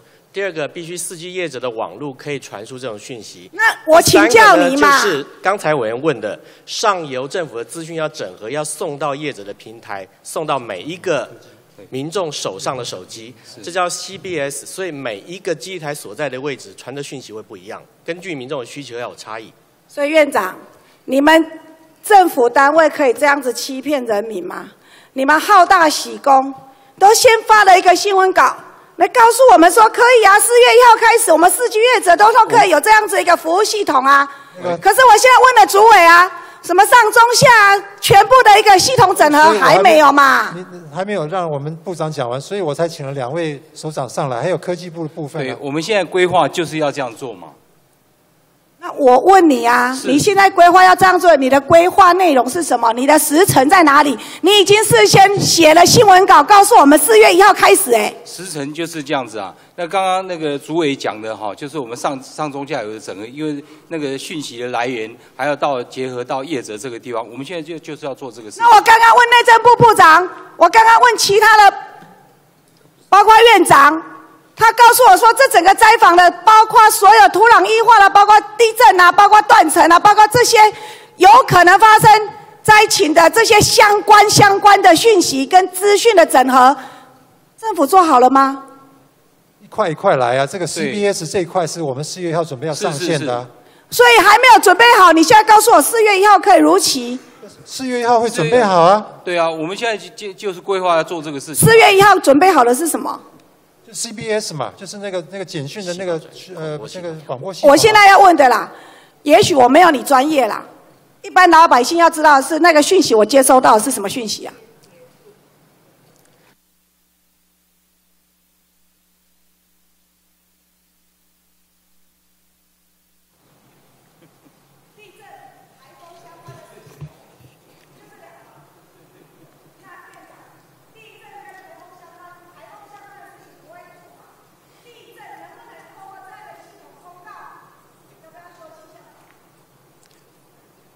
好，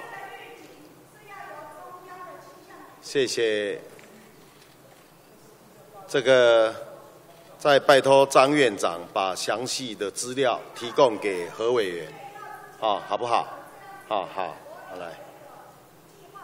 哼 好，啊，再拜托张院长及相关的部会提供啊详细的资料给何委员啊。谢谢何委员，谢谢张院长。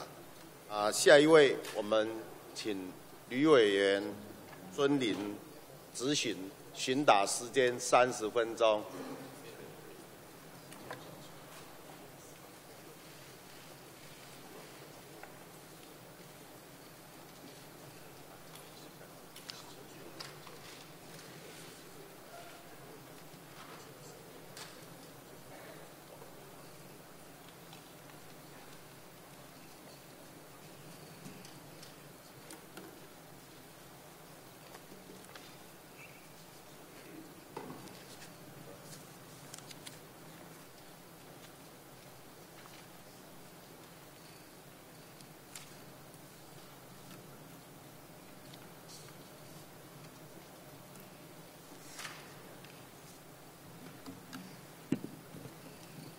张院长、各部会首长，大家好，有请张院长上台备询。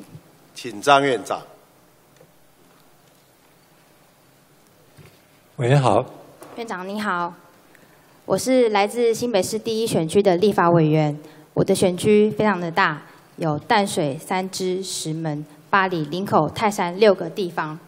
那我的选区可以说是包山包海。那我的选区里面呢，有两座发电厂。我想请教院长，你知道这两座发电厂它的性质是什么？它位于哪里吗？它的什么是什么？我没听清楚。这两座发电厂它位于哪里？它的性质是什么？华能电厂金山石门那边，还有一座呢？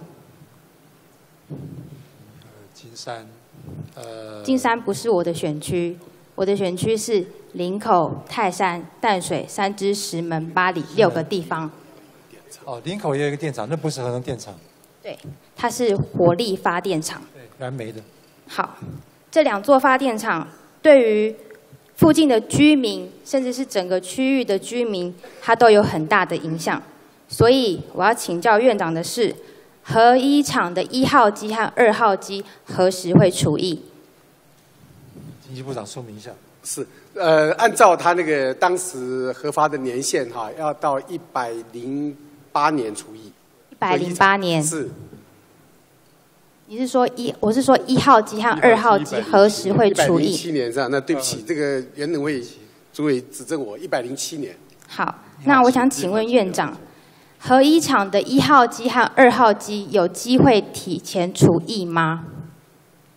呃，目前台电没有这个规划，但是去年年底已经送了一号机的除役计划。是，他现在还有一个，呃，对不起，抱怨了，我来，我来，呃，那个刘委员，呃，现在呢，您说这个提前，它不是厨艺，它现在啊有一个问题，它就是它那个它的用过燃料池啊，对，呃，渐渐的在满，哈。那么呃，它可能因为如果我们没有找出一个什么方法出来啊，对，或者是外运啊、或者是把它放到那个中期储存槽里面的话，它有可能被迫，它事先呃在这个除役年限之前呐、它可能就没有办法运转了。好，所以部长您刚刚讲的那些问题，都是我们现在要面临的问题。是。那核一厂从二零一零年其实就发现了许多损害和变形的地方，那这些瑕疵都有可能因为天灾而造成灾变，这你同意吗？假如说他，当然你说天灾，我们不晓得会发生什么事啦，啊。好。那正常的运转，那我们这个核电厂除了说，呃，原能会它是一直非常台电它自己本身就很注意，那原能会也都一直很密切的在监督它的这个每一个啊、每一个细节的运作，然后都有很严密的计划在监督他们。好，那再来，核废料和燃料棒都已经爆满的状态，这个原因也没有办法让你们来考虑核一厂提前除役的原因吗？就是提前除役这件事情有没有可能？它满了就满，我们必须都要用最安全的方法来处理这些用过的燃料嘛，啊。好。那假如说用过的燃料它没有地方去放的话，当然就会有这种可能了。好，那院长，我想表达的是，我们台湾已经经不起任何的灾变。那核一厂它是我们最老旧的一座核能发电厂，那不要说是石门的居民，它甚至是整个北北基、总统府、行政院，甚至是我们现在位于的立法院，都会受到影响。所以我在这边希望院长能够，如果有一个核一厂提前除役的机会，我们绝对不能放弃。院长，你同意吗？呃，我想厨艺有一定的程序哈。刚才部长讲的是说，如果这个核燃料棒没有办法处理的话，会提前停在厨艺之前停机。好。那所以这个我不是核子这个那个工程的专家，呃，我相信厨艺的程序跟停机是不一样的。哦所以我们可能停机不运转，可是厨艺的程序不见得完全满足了。好，那我希望院长可以给我一份评估报告，可以吗？什么样的评估报告？停机和提前除役的评估报告。呃，我想我们可以把除役需要的满足的条件，啊，那我想停机是当然是条件之一，但是还有其他条件是什么条件？我想可以请袁登会再来提供。好，谢谢。那接下来我想请教院长的是，您曾经在 Google 里面担任过高阶主管，那我相信你对于 Google 的企业文化，你一定是非常的了解。那我想请教你，Google 的企业的特色是什么？呃，开放、自由、鼓励创意。那相信里面一定有很多年轻的员工。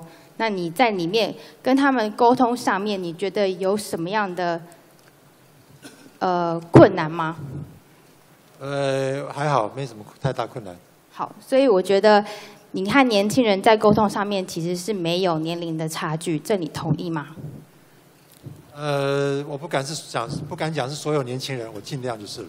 好，那我认为世代差距它不在于年龄，而是观念是否与时俱进。你同意吗？我我部分同意。我觉得我跟年轻人相处，虽然观念不能完全一样，但是基本上是保持一个开放跟尊重的态度。好，院长，我今年二十七岁，和您相差了三十四岁。那三十四年前，我们的立法院还是万年国会，那台湾的民意其实没有办法真正的被展现。但是今天我有这个机会，能够受到人民的托付，站在这边，身为一位国会议员，来作为一个监督政府的角色。那虽然您对我来说是副职辈的长辈，但是今天我的职权是要来向院长您做一个质询。那我想，这不仅是时代的改变，也是世代间的对话。这你同意吗？同意啊。好，那在一月十六的选举过程结果，我们可以看到，现在的执政党国民党，它受到空前的受创，甚至是在国会里面，它成为了一个少数党。那在很多的评论和国民党的败选报告当中，都曾经指出周子瑜事件是国民党主因败选主因的原因之一。请问院长，你听过这件事情吗？呃，我知道周子瑜事件，那个应该是对选情有些影响。好，那当时有很多媒体，他对于这件事情的评论和报道当中，都曾经提出过一个词汇，叫做“天然毒”。请问院长，您听过这个词汇吗？好，那请问一下院长，你对于天然毒的定义是什么？呃，可能是年轻一代呃，在成长的过程里面，呃，跟对岸的互动不多，所以一直就在体认上认为说，呃，台湾就是一个独立的国家、独立的个个体，大概是这种想法。所以台湾是一个独立的国家，你认同这件事情吗？呃，中华民国是一个独立主权自主的国家。好，在台湾。好，我的认同，我的想法跟院长其实也蛮认同，蛮一致的。那我认为天然毒这个东西，这个概念就是我们都认同台湾本土这个这块土地的概念。那它其实是深深的烙烙印在我们每个人的心中，它是一个非常自然、不需要学习的东西。就像院长您刚刚讲的，我们台湾是一个独立、主权独立的国家，这是烙印在每个人的心中。所以我们的施政也应该要以台湾为优先。这个说法你认同吗？你这个想法你认同吗？是以国家利益为优先啊。好，OK。那我想，我们这样子天然独的一个概念，在我们新时代的呃的这一代已经值得跟的一个状况下，我们政府的思维也应该要与时俱进。所以施政的呃施政的东西，施政的方向也应该要扣紧时代的脉动。那所以我们地方上面有很多发展的重大重大的思维，其实都应该要随着不同的时空呃来做一个改变。这你认同吗？我觉得，即便没有“天然毒”这个名词，可是政府在施政的目标跟过程上，其实也都是以这个能够呃保障我们国家的最大利益为为为目标。院长，我的意思是说，我们地方发展的地方发展建设都应该要随着时代而做一个修正、一个改变，你认同吗？当然要与时俱进。好。那院长，我的选区里面有三个重大的都市计划案，第一个是林口新市镇，第二个是淡海新市镇，第三个是温仔郡从化区。那我想这三个都市计划案其实都是政府为了要发展地方，还有提升生活民众的生活品质所做的规划。但是，就像我刚刚说的。随着时空的变迁，其实里面有很多不合时宜，必须要用以新的思维来做一个检视，检视这些都市计划的内容。请问院长，您同意我的说法吗？我想这个刚才讲的这些内容都应该与时俱进，但是到于什么样的具体项目要调整，这我不敢讲。院长，那我就以淡海新市镇作为一个例子，请问院长，你听过淡海新市镇这个计划吗？听过，但是内容不熟。好，这个计划是从民国七十九年启动到现在，已经超过二十五年的时间。这个都市计划案快要跟我一样大的岁数，可以说我和这个新市镇是一起长大的。当初淡淡水的居民都非常期待这个计划能够带动淡水的发展，但是原本计划要三十万人入住的淡海新市镇，今天只有一万五千人住在那边。历年来，审计部的决算审计报告里面也不断的检讨，但是检讨的报告内容都是一样的。所以我在这边要请问院长，您觉得这样子是不是一个成功的案例？呃，这个整个过程会造成今天这个整个局面，我想请内政部说明一下，好。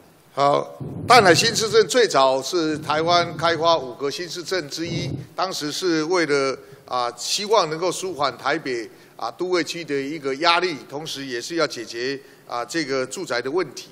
但是在发展的过程中，包括林口，包括啊这个几个新市镇，事实上都不是太成功啊，因为啊有很多的经济上。所以部长，你也觉得淡海新市镇不是一个不太成功的案例，对吧？是。好，院长，那我再请教你一个问题，你知道？淡海新市镇里面有规划了一块医疗用地，但是在最近的检讨报告当中却被变更成仓储用地。请问院长，你知道这件事情吗？我不清楚，请啊，这个是这样的，没有错，在民国八十四年的时候，马街医院呢曾经建议啊啊，这个要在淡海新市镇里面呢划设一个医疗专用区。那事实上，我们也给他划了一个三点六八公顷的医疗专用区。不过后来时空改变，因为啊这个。啊，长老基金会，我现在是就医疗专用地被被变更成仓储用地这件事情做讨论。没有错，对，是因为这样没有错啊，这是因为他本来是那块三点六八的公顷是要给马街医院去盖婚宴嘛，那后来马街医院在竹尾那个地方已经盖了淡水婚宴，所以他就告诉我们说他没有需要了。那么因为整个在啊二通的时候在检讨的时候认为啊这个淡海新市镇啊那个地方离机场离离台北港很近，将来好或，那你跟谁讨论过这件事情？在检讨的过程中啊，检讨报告部会有谁？不是这个卫福部知道吗这个是在民国卫福部知道吗？啊卫福部知道这件事情吗？呃，开会卫福部其实没有参与到最后的决策，他只是去你提供说卫福。部没有没有参与过决策？对，我们只是提供他的。卫福部没有参与过这个决策呃人口每每百万。部长，稍等一下。那你知道内政部营建署在九十八年十二月十七号的内的函里面记载了，记载了都市计划委员会专案小组的会议当中，那时候的署长是叶世文，里面的记录有关于行政院卫生署列席代表补充说明淡水地区医疗病床数高达每万人约四十九点一床，已趋于饱和状态之意见，列为相关变更案的补充理由。对，我了解这个，我知道当时有提供这样的数据。对好，院长，这样子一个卫生署的技师，他这样子讲了这样子的话，然后做了一个变更，你知道这样子的一个事情吗？知不知道那会议上说的这个决定事情？我不知道。但我跟委员报告，这个事实上这样的，这个都市计划它在一段时间以后都会办理检讨。假如说啊，现在因为啊地方的需要，还要再增设医院，有这个需求的话，那都是要在检讨的时候，还可以在啊找适当的地方来规划医疗专用区。但是原本就这样子的规划的医疗用地，你们却变更成仓储用地。原本就可以这样计划的东西，你们为什么要做一个变更呢？检讨的时候啊，因为评估的结果，医疗啊体系啊评估的结果认为，淡水地区的病床数以及区域饱和。淡海新市镇一千七百六公一百千一千七百七十六公顷的地方，却没有一个医疗用地，原本就已经规划了，为什么还要再这样子变更回去呢？就是刚才讲了，因为没有需要嘛。因为入住的居民人数没有到当初的规划，但是这种东西本来就应该要把它规划在里面。大海新市镇不管做什么样的计划，不是都应该要设想周全吗？其实包括三十万人口，我们都在检讨啊。三十万人口我们都要检讨，我们但是你们的检讨报告当中里面没有把把医疗用地变更回来，变更变从仓储用地变更成医疗用地这件事情，你们没有列入讨论，没有列入报告，在两次的通盘检讨当中，你们都没有检讨到这件事情啊。有需要就会再变更。那现在没有资料显示说那个地方还有其他的医疗需求，如果有需要就会怎么会没有医疗需求呢？这边的人口数一直在增加耶，怎么会没有医疗需求呢？你丹江大桥做起来，对面的居民也需要医疗，也有需要医药医疗需求啊，怎么会没有医疗需求呢有需？求就会在有尔后的通盘检讨里面，再去院长，我希望你可以做一个检讨报告，对于这样子医疗用地被变更成仓储用地的一个检讨报告，还有我们整个北海北海岸的一个医疗设施的一个评估报告。呃，我想那个把医疗用地变成仓储用地这个过程的，呃，这个资料我请内政部提供。是没问题。那个，然后那个区地区整体的医疗资源需求，我想这个卫福部一向有一些评估标准。那评估标准出来，刚才好像讲到说，那边医疗资源目前是足够的。怎么会是足够的呢？这边的人一直在增加，只有一间马街马街医院。马街医院提供的不仅是淡水三支石门，它还提供了巴黎的居民的一个医疗医疗品质。我不跟委员争辩那边需不需要，我只是说应该是没有需求才会没有没有要设。那卫福部会有个标准，请卫福部把这个标准套到这个地，区院长，我希望你可以做一个评估报告提供给我。好，谢谢院长。再来，还有除了刚刚讲的医疗用地被变更成仓储用地之外，它原本的开发、开发、开发期程被顺序被大改变，像是后期开发的变成先期开发，先期开发的却被延后开发，还有二十五年的计划年限到了，现在又开发年限又被延延后了二十五年，那里面的目标人口数还是维持在三十万人，还有依照都市计划法的二十六条第一项规定里面，都市计划通盘检讨要每三年到五年要做一次通盘检讨，但是在二十五年当中只做了两次通盘检讨。院长，你不觉得很奇怪吗？是事实上那个地方的变动啊，这几年变动啊，这个啊开发的速度非常的慢。那第二期的开发区，我们也在进行啊这个环评的作为当中。那么这个东西啊，这这个这样的开发的进度啊，事实上也有很多学者专家也有不同的看法。那我们所以你们才要在三年到五年之内做一个评估啊，做一个通盘检讨那目评估啊前。我们是我们会在在进行，事实上也在在通通盘检讨当中也在做。好，那我希望院长可以在一个月内把整体的具体的检讨报告提供给我，可以吗？我们把目前办理的情况，把新市镇开发的进度，还有这一个目前整个都市计划的实施的状况啊，做一个啊说明给啊委员。好，感谢部长。那再来，院长，我想请教你有关于泰山交流道的问题，可不可以请交通部长？谢谢。请交通部长。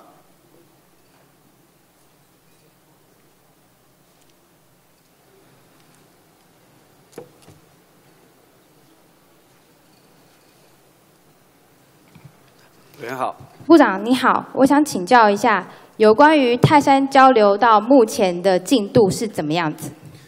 我不晓得委员所提的泰山交流道，因为一般来讲，交流道的提出如果要增设，那照道来讲，地方政府要提出来它的可行性研究，然后完了以后，我们透过那么初审、复审的这个技术来做处理。那现阶段里头，我的了解，那么泰山的这个所谓的交流道增设的部分，那可能高工局这边还没有给我相当的资料，不晓得新竹市、新北市政府这边有没有提出相当相当的可行性研究的资料？好，院长，泰山交流道新北市政府的可行性研究期末报告其实已经完成了。那如果送到交通部之后，请问还要多久的时间才能够完工？我想它有一个外审，就是大家集合审查的机制，我们尽快来完成它。好，那多久时间？我想这给我一个个总是要大概半个月到一个月的时间吧。半个月。对，因为他还要整合地方，还有各个面向上的意见审查，哎，对审，查不是不是完工了。对对，审查的期间，嘿。好审查有可能是同意做，也有可能不做。嗯好，那这个这个审查之后对，动工到完工要多久的时间？哦那个确实是可行性的所谓审查，那它有初审，还有复审。那如果经费超过一定的的经费的话，还要抱怨。那完以后还有总和的规划，规划以后还有设计，设计还有施工。但是这个期程我们尽量让它缩短，就是这样子。好，那可不可以请你给我一个评估没有问题，评估报告？没有问题。好，再来我要请教就是林口交流道的改善方案。林口交流道，那么现阶段里头，其实我的了解，那么我们的的运呃运研所其实有找地方政府，大家都有谈，那么谈的结果里头有几个方案，而且还有区牵涉到区域的交控的问题，所以它没有那么单纯，哎。好，所以它有提成，它的提成到底到多多久可以完成？哦这个这个还需，因为这个涉及到地方政府，不但涉及到新北市，也涉及到桃园市，所以现在一直在做整合当中。我的了解，这个案子已经整合将近三四个月有了，哎，好，还需要一点时间去做处理。好，那我希望部长这我们边可以把这个资料来提供给委员。好，感谢感谢部长。那我想，我想交通对于我们来说都是息息相关的。那塞车这件事情，其实对于我们每每个人来说都是非常痛苦的。那我希望可以早一天完工，就让每一个人可以少一天塞车的痛苦。那我希望，这是我对你们的期待，也是对你们的要求。希望交通这件事情可以赶快解决。当然，这个我们有也大家也会一起努力。好，谢谢交通部长。那呃，再来，我是想要请教院长的是有关于林口泰山非常关心的议题。那因为现在泰山人口数将近有八万人人口，那林口有将近十呃超过十万的人口数。那现在泰山林口的呃，它是由新北市警察局新庄分局负责的勤务，但是因为新庄分局它服务的人口现在已经将近高达五十九万人数。那在于台新北市每个分局里面，新庄分局是比第二大的分局里面超出了将近二十万的人。那所以新庄分局它的警民比也是最高的。所以一位警员他需要服务的人是八百四十九位市民，他的勤务，一位警员的勤务，他他的勤务是非常的吃紧。所以我想请教院长，对于泰山林口设置新分局的这件事情，可不可以请院长做一个评估报告给我？内政部把好，我们来做一个评估啊。不过我跟你报告，因为目前警力还是比较缺，如果多设的分局，那每一个分局的员额人数就会比较少，在勤务的调度上反而不利。但是针对林口地区，那现在越来越多的新的房子所带来的治安的压力，我们会啊这个协调这个新北市警察局在这个员额上，给现在的新庄分局那边多一点人力。让他初步在这个林口派出所这附近呢，能够增加一些警力。好，感谢感谢部长。那呃，院长，虽然你的任期只剩下七十多天，但是我想你认你现在还是身为我们的行政院长，虽然有义务要为我们呃过去的政策做一个检讨，那也希望这些检讨报告可以作为我们未来新政府施政的一个参考方向。那虽然我们的世代呃是不同的，我相信，但是我相信我们的呃为国家服务的心都是一致的。所以在这个基础上，我希我本着我的职权，我希望要求你的行政团队可以善尽职守。这本来就应该的。好，感谢部长，感谢您今天的备询，谢谢。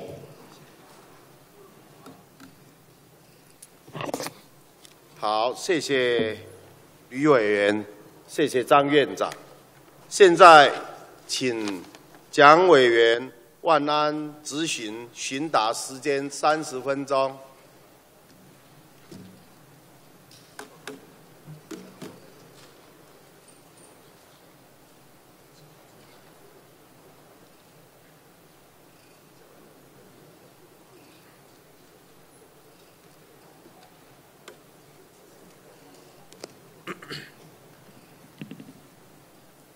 主席，呃，请张院长。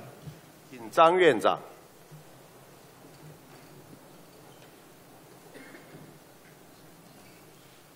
张委员好。院长好。院长，本席今天其实非常高兴哦，在这里可以针对民众关心的一的一些议题啊做咨询。那我知道院长您过去在 Google 服务过，哦，出身 Google。本席过去也在戏谷担任过职业律师。这个本席啊，过去服务过的这个事务所，刚好就协助 Google 从一个新创公司到正式 IPO 上市。啊，这个案子我过去任职的事务所协助，所以当我知道院长您要加入内阁，啊，不管是从政务委员到科技部长到副院长，一直到今天院长，其实我对院长有很深的期待。谢谢。所以我相信院长您可以秉秉持您过去对于科技的专业以及对于产业的了解，哦，可以让台湾发挥我们的优势，进而带领台湾能够在国际间提升竞争力。所以，台湾的未来，我相信院长也知道，我们要突破现在的困境，翻转台湾的经济，靠的就是科技。科技不外乎人才、资金。哦，行政院过去这几年也一直在推动哦很多我们新创产业，尤其是对于很多。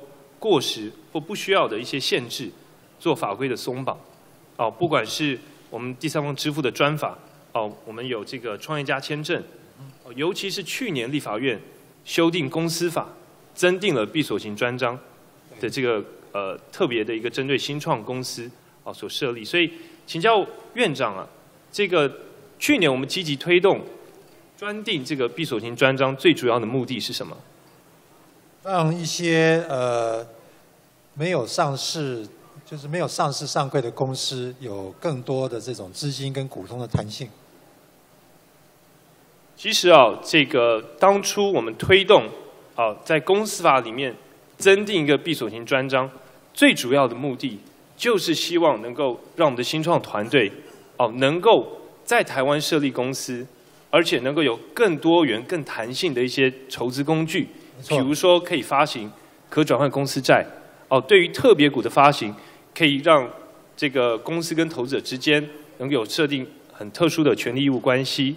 哦，也让我们很多年轻的创业家，他们可以除了现金之外，哦，可以用他们的技术、劳务、信用，哦，换取股权，哦，等等这些方式啊。所以，请教部长，这个或是院长啊。您知道去年六月我们三读通过这个公司法修订闭锁性专章，到今年二月底，总共有多少家闭锁金公司成立？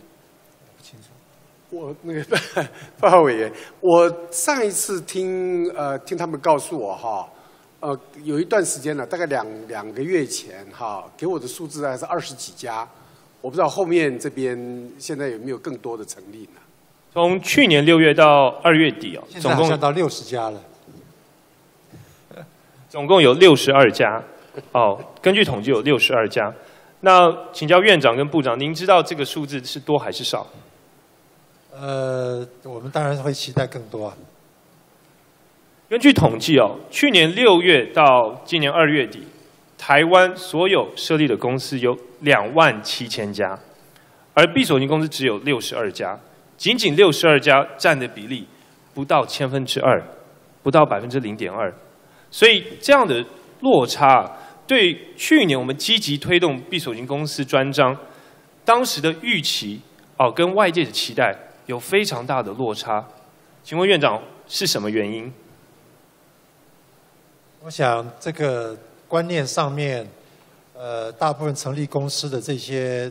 团队可能还不不不不了解这种形态，另外一方面当然是我们创新的公司的量还没有真的呃起来。的确哦，这个我想当然可能是宣传的不够，或是我们很多新创团队还对于条文不够熟悉，哦，或者当然可能现在只有九月不到一年的时间，可能很很难做出一个评断。但是本席认为啊，根本的原因，其实在闭锁金公司专章里面啊。我们细看这几些几个条文，其实利益都非常好，但是啊，还是有一些不必要的限制哦。因为本席过去其实也参与过一些修法的会议哦，所以往往在一开始我们最初的版本并没有这这些限制，因为我们参考很多国外的立法、国外的做法哦，实务的运作哦，往但是往往在立法最后一刻啊，行政部门常常会加入一些限制跟门槛。哦，比如说，哦，对于我刚刚提到很多年轻创业家，他们可能资金不够，哦，他们需要设立闭锁型公司，所以我们开放让他们可以用劳务或者是信用来，呃，换取股权。哦，但是在最后一个，原本国外是都没有任何的上限？可是最后一刻，我们加入了一个限制，哦，也就是劳务信用出资啊，这些技术入股的方式，哦，不能超过百分之五十。甚至在三千万资本以上的公司不能超过百分之二十五，哦，这样的限制其实一通过以后，对于业界还有很多新创圈的这些团队来讲，啊，他们认为就好比在高速公路上面设了速限三十的一个限制啊，会让这个条文利益非常好，可是没有没有人在使用，哦，反而还是造成很多新创公司、新创团队他们照过往的。这个经验还是移到海外去，哦，不管是新加坡、香港也好，哦，所以本席认为啊，这个既然我们当初希望法规松绑，这个方向是对的，哦，而且我们参考的国其他国外的立法，不管是美国、英国、日本、新加坡、香港都没有这样的限制，哦，但是往往我们在最后一刻会说国情不同。国情不同当做一个借口，哦，就说实物上啦，我们必须要设一个限制，我们开放要慢慢的。所以我想请教院长跟部长啊，针对哦未来我们新创产业的发展，到底政府的态度是要防弊还是要新力？我我我先跟委报告一下，我我们当时啊。之所以有那个那个后来就像您形容的这样子了哈，最后有一个限制在那个地方。那当然这个是呃，以我们当时认为这个是一个平衡了哈。我们也了解，啊、可能会可能会造成一些呃后果了哈。但是您也知道什么交易安全啊这些事情哈。那我想做一阵子，商业司都一定会很注意这个事情的发展的哈。我想大家应该都会相当的开放的来看这个问题哈。那至于说这个东西，呃，应该是要逐步的朝着更开放的方向，我想啊、我们我们是有这个看法的。我想可以要求经济部就定期啊，定期检讨看这个成效，同时定期也跟外面沟通一下，看还有什么地方要修。呃，我想第一步上路没有办法做到一百分，但是我们后面会用开放的心态继续去调它，必要就继续再修法。好，所以我想基本上还是请教院长，就基本上政府的态度啊，面对新创产业，你认为是需要防避还是要心力？当然是心力啊，嗯。对，所以其实啊，既然大家都知道要改变心态，我们要心力为主啊，尤其面对新创产业，所以也请院长或部长啊，就未来我们定期要做一个检讨，尤其是针对比如说公司法这样闭锁性专章的一个规定啊，我们是不是真的能够做到让我们的法治规范能够跟国际接轨？我觉得这个非常重要。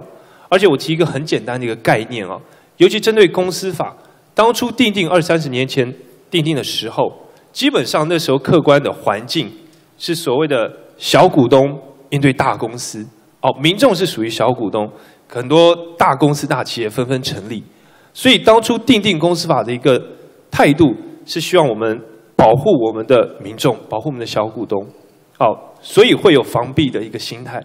可是现在今天科技发展，我们所面对的客观情势，是我们很多的微型的中小企业或是新创产业，这些新创团队面对的是大的投资人，哦，国外的资金、国外的创投，所以我想政府整个心态应该要是以心力为主，我们要提供新创团队更多元弹性的筹资工具，让它有更大的这个呃效率，能够吸引到国外的资金。真正帮助到台湾的新创团队，我想这是所有新创团队希望看到的，所以我很高兴听到院长提到我们要以心力为主。好，所以我想对于法规的检讨，我们必须要定期的来这个呃做一个讨论。所以啊，我想最后一个小小的结论：面对新创产业，我希望特别是闭锁型公司专章，我们希望创造的是一个闭锁型公司，而不是闭锁型的国家。啊，讲得很好，对，没有错。接下来啊，我想还是针对这个新创产业的部分哦。去年行政院相关部会哦，国发会跟科技部哦有提一个台湾系股科技投资计划，请问院长您对于这个计划熟悉吗？台，你说台系基金？台系基金。台系基金是我在科技部长任内，呃，希望科技部开始来做的事情，跟后来是跟国发会一起合作来做。台湾系股科技基金啊，这个根据科技部提供的资料啊，其实最主要目的是希望结合民间跟政府的力量啊，扶植台湾和戏谷的新创产业，而且最后能够达到台湾跟戏谷彼此之间人才跟技术的交流。哦，那也请教院长和这个部会首长啊，这个台系基金这个计划，这个基金的规模是多大？我想科技部说明，目前是我们跟这个呃科技部各出呃三千万美元，当做我们基金的一部分。那这个开始开始的规模，那个当初在规划的时候是希望说，如果顺利的话，希望最后能够做到差不多三亿美金。三亿美金。三就是将近一百亿台币，但是一开始不需要马上拿那么多呃钱出来。对，计这个台系基金的计划哦，根据国发会科技部的资料，是为期三年，的确提出呃筹资要三亿美金，哦，那基本上一年一亿美金，就是大概三十亿台币，哦，所以总规模差不多三十呃三十亿美金，差不多九十多亿，快一百亿台币的一个规模，相当大的一个基金规模。那请问院长，这个基金的一个运作模式是属于直接投资还是引导基金的方式？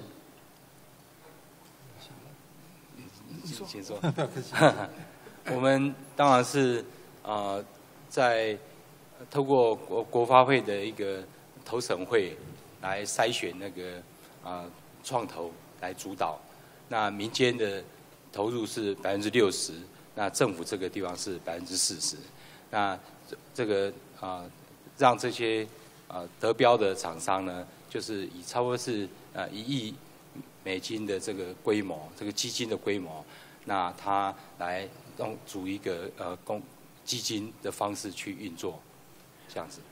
所以目前这个台系基金的进度是如何？已经有几个案子了，差不多是是。目目前大概是有三个还是四个案子在进行，大概有一个还是两个案子已经通过。对，是，的确哦，这个根据科技部还有国发会的资料所提供的资料，目前的确三到四家的民间创投公司，他们要这个管理团队哦要来这个管理这个台系基金，而且规模也的确像这个首长讲的是大概一一亿到一点五亿的规模哦。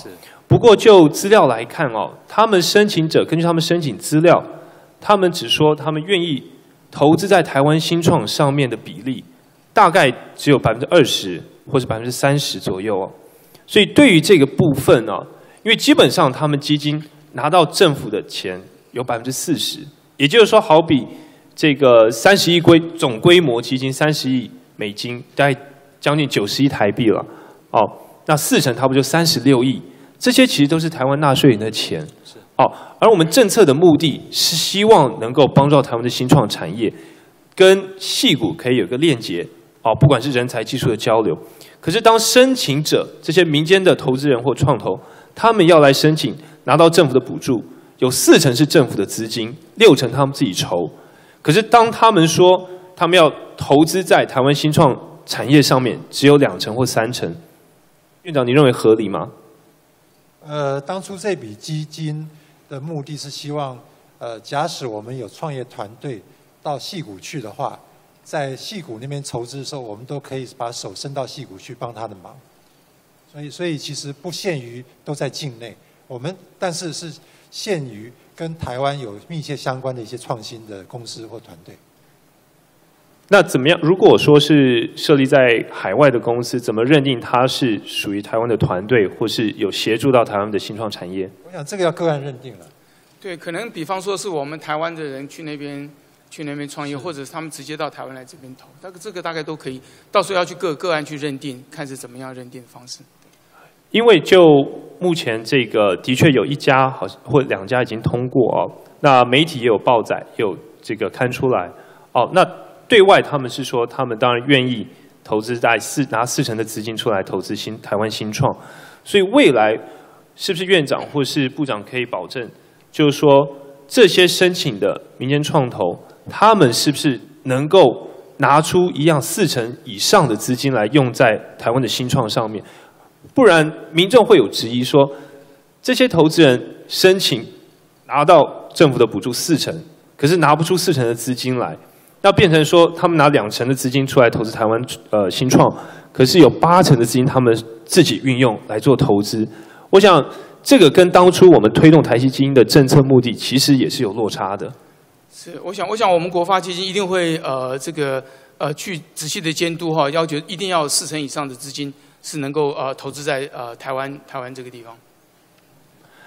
好，所以我想本席啊会对于台系基因这个案子啊这个计划会持续的监督啊，持续的追踪哦、甚至定期啊要提出看到一个绩效的报告哦，到底是哪些民间业者得到这样子的政府的资金，而且他们投资的绩效是如何，而且是不是真的确实如院长所说哦，是有投资跟台湾新创相关的产业和团队啊，我想这个非常重要，国人也非常关心，因为这个规模非常大哦。刚提到三十亿美金，差不多一百亿台币的资金啊。如果说对于他直接投资台湾的新创团队，其实不需要这么大的资金，就能够真的帮助到需要帮助的新创公司。我想这一点国人非常关注啊，所以我想本期会持续的追踪哦。那我想前面提到了科技不外乎人才，哦不外乎资金。那台湾的确有非常多优秀的人才，哦，所以接下来本席想要呃，对于台湾劳工的议题哦，做一些质询哦。我想劳工的议题一直是国人非常关心，所以请问院长，您知道去年哦这个台湾劳工因为过劳而发生职业灾害的人数有多少？对不起，这个可能要麻烦劳动部部长来帮忙回答。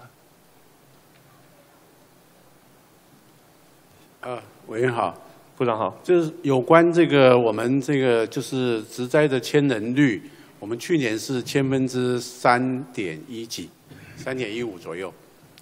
所以因为过劳而发生职业灾害，包括比如说过劳死、伤病或失能这样的一个人数有多少？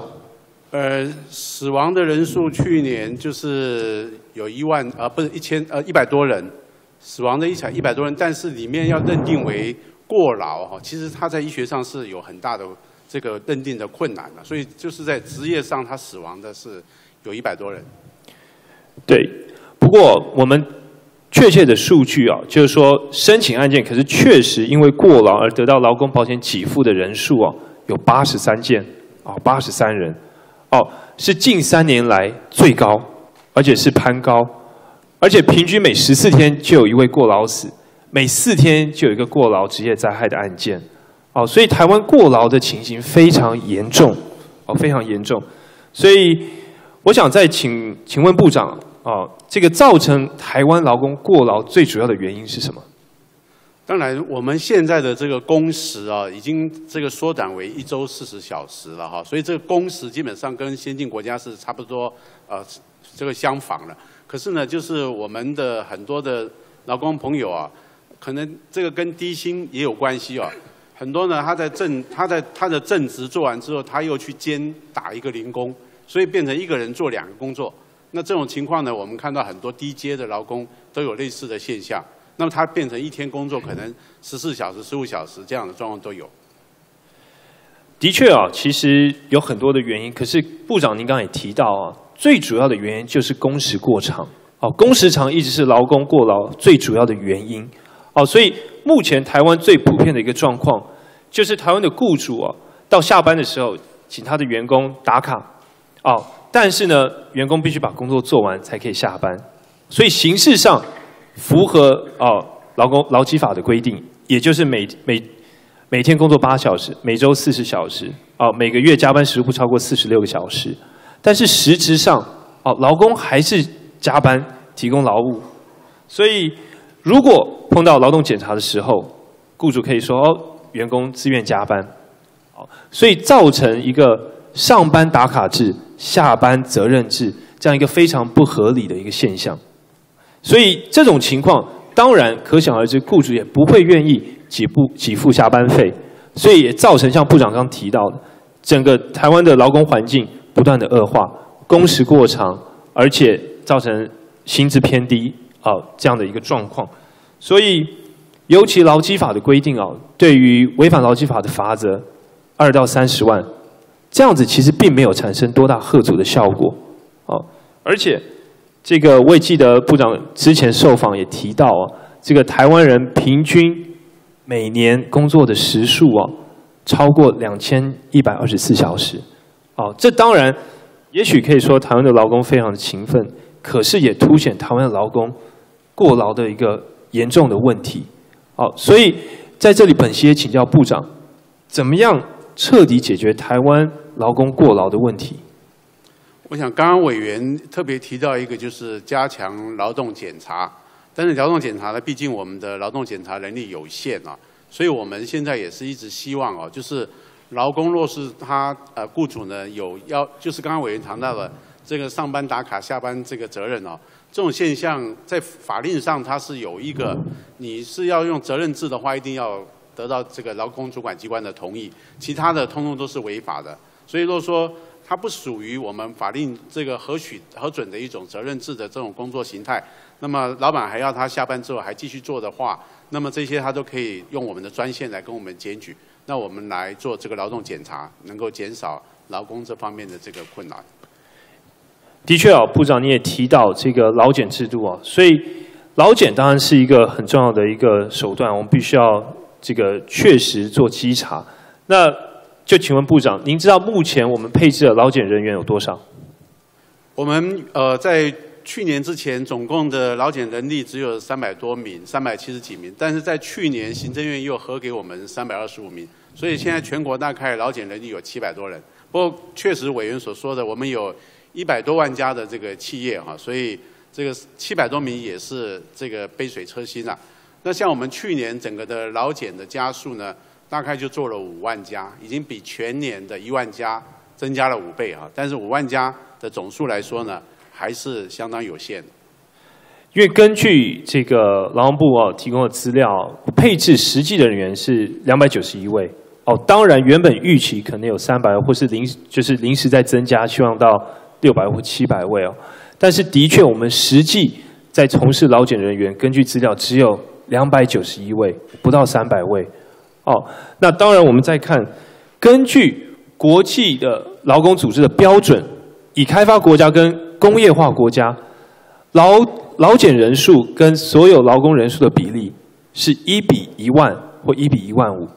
我们再来看看台湾的情况，两百九十一个劳检人员，面对哦这个根据最新的统计，今年一百零五年一月所有的劳工人数一千一百二十四万人，比例是一比一万啊一比三万多人哦三万八千多人。我想这个比例哦远远远远低于国际的标准啊。我想，当然，陈如部长讲的，如果我们就算两百九十一位增加到七百多位啊，这个比例还是落后国际的标准。所以，请教部长，这个过劳的问题，你也提到，劳检是很重要的因素之一啊，我们需要加强稽查。可是，我们稽查人员就是这么少，严重不足。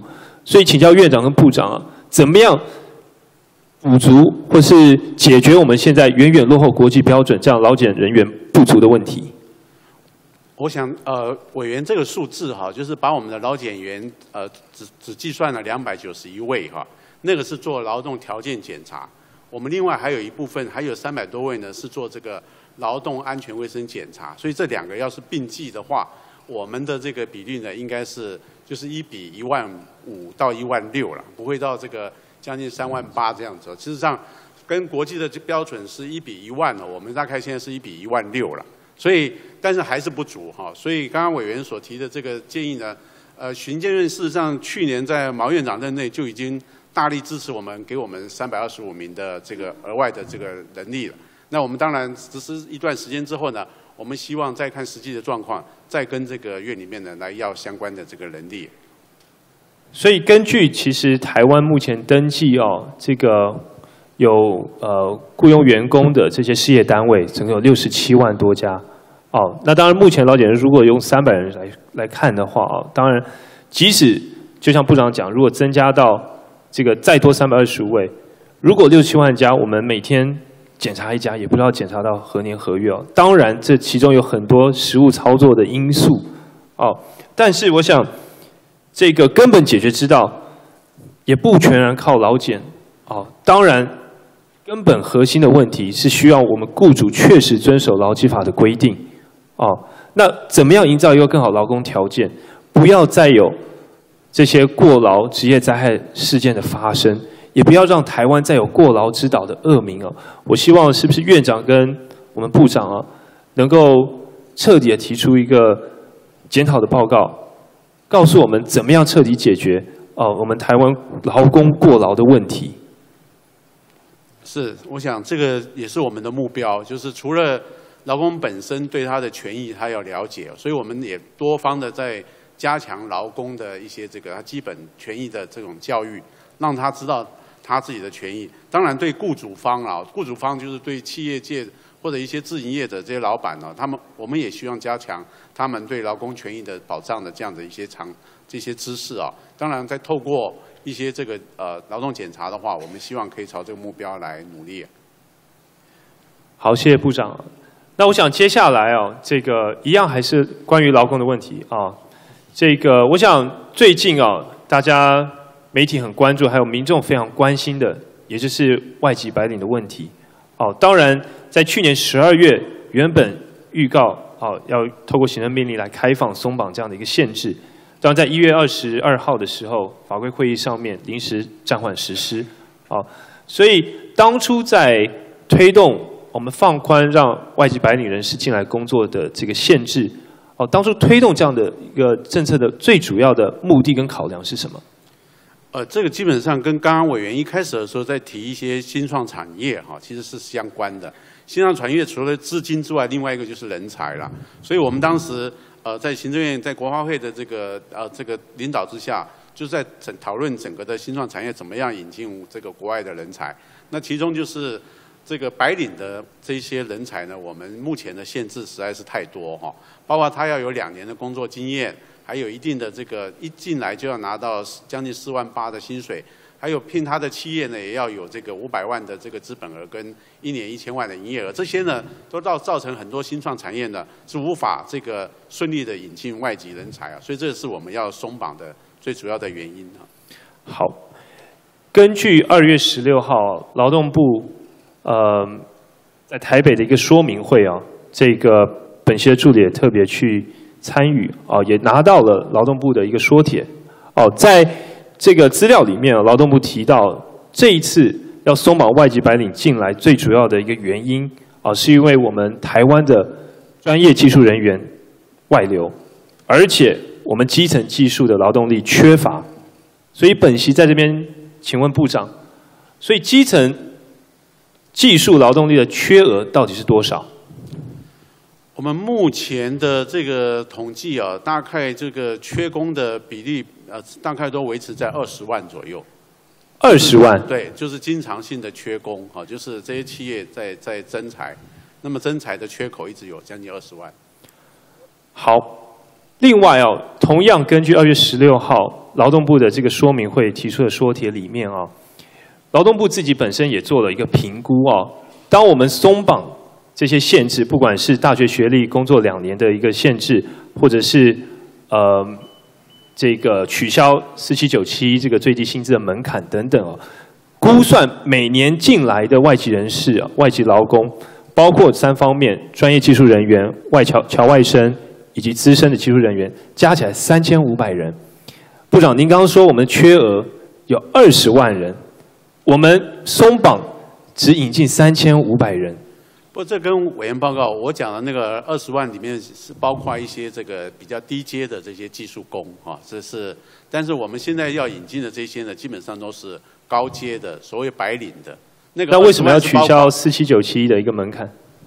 因为这个部分的劳工团体会担心外国人进来呢，用低薪请自来，会拉低本国劳工的这个薪资。好，谢谢部长。我想这个本席会持续关注哦，我希望。劳动部或是相关部会未来推动任何政策，希望能够更精密或更审慎、缜密的一个评量以后，哦，不然我们每次推动一个政策，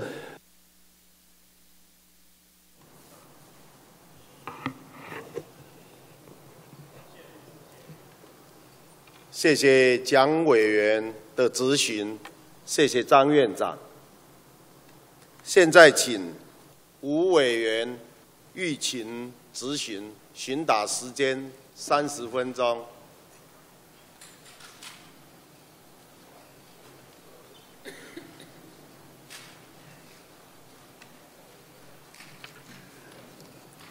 呃，主席，呃，我请张院长。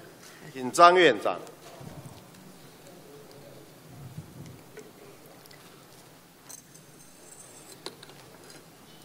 委员好。哎，张院长好。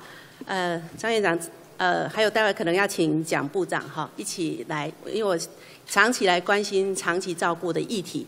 呃，院长，我本身也在老人的领域哈，在民间团体工作了二十年，在做老人福利的工作。那台湾现在已经是一个高龄化社会啊，百分之十二，可是很快的到二零二五年，我们就。十年后我们就二百分之二十的超高龄社会啊，所以其实长照是所有民众端一直在关注的一个议题，所以我们推动了非常久的一个长照制度，可是民众端还是非常的焦虑啊。那我很想来问呃请教院长跟部长的，就是到底我们台湾在这八年来推动了长期照顾十年计划。我们虽然投入了呃，从每年大概十八亿多，然后到今年大概五十几亿的这个经费投入进去了，可是还是有点民众感觉不到，或是觉得服务不好用。我不知道两位呃，就院长或是部长，对于长照这政策推动的这八年来，到底问题出在哪里？那为什么民众端的感感觉是呃无感的？是不是可以请？好，各位报告。呃，我个人其实也认为，目前在长照的推动上面还有很多努力的空间。目前长照的资源仍然不足，它的相关的人力也不够。虽然我们努力的去培养这些人力，但是这些经过训练人力并没有真正进到长照来，啊，所以有很多问题我们要努力。不过从去年我们肠道服务法通过以后，那给了我们一些比较多的这个武器了，所以我们现在推动的速度应该可以快一些。哦。部长的这个回答，我倒不这么有几个部分是对的哈，包括经费可能不是很足够，人力可能不足，那服务的建制其实是有点缓慢，这个跟经费都有相关联性啊。那至于说长照服务法是不是真的就带给我们新的一个发展哈？我常过去我们在民间团体的时候，其实就一直跟部里面反映，你这个长照服务法是一个叠床架屋的法。好，让说要整合大家的一个呃几步法，可是确实，待会我会谈到那个问题还蛮多的。我们现在民间团体在参与政府定定相关执法的过程中，都觉得你们在做一件衣服，然后套到每一个人身上都不合用。哈，这个待会可能我再继续谈。但是在长照十年的这个计划里面，我们也看到这几年其实服务的成长是有点缓慢。哈，虽然我们有投入了呃这个每年大概呃。三十平均三十二亿左右哈，那今年是编编的比较多一点，五十几亿。可是事实上，我们的服务量来讲，哦，从居家服务哦是最大宗的一个服务，才从两万七到四万五千多人，哈。那日照也从七百八十五人到两千五百七呃两千五百多人，这样的成长速度，其实涵盖率涵盖我们的私能的呃这个涵盖率才不到百分之三十五。那这样的一个涵盖率不足的情况下，其实民众端会觉得，哎，怎么怎么？呃，要使用服务使用不到，为什么？因为我们现在的服呃，刚刚部长也提到人力不足，所以当我要使用服务的时候，我原来是重度失能，我可能有九十小时的服务的时数的使用权利，好，可是呢，可能人力不足，或是过去可可能预算编列不足，所以呢，我们平均现在我知道整个平均使用居家服务就二十几个小时，也就是重度的失能者可能能使用的还是那么少。这个都是环环相扣的，可是这个问题可能根结是在预算的编列严重不足。因为从九十九年我就呃当时也跟很多的委员一起来参与有关预算的争取，那时候整个行政院就删减了预算，好那一年就删减了六亿，哈，原来服务应该要扩展的，可是呃我们的呃这个政府却是一直在删减预算。那这几年都是透过呃九九九一百一百零一都是透过。所谓的第二亿倍金，动用第二亿倍金才能把钱补足。你知道那个对于我们地方政府还有对民间团体多大的困扰吗？都到年底才编列预算，才把钱拨下来，那团体都要等到隔年才拿得到钱。那个整个对于就是整个行政的呃，应该说干扰，或者是因为预算编列不足，行政干扰造成的都是团体没办法好好的提提供服务。地方政府因为钱也不确定，所以他也不敢给。地方承诺或给民众承诺，所以我们整个长照十年也是没有多和好好的宣导给民众知道说，哎，政府有在做这件事，哎，你有失能的需求可以来跟政府申请这个服务。说真的，很多我接触很多的民众，包括媒体的很多的好朋友，他们都不知道政府在做这个长照十年的计划，所以这个东西变成说整个政府的政策到底有没有好好去做宣导？那服务本国的服务没有发展出来，可是我们有一个很大的服务却。一直长出来就是外劳，好，外劳在这呃，我们从九十九年到一百零四年的统计里面，那这几年六年来成长了三万多人，好，到达了二十二万，哦，这个是非常可怕的一个事情哦。那我们长本国服务长不出来，可是外劳的人力一直在涨。那一百零一年哈，我们劳动部也开放了八十岁，啊，这是所谓的重重度失呃重度失能的报六十六十八那个八次量表到六十啊，那。去年，哈，在民间团体一再的反对下面，我们劳动部又开放了哈，八十五岁以上的老人轻度，只要有一项好的这个呃这个所谓八四量表的量表一项而已哈，就全部开放，就是等于是轻度的。那这样一开放下来，其实冲击最大的是本国的就业，因为我们的居家服务单位就跟我们反映过，它的服务量。一减了一百，减了十趴，一个月好跟同年同期的一个来比较，就少了十趴哦，可以看得出来说是我们两个议题哦，一个是我们本国服务长不出来啊，外劳一直在开放，可是我们行政院这个要问张院长了，我们行政院在干嘛？为什么没有一个同整？两个步调一直都不协调。那我们在民间的团体在做抗议的过程中，我们行政院也是就是任由劳动部自己就开放外这个外劳的一个资格。好，所以我觉得这个地方是让我们一直感觉到政府在整个行政作为上面一直没有协调哈。因为我觉得这个中枢大脑神经应该抓好，劳动部跟卫福部应该共同来为整个台湾的长照建构一个可协调的。那可是我们在个过程中都感觉不不到行政院做这样的同整的角色哈，所以我们一直看到这个混乱的情况一直在出现。那最近呃又看到行政院把长照保险法呃原封不动的又送进来了哈。呃，我不知道部部长，你知道我们 对于长照保险的一些看法，或是你认为长照保险能解决问题吗？呃，我们的看法是，长照保险如果能够实施的话，那它的经费是比较充足的，因为我们的规划大概是大概一千一、一千两百亿左右。它这样子的话，每一个失能的人大概可以每个月有一万多的这样子的经费上面的资源，可能是比较充足的。所以，呃，我们是认为用保险制度是比较妥善的一个方政策方针。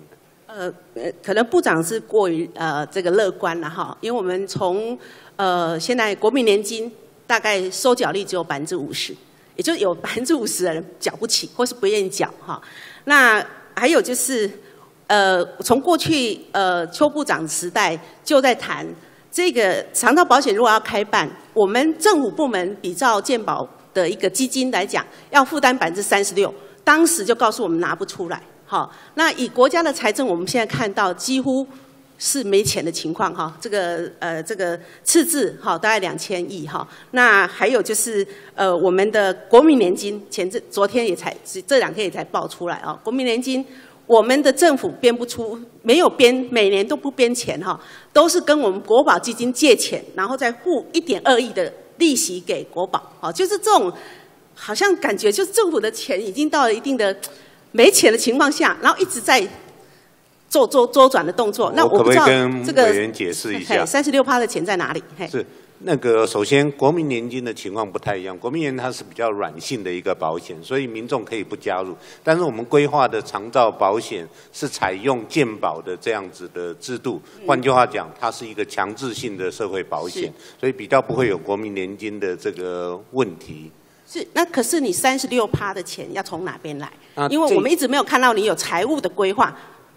您您讲的是国民年金？哎，不是，我讲的是长保里面的三十六趴，也是政府要负担的钱。那这钱从哪边来？对，这个如果是我们讲的一千一、一千两百亿左右，当时我们的规划是三十、四十、三十的比例来分担了。那雇主要负担百分之四十，那政府要出百分之三十。那这个被保险人也要出百分之三十。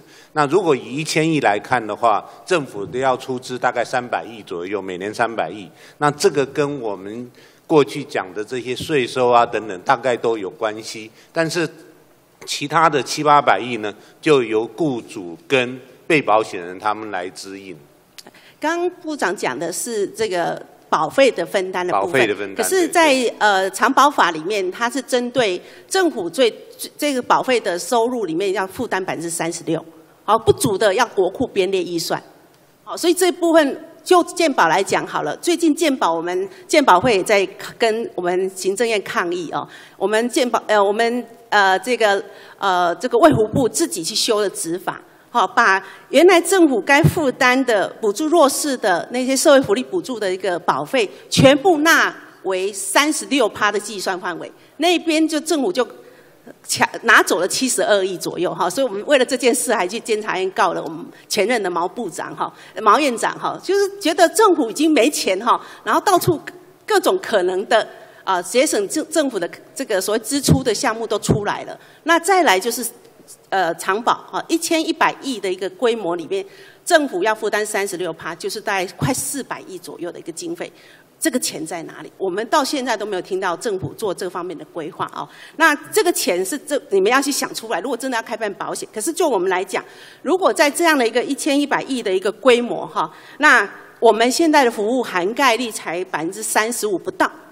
那我们要缴了保费要服务的时候，请问服务在哪里？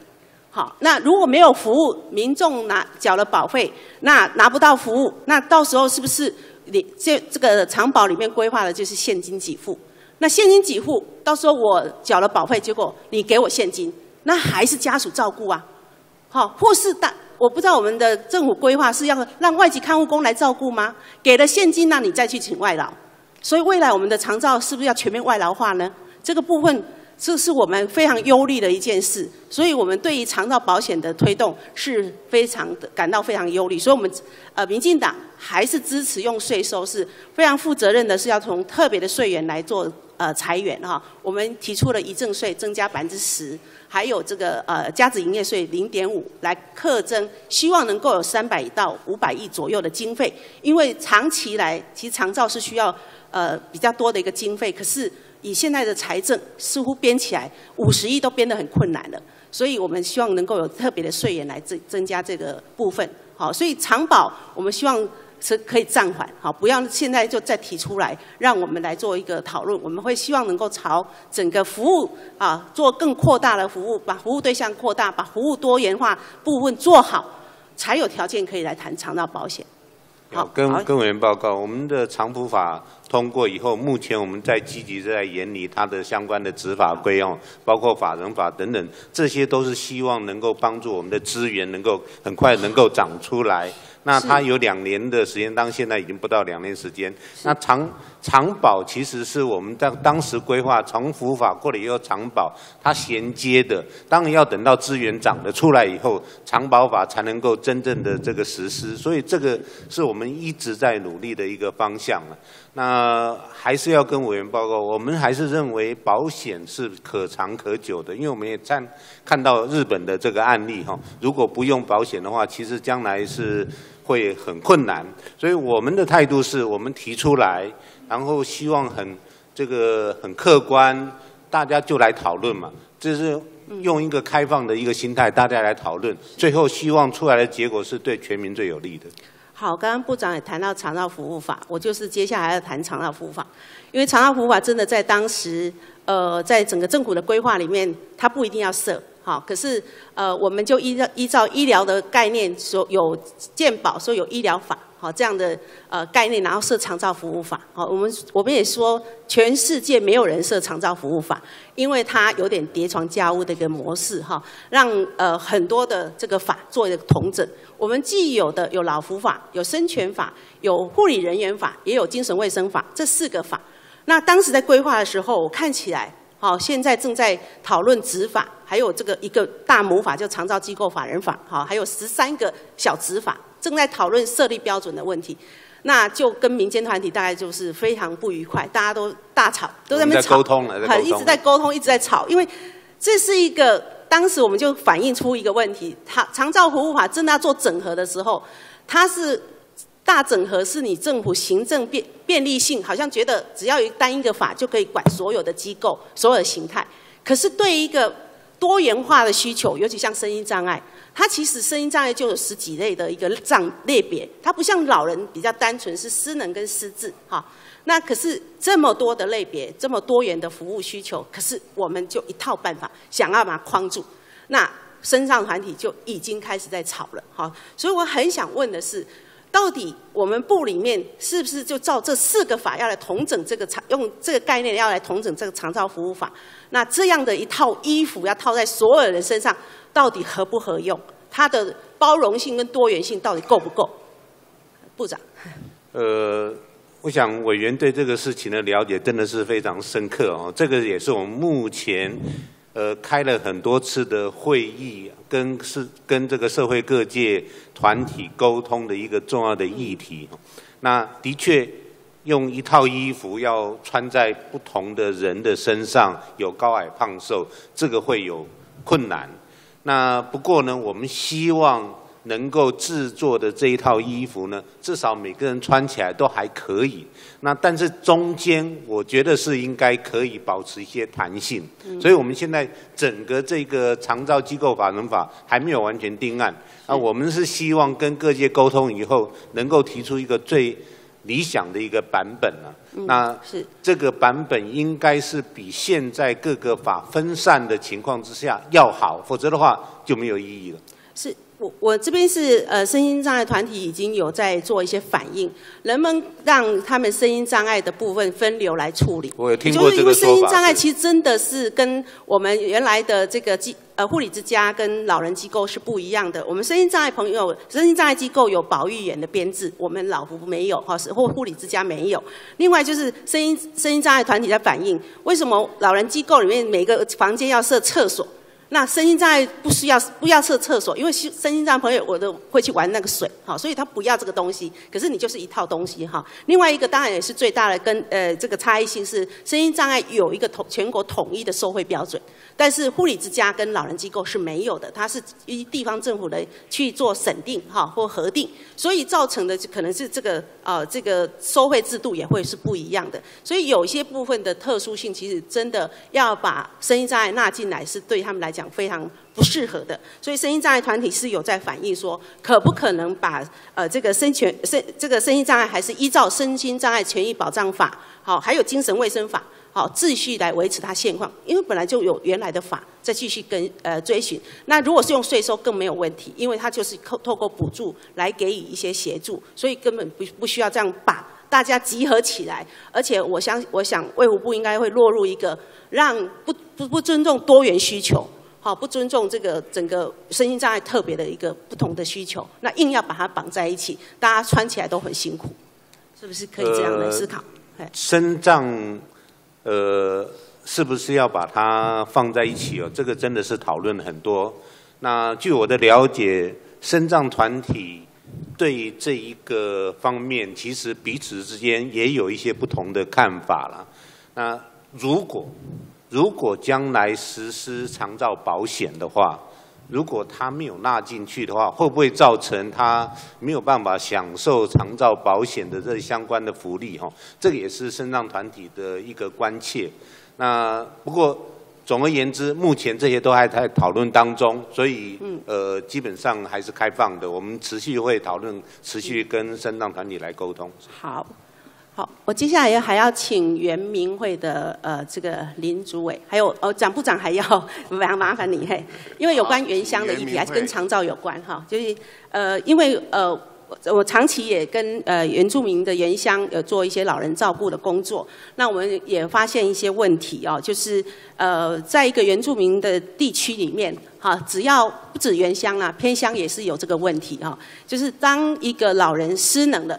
如果在社区里面没有像日照或是住宿型的机构，这个老人的命运就是被子女接到都会去工呃居住了。所以离我们的在地老化，哈、这个让老人在原来自己熟悉的环境终老这样的一个目标是违背的。可是我们的偏乡、我们的原住民地区都面临到这个问题。我的我非常好的朋友啊，就在兰屿啊，他们兰屿到目前为止找不到地方设日照，也没有一个住宿型的机构。那更重要是，他们没有很少很少合法房屋，好，大概只有卫生所或新盖的乡公所有所谓合法的建造。这个问题在原乡非常的普遍。那我们怎么样去克服这一块有关原住民地区或是偏乡地区在建物跟建筑物取得上面的一个呃解套？因为现在正在定设立标准，哦，机构的设立标准也会处理到原乡地区的问题。不晓得呃林主委或是呃部长有没有什么想法？呃，非常谢谢委员哈，呃，听了这个委员的执行啊，知道委员非常关心啊这个长照的问题。是。那我们原乡的地区啊，我们根据现在的长照法，它刚好规范在第六条、第十四条、第二十四条。是。这三个条文里面，特别提到关于原住民地区的原住民的长照服务的事项啊。是。要会同主管机关对要会原民会哈要会统主管来定定。是。所以刚刚委员特别提到的这几点，包括哈长照机构未来的设立的标准，还有包括人力的规划等等的。目前我们是正在跟这卫生福利部正在磋商哈。当然，原住民地区有很多建筑哦是没有使用执照的，我们也正在考虑。过去啊，教育部也有关联哦，在原住民的地区啊，这个社区的托育的这个中心哦，用一个当地地方政府认为结构安全哦，鉴定认为合格就可以拿来使用的，可以不可以拿来引用那些条文来用？这是我们也考虑的一个。是，所以这部分也是要跟蒋部长呃说明的部分，因为其实前面已经有一些呃这个幼造法哈，已经有相关的呃这个法的严厉哈，所以说他们针对偏远地区或是部落的互助式的教保啊服务中心哈，他们有针对这一些设施好，只要是他确定。无无危险，哈，然后对于建筑物使用的部分得以结构安全，哈，这个鉴定来作为证明，哈，那当然消防还有建物的取得的一些证明也都是有相关的配套，因为这个确实是在原乡里面非常为难的一件事，就是找不到合法的房屋，哈。那另外就是说，在未来原乡地区或是在服务资源的建制，对于未来新盖的时候，当然可能会涉及到内政部呃的。问题就是包括土地的取得，因为他们都位于山地保留地，甚至有的是在国家公园，哈，甚至都是一些土地的取得的，呃，建物的取得都有它的一定的困难。这部分真的是要比较是行政院跨部会的协助来解决偏乡资源建制不足的部分，或是建制困难的部分。所以我想这部分呢，希望我们可以继续再努力。好，谢谢。是是是，我们充分了解原住民地区的。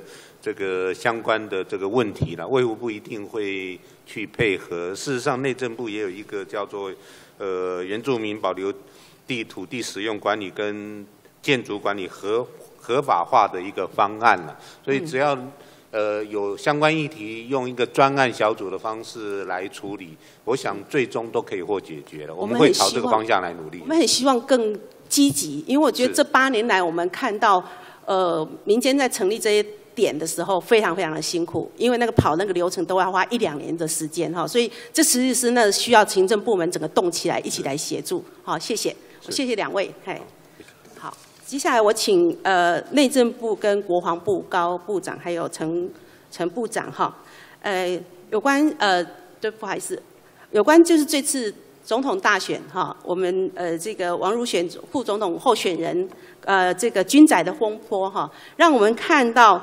呃，这个军宅的风波里面，呃，王如玄虽然在这个军宅的这个匕首期或是解除管制期间买卖哈，虽然好像没有违法哈，可是军宅的问题好像也点出了很大的一个问题，就是我们的一个军宅是透过可以这样随意的买卖哈，那国家是用了呃这个土地哈，还有这个很多的经费投入哈去新盖，可是看起来是让这个建设的屋主。还有炒房者跟中介有了个套利的空间哈，那我们现在金宅的这个呃这个政策里面啊，我们看到从过去国民住宅，好就是一个呃盖好了就卖，当一个国家政策盖好房子在私有化之后，整个产权就私有化了，它的正当性、它公平性就消失了哈。那现在金宅其实也是这样，就是你透过国家取得土地，然后建造。然后卖了就是私有化了，那这个公平性就出现了。哈，那军人是不是真的可以？以后的军人是不是可以再继续租到这租得到便宜的房子？没有了，因为私有化就可能就没有了哈。所以接下来就是包括我们过我们整很多政府呃政府之前在谈合宜住宅，也是一片的呼声，说好像要解决青年住宅的问题，一样都是卖。只要是卖的，到最后还是私有化，所以这些问题其实我们要呈现的是说，政府的这有有透过国家的政策，透过国家的一个啊这个呃土地好是释出跟经费的一个新盖，不应该私有化哈，应该让它公共化，就是只只租不卖哈。那可是现在不晓得院长哈，现在金宅的问题、合一宅的问题，不晓得我们现在有没有补救的一个措施？请国防部说明。呃。跟委员报告，其实国军老旧眷村改建条例啊，它设置的目的当年就是改建这些老旧眷村，把它改建完了配售给他们。接着后面如果有余屋，当初的规定是说以现役军人为优先来配售。当初的设置的目的是在这边。是。所以我们现在如果呃已经卖出去，当然我们没办法再把它做处理的。那有没有可能没有卖出去的，我们就不要再卖出去了？我们可以由国防部买回来作为出租住宅呢？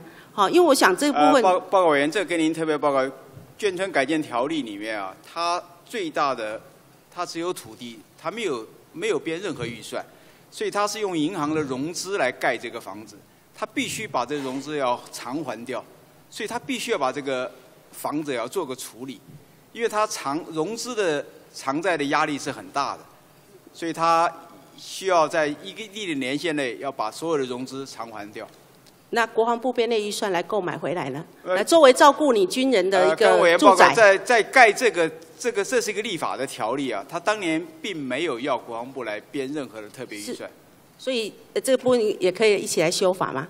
呃，这可能就要牵扯到修法的程序了。而且跟委员报告，眷村改建条例已经快走到尾声了，是该改建完的都改建完了。啊，只剩下一处而已。是的，那有可能改变政策吗？把它作为社会住宅的使用这？个我们要全班考量，因为我们现在融资的压力也很大，我们必须把这些房舍啊，要要要要银行的贷款一定要还。是好，谢谢国防部哈。好，请。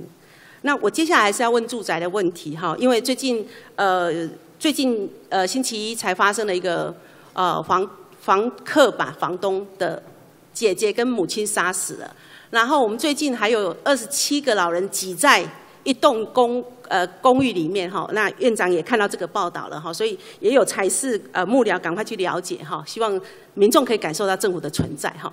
像这样的呃老人寡居的问题、老人居住的问题，我不晓得我们政府对于租屋的问题到底有什么样的政策，或是怎么样解决的方式？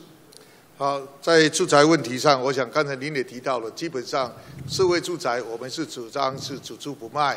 那我们也希望在政府还没有办法盖很多的社会住宅之前，我们是啊采取啊租金补贴的方式来做。那像今去年我们就把这个租金补贴的啊这个幅度啊大幅提高到六万户，所以所有符合资格申请的人都没有人因为啊名额的限制而受啊受受限。那其实只申请了五万九千户，我们有六万一千户，它只是五千九。部长，你可能对于租如果是租屋的话，我相信年轻人当然没什么问题。但是有个数据要跟您呃说明一下，就是整个在呃民间团体崔妈妈基金会的调查里面，呃老人在这个租屋市场是不被不被欢迎的。嘿，我们了解，所以这一块哈、就是社会住宅的啊供给的对这个，服如果这个社会。住宅的供给量不出来，老人就是有钱他也租不到。所以我跟您报告，事实上，在为了鼓励地方政府来这个盖社会住宅，内政部每年编列了很多的预算要来补助。以台北市财运力这么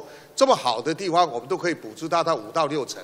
啊，那这个像之前我们也试吃了这个台北医学大学前面的这个就陆宝厂的土地，那两块地啊，六十亿的这个土地钱，我当面也跟柯市长讲，这个如果他们愿意的话，我们可以来补助他大概将近三十亿。是，那可不可以跟柯市长讲一下，我们新北台北市很多的青年住宅都限定是二十岁到四十五岁居住，哎，都排年龄歧视，哎，非常的严重。其实青年住宅我也赞成你的看法，青年住宅当然是青年是要照顾，但是青年事实上他租金补贴，他可以到菜对菜市场上去，找到他的这个应该让弱势者更能够住到这个公营的住宅才是政策嘛，是才是好的政策哈。好，谢谢。另外一个是有关租屋平台的事哈，因为租屋平台好像在执行上面一直都呃执行偏低，好，那这个问题有没有可能再做一些其实我们有改检讨？进的空间，但是其实租屋平台一方面啊，成效不彰我们可以检讨，但是诶反映出来，其实它现在不是资讯的不足的问题，是其实就是刚才你讲的房屋啊有一些啊不足的问题，就是像社会住宅。谢谢吴委员的咨询，谢谢张院长。报告院会休息十分钟，休息之后继续进行施政方针及施政报告之咨询。现在休息。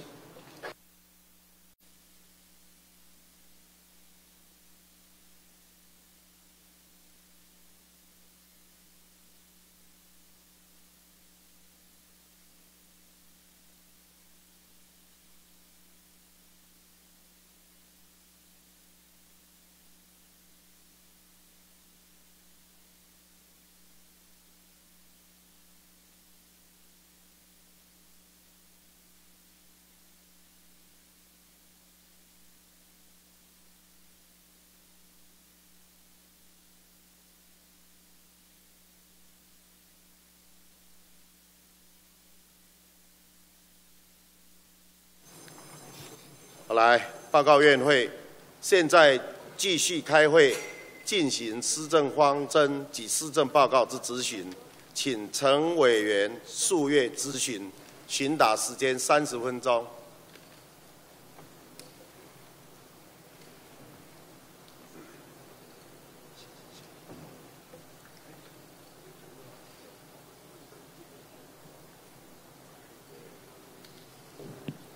呃，谢谢主席啊，请主席邀请张院长。请张院长。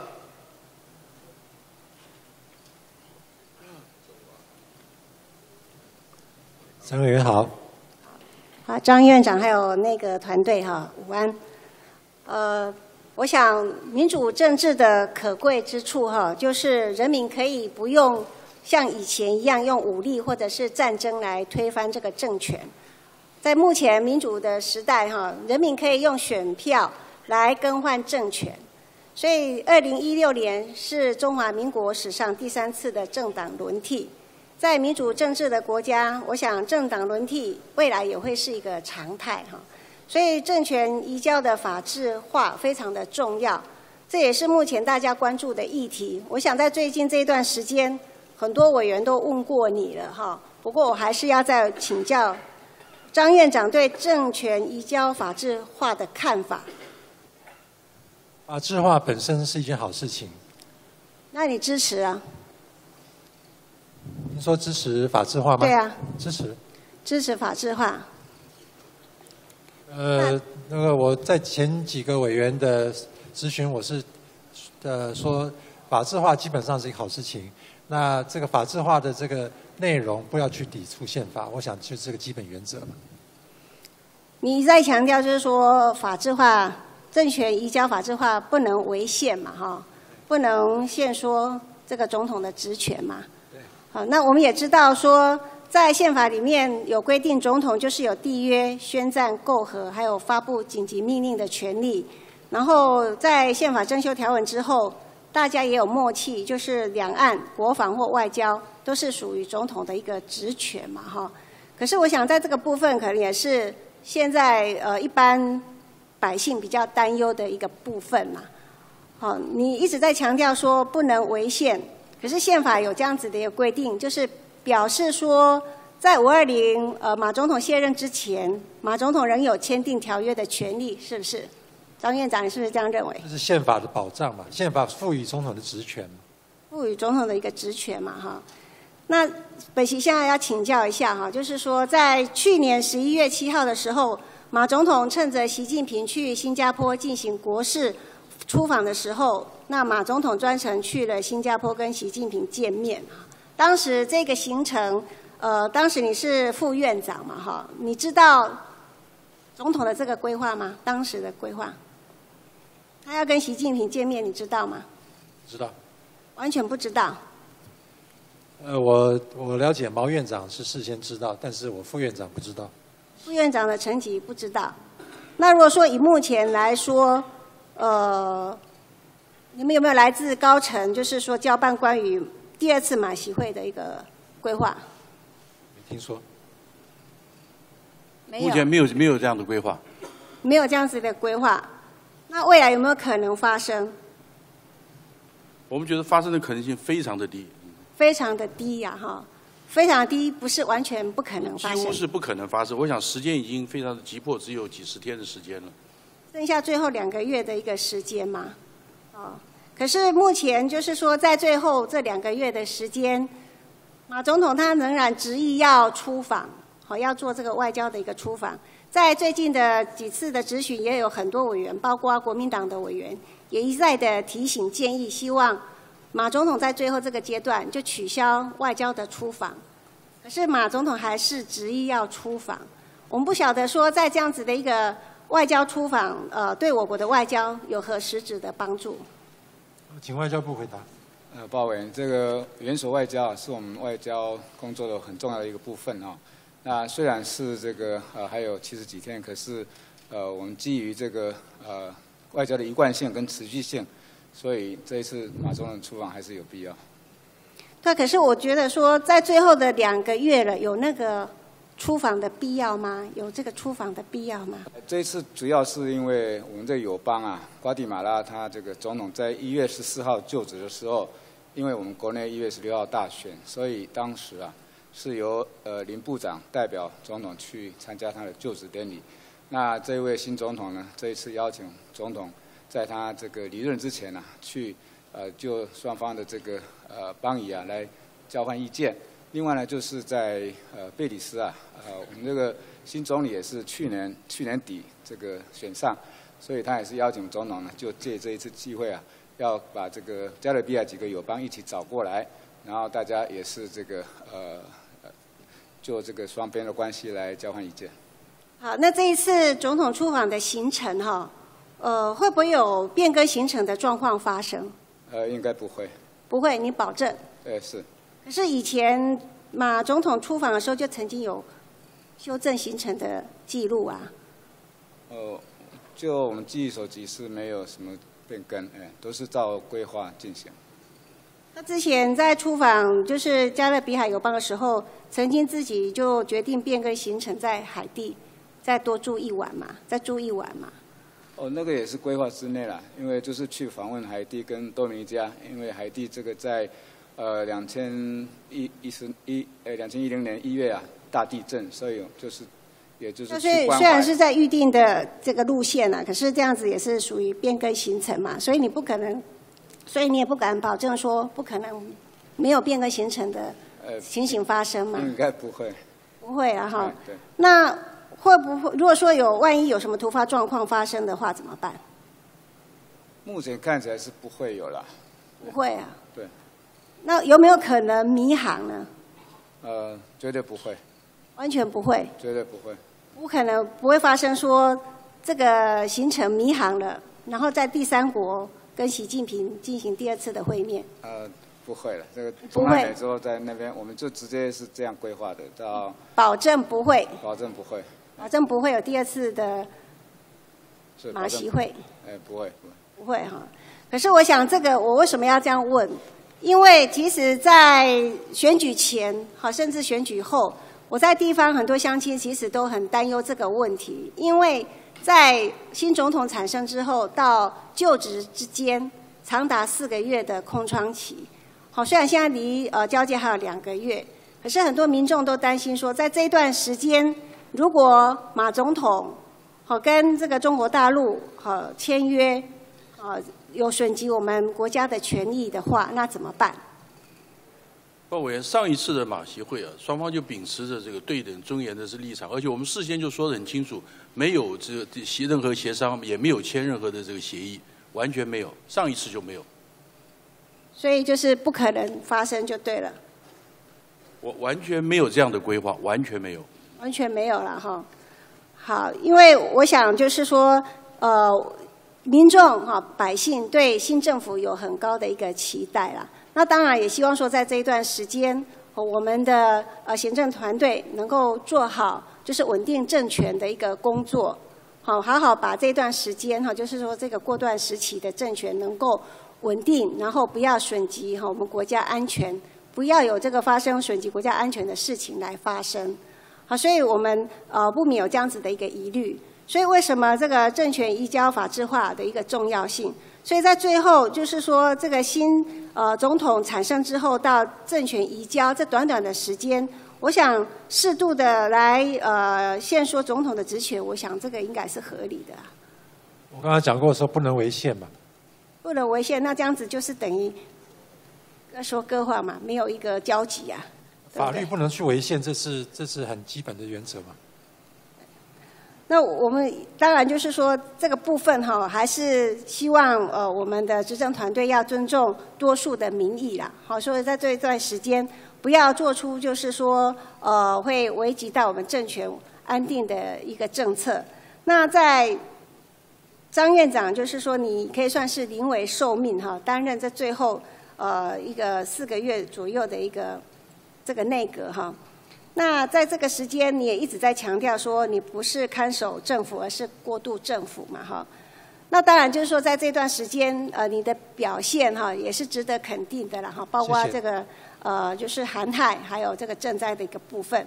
可是目前就是说，对比较争议性比较高的政策，包括这个远传并购中加案这个问题哈，很多人都在质疑，包括这个民间的社团或者是新闻学者都在质疑说，为什么去年底先是公平会通过，那今年又是一月底 NCC 通过，那整个中加案最后就是剩下经济部的投审会，那请问这个案子是不是在五二零之前就会赶着通过？我们没有既定的这个目标，说一定要在五二零以前把它通过。那上次经济部在这边答询的时候也说过，假使这个立法院这边有明确这院会的决议，说呃不能通过，我们也会尊重。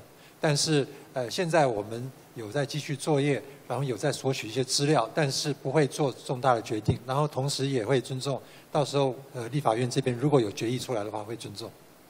我想这个。一般的民间社团还有呃乡亲哈，就是对于这个呃远传并购中加案的一个疑虑，就是怕说呃这个中资好掌控了我们的媒体，好让我们的这个言论好请中，所以我们也希望说在这个案子上哈，你们要呃审慎好，不要强行的来呃让它通过，是不是院长？你可以。保证。我刚才已经讲过，说我们的原则就是尊重立法院这边如果有决议的话，我们会尊重。好，那另外就是说，去年这个清华紫光集团入股台湾封测大厂哈历程之后，又将这个目标对准台湾最具实力的 IC 设计大厂联发科，所以这个让人家感觉中资来势汹汹。好，所以去年底这个美国的 DNG 娱乐跟媒体的创办人兼执行长。Demis 也承认说，以个人的名义投资六亿美元，哈，有买下凯雷特凯雷持有的这个六成的股权嘛，哈。那在呃 DNG 集团背后的这个中资的疑虑，哈，到现在也没有消除。那请问一下，就是说，在这个案子上，马政府在五二零之前会不会处理？那个案子，我的了解是他个人投资，跟他背后的资金应该没有关系。嗯，背后的资金没有关系了，哈。好。那我也是希望说，在这里哈，希望院长就是说，呃，能够有一个具体的承诺，在五二零之前，对于一些争议性比较高的呃一个政策哈，能够暂缓来执行，好，交由新的团队来执行。我们建议民进党要把这个部会别的交接团队赶快赶快选派出来，就是这个道理。因为呃，我不能保证说，呃，所有争议性的事情都不动，因为有些有些事情是有时间性的。所以我们会充分的跟呃交接团队沟通，这个是一个非常重要的原则，而不能说这个期间我们什么事情都不动。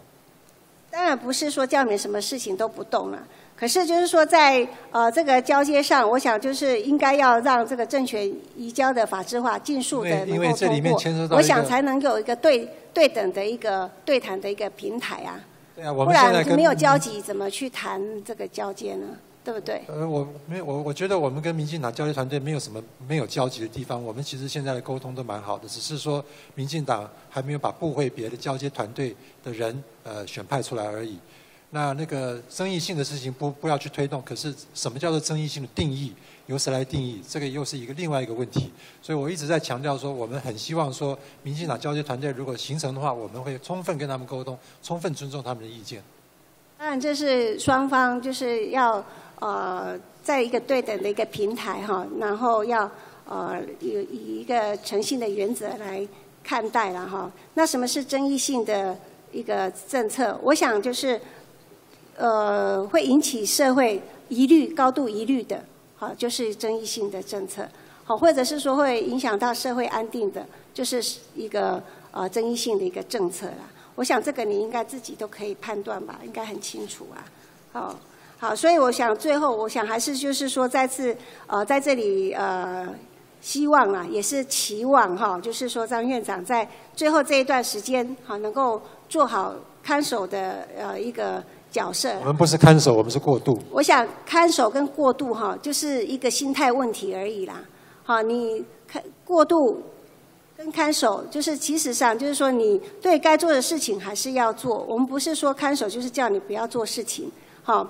应该做的事情还是要做，好，然后所谓的看守就是稳定政权，哈，稳定这个政局，好，我想这个是个人解读，呃对字义解读的呃一个问题了哈。好，那再来其次，我要针对这个人口的问题来请教一下哈。就说，当然最近有委员提出呃这个少年生活扶助这个补助的问题哈，然后引起社会的一个热议嘛哈。其实我想那个是其次的问题，我想背后更重要的一个问题，真的就是人口老化的一个问题，好，人口生育率的一个问题啊哈。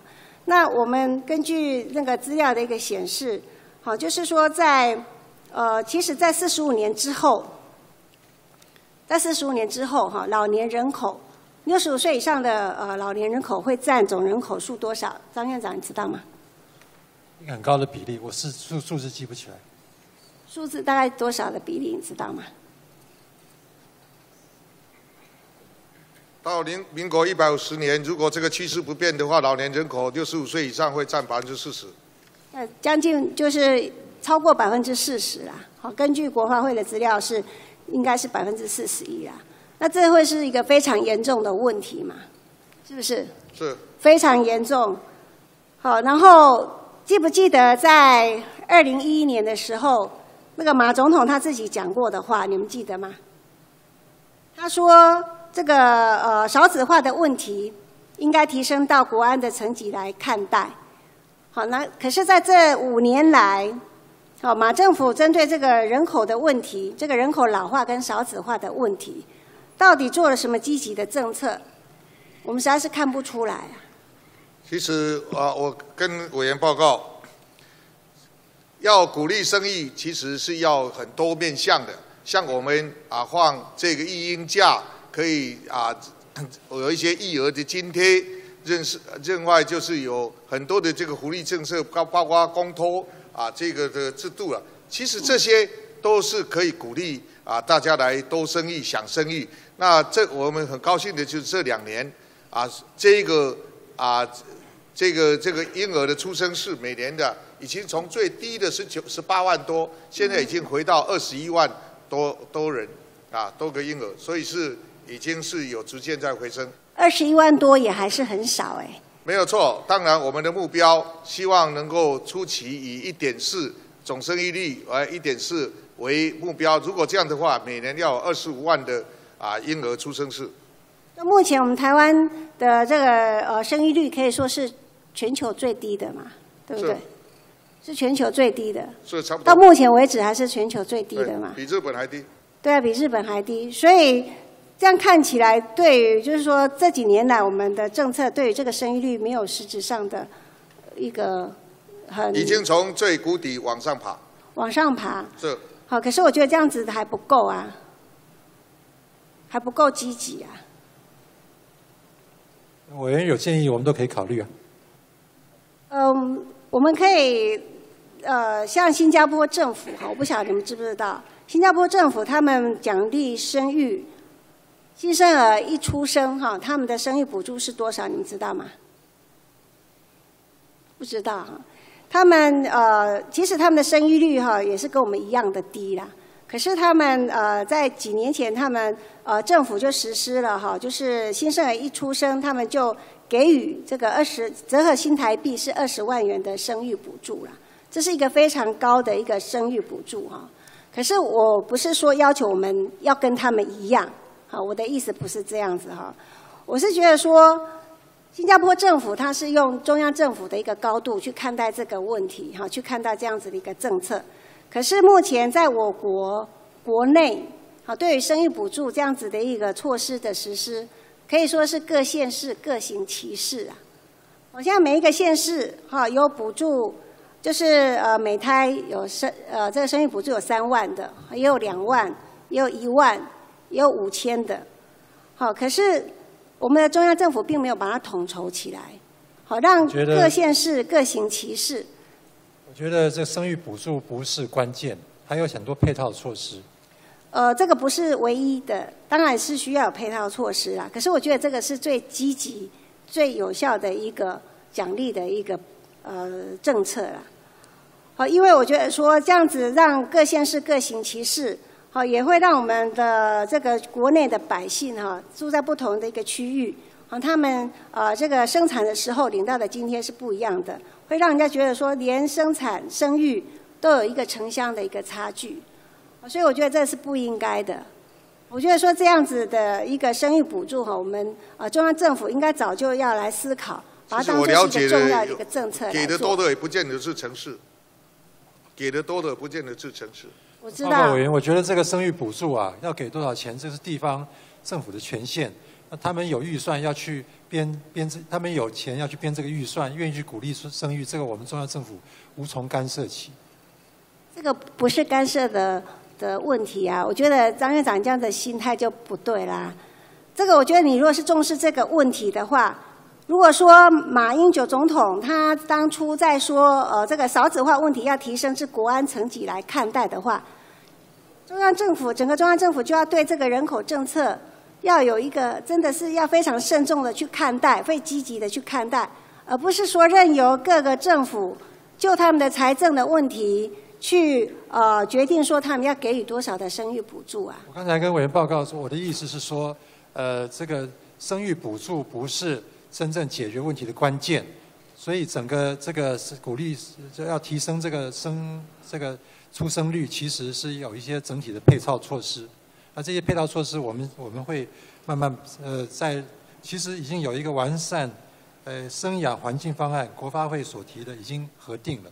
那那里面也会有这个补助生育，可是也有其他配套措施要一起来做。那你说的配套措施，好，到底是怎样子一个配套措施？呃，到我想我们现在有很多完整的一个配套措施吗？像像有我们有育儿津贴、托育津贴等等哦，这都是相关的这个配套措施了。那生育补助真的不是唯一的一个方法，那所以要提高生育率是多面向的。当然，生育率低，它的原因其实是非常多元的。不是唯一的，可是我刚刚有强调过了嘛，这是最积极其实有效像包的一个括我们住宅的津贴，我们也都有考虑到，如果因家庭的人口数多，我们也会比较啊多给啊这个啊津贴。另外在配置社会住宅的时候，它也有比较前面的优先等等这些，其实各各个部会所能够啊提供的这样的一个照顾方案啊，是整体的来促击这个啊生育率的提升，而不是一个单一的一个啊这个啊奖励会或者什么。在呃，我刚刚有在强调过了哈，就是说这样子的一个问题，好，如果说你们视为是一个国安层级来看待的话，你们就是要早就要很慎重的去研究这样子的一个问题。好，然后在我刚有在问过哈，在一百五十年的时候，我们的老年人口就要占百分之四十一的这个人口数了，所以这样子一个趋势，未来好会影响到整个国家的一个竞争力。好，所以希望说我们的政府要积极去落实这个人口政策的一个措施啦。好，不然的话，未来好一个呃一个年轻人大概要负担四个老人，好的一个这样子的一个抚养的一个责任。好，那样一个责任是非常的高，好，非常压力是非常的大。好，所以我我希望就是说，我们要寻求比较有效的，好有效的一个措施跟政策。那中央政府应该要把这个责任扛起来，而不是任由地方政府。好，各行其事，好，那让那个呃，同样是呃同一个国内的一个人民哈，有不同的一个差别的一个待遇。好，本席的意思是这样子啦。了解。啊，所以就是这个部分哈，我希望说，呃，未来我们还是是会持续关注这样子一个问题啊。我想这个问题，啊，不管谁执政，都是非常重要、非常严重的一个问题啦。好，所以我希望说，呃。坏人执政，可是整个行政部门、好公政部门、这个公部门的公务人员还是不变的嘛。好，所以你们在整个公公部门里面扮演的一个角色，哈，你们就是要要积极一点，去正视这样子一个问题。好，好，那再来就是呃，针对这个最近很多呃媒体也好，或者是一般民间也在关注的这个陆客减少的这个问题了哈。前几天我们院长也有。提到哈，就是说对于这个陆客减少，好这样子的一个报道了哈，或者是说这样子一个现象，你回答说你的心里有数啊哈，你是不是有这样讲过？对。那你有持续在关注这些数字的变化，那那个陆委会也有跟对方呃沟通过。陆委会有跟对方沟通过了哈。他们请他们哎对。那这个呃，就是说陆客目前好到底就是说来台的这个数字哈，到底有什么样的变化没那有？个总量从一月到二月看起来总量几乎是没有减少，呃，但是里面组成有些变化，团客减少，自由客增加。自由行的呃人数有增加了哈。那我想就是说，在这个新闻目前呃受到关注的时候啊，你们有没有去观察过呃，就是底层百姓的反应是怎么样？底层百姓的反应，就是说，一般百姓对这个陆客减少好这样子的一个议题，或者是说是不是实际您的意思减少了？是说他们是跟从事跟观光行业相关，然后他们有没有观察到陆客真的减少还是没有减少吗？是这个意思吗？没有，不是，我是说一般乡亲、一般百姓啊。一般百姓我指的就是可能跟陆 PTT 客上面的这个网网友啊，对于这个陆客减少哈这样子的一个议题，哈他们的反应是怎么样？你们有没有去看过？有的人有的了解过？人觉得没有关系，但有的人觉得不太好。呃，我听不懂哎。网友上网友上面看到，有的人是说陆客不来也没有关系，我们还可以去开开发其他的客源。可以开其他的特有客源有的人是。这种意见。呃，那本席看到是说，有的呃网友的反应是觉得说，呃，陆客没有来了，我们可以出去玩了。啊，你们有没有去思考过为什么会有这样子的？我想这是两件事啊。那个呃，我我们我们国人也从来没有说不能出去玩。当然，他们可能说啊，某些地方陆客很多很挤，对不对？对。啊可是从你从另外一个角度来看，其实我们的观光相关相关行业，呃，陆客如果不来的话，我们国内的旅游能不能弥补这个这个这个这个空空缺哈？这个是如果数量大的话是弥补不起来的。所以我们当然也鼓励我们的民众尽量去旅游，可是跟这个陆客来不来应该是两件事。我了解说有些地方会比较拥挤，这旅游品质有影响，但是呃，我们还是尽量鼓励我们的民众不要因为陆客有来没来就影响到自己出去旅游的这个意愿。其实我想这个问题哈，其实也是一个应该要去重视的一个问题啦，也是长久以来的呃一个问题。好，就是说陆客来台之后，好，其实也造成我们国内很多风景区很拥塞，然后品质降低的一个状况。我想这个啊是不容否认的嘛。好，这是有就是一直有这样子的一个状况在存在嘛哈。所以呃，目前呃大家关注到说陆客有减少，就是说传闻哈，未来大陆会限缩这个陆客来台的一个人数，所以引起大家的一个关注。我想这个关注的时候，我们是不是也要去呃再去检讨一下？好，就是说为什么呃有一些网友他们的反应好会是高兴的，会是就是呃觉得反而是另外不同的一个反应。好，我想就是说值得我们去深思的。好，为什么以前陆客来台哈我会造成大家有一些比较呃，尤其在毛院长在任的时候，就刻意的希望把自由行的人数拉高，就是因为自由行的人的这个水准、消费水准是比较好的。这个也是在提高这些水准的方方向。我们不能说有些人来水准不好就不要人家来，我们应该是说设法让来的人水准更高，而不是不要我。本席在这里要强调，就是说我们要去思考说这个陆客哈的这个来台哈，对我们台湾旅游业到底是加分还是减分哈？这个我们要去好好的去思考的一个问题啊。汇的这个收入当然是加分啦、但是可是呃主计总处的统计说，这个陆客来台对我们的那个 GDP 没有很明显的一个影响啊。他们每个平均的收入，啊这是主计总处的一个统计啊。好，所以我想，我我们还是要就是说去正视这样子的一个问题哈，到底是呃加分还是减分？好，那如果说他真的呃大陆中国大陆那边真的就是限缩了这个入客的一个人数，好，那我们也可以趁这个机会哈，趁这个时机，就像刚刚你说的，我们可以朝别的呃这个客源哈观光呃其其他国家好去来。就是能够吸引其他国家的一个观光客，哈，可以朝那个方向去发展努力的。方向，但是不能说隔系就完全改过来。当然啦，好，可是就是说，在这个部分哈，因为我们也不希望说，呃，其实这个旅游的市场，我们也希望说是一个自由的市场。可是我们看出来，中国大陆它就是用这样子在做一个政治的一个操作嘛。哦，我们很明显的出来看得出来，它就是用这个陆客的一个人数，好来做对我们有一个呃企图来影响我们的经济的一个发展嘛，啊，当做一个政治的一个操作的一个手段嘛，是不是？我想这个都不用去否认的啦，啊，很明显的就可以感受得到嘛，啊，所以我觉得说我们不一定要去仰赖他们，啊，这样子我们的经济不一定要仰赖这个陆客啊。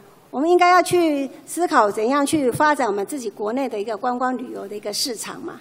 好，我们我们的观光旅游市场绝对不是只有依赖陆客吧？是不是？刚才跟委员讲了说，其实我们可以开辟其他的客源，可是那需要时间。我们国内的导游能够讲东南亚其他国家语言的导游数量毕竟不多。可是我们以前日本的观光客来台湾的是非常的多哎。日本观光客现在是一直在减少。日本观光客已经到了。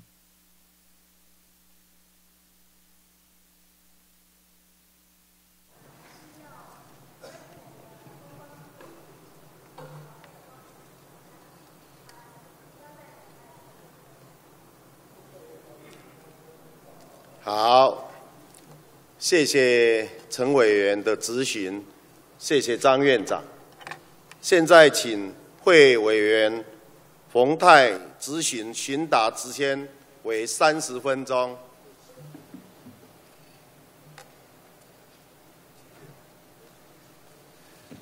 好，呃，院呃，张院长，各位首长啊，大家都辛苦了啊。主席帮我请一下张院长。来，请张院长。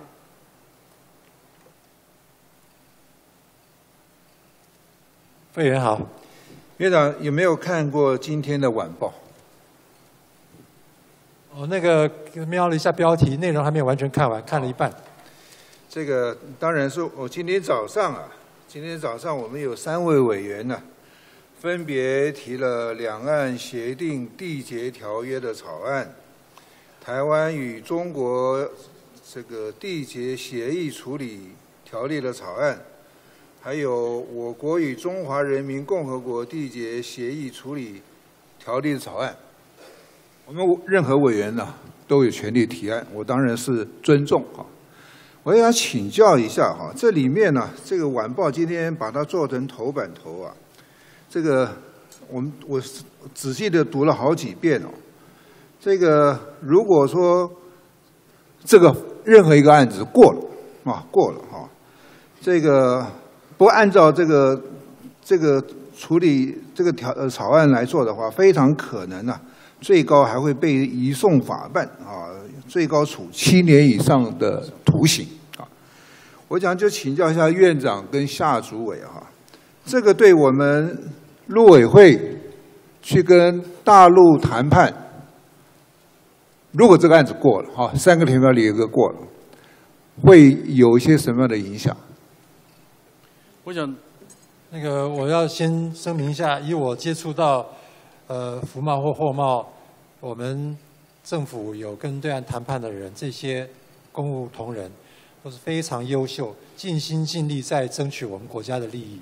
所以我觉得出发点上面要信任、要尊重我们的这些优质公务人员，他们才会尽量去帮我们国家争取利益，而不能把他们当作是有这种什么嫌疑的这种人在看哈。这个我觉得对这些公务人员是一个很大的一种打击。肖主委，我问的直接一点哈，这个对我们跟大陆签订货贸会不会有影响？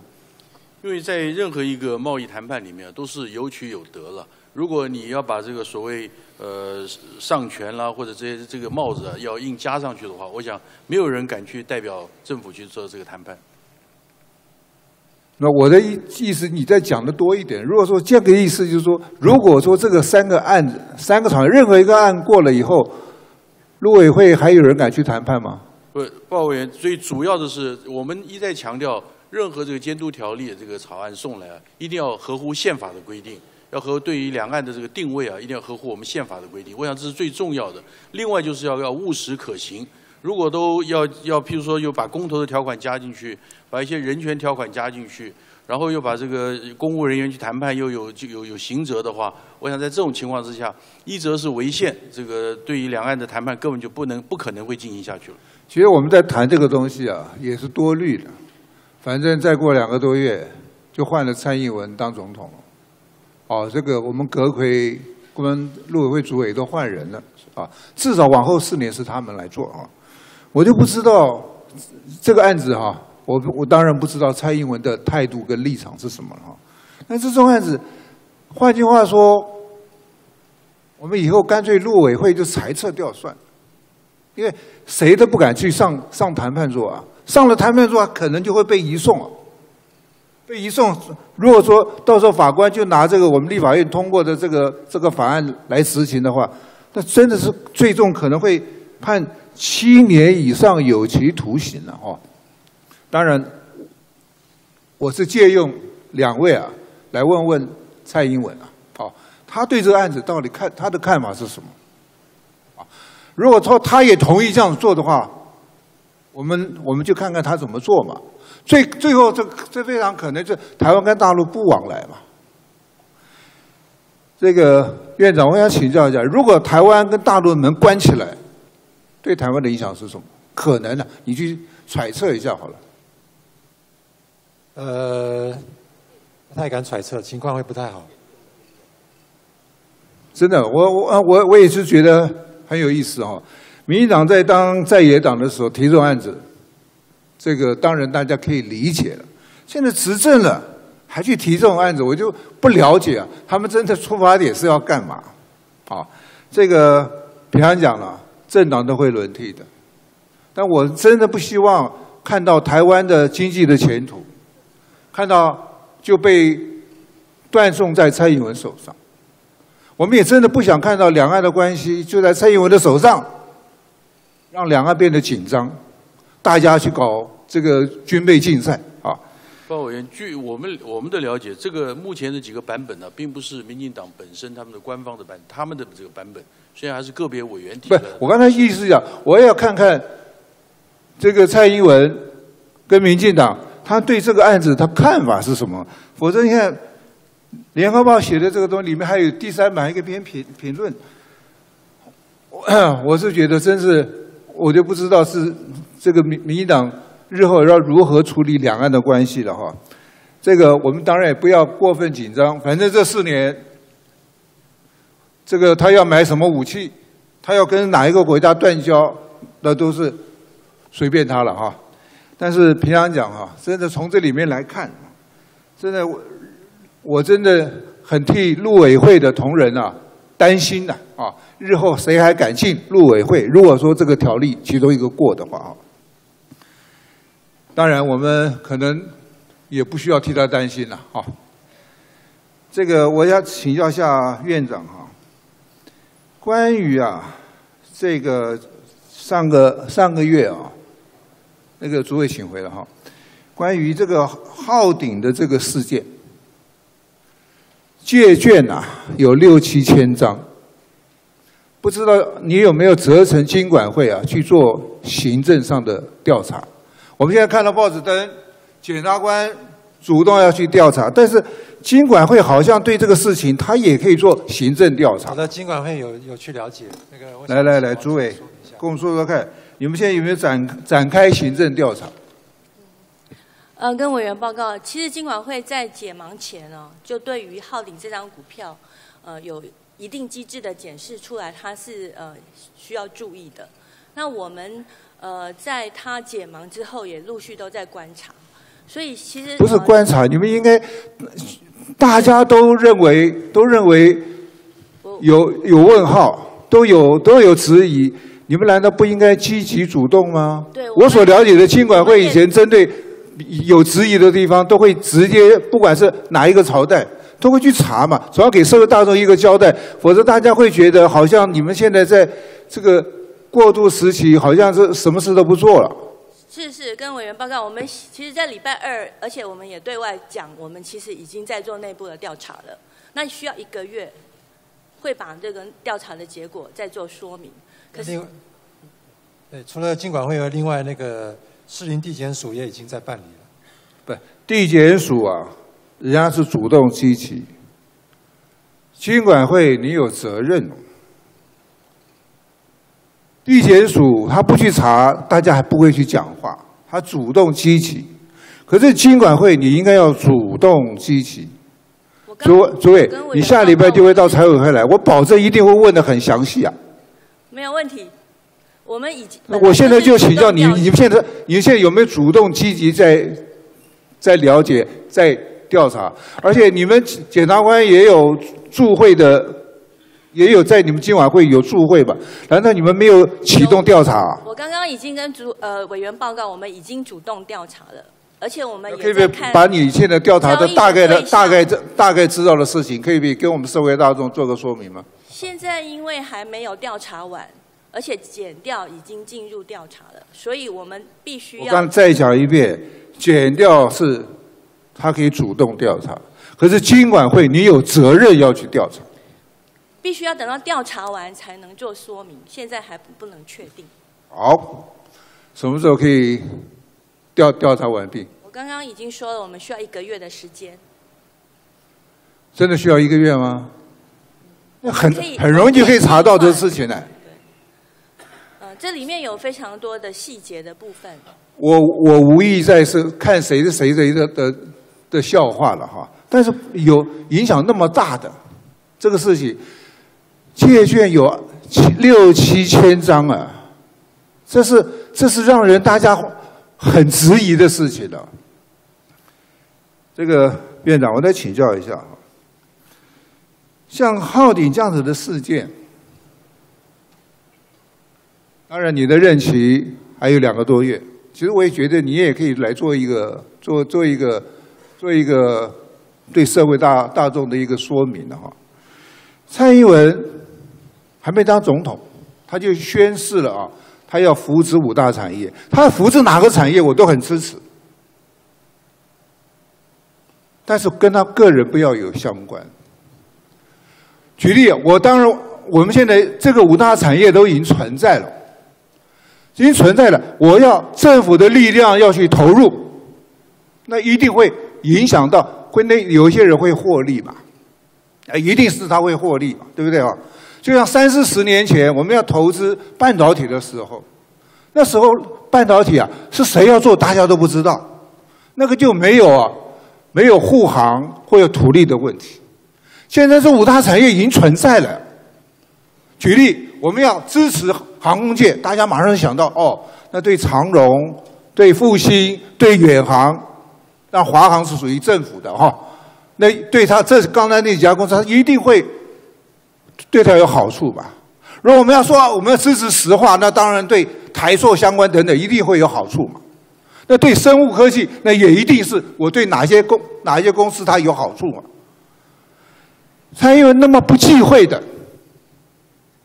平常讲，我不太愿意提宇昌案了，但是从宇昌案到这个浩鼎案子里面呢，或多或少都有蔡英文的影子或他家族的影子，这个你不能不让大家来觉得奇怪。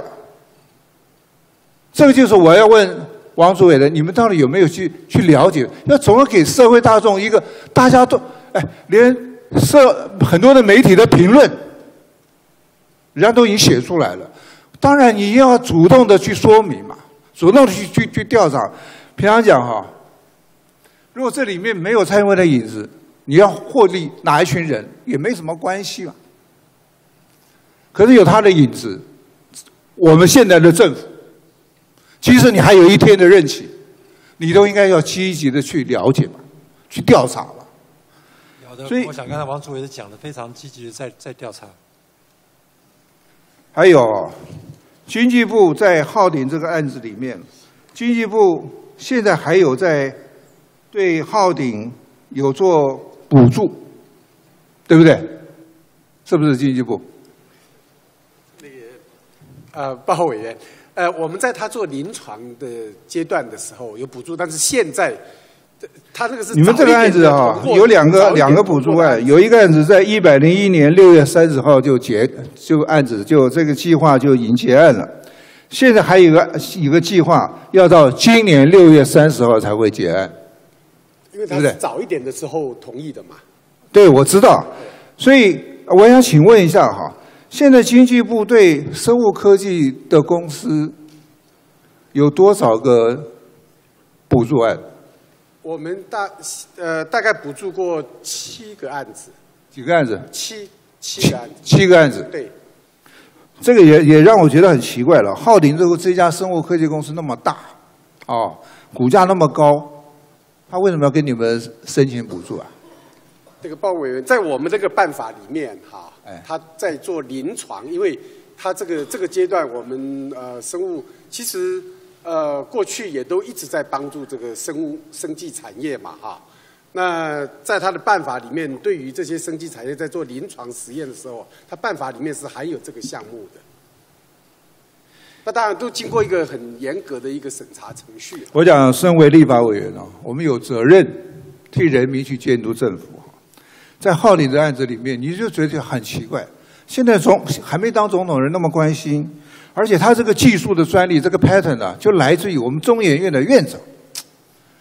然后在他解盲失败以后，还给了鼓励，啊，不管中研院的院长也在也也在那边哦讲说哦继续做啊，如果调整一下实验的方法怎么样怎么样怎么样，然后蔡英文还讲说哦要好好加油，这个会不会让人家觉得你有种技术性的护盘或信心喊话啊？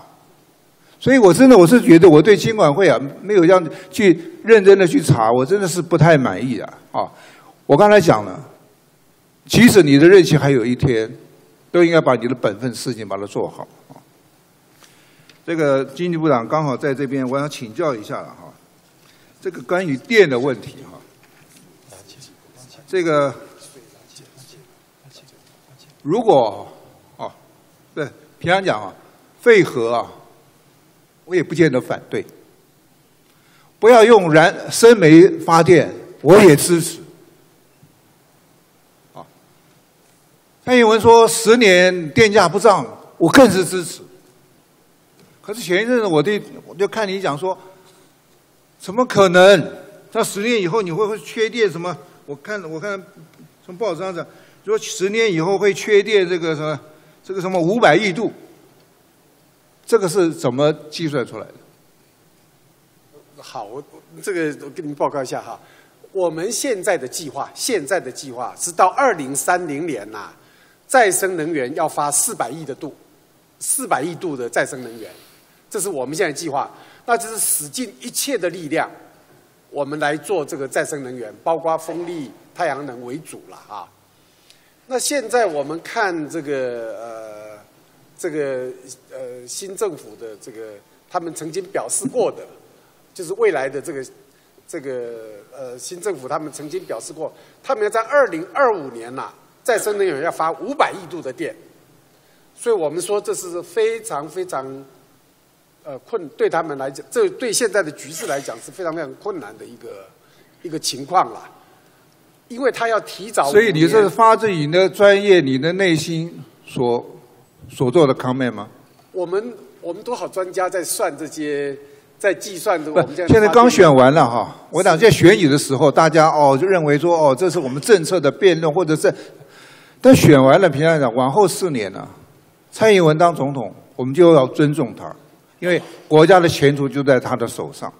但是这个时候，你你也有必要啊，就算你是个国民好了，你不当部长呀，部长反正五当了五月十九号嘛，当然也有责任，也有这个义务，告诉这个蔡英文主席，这样子做对国家的日后的影响是什么？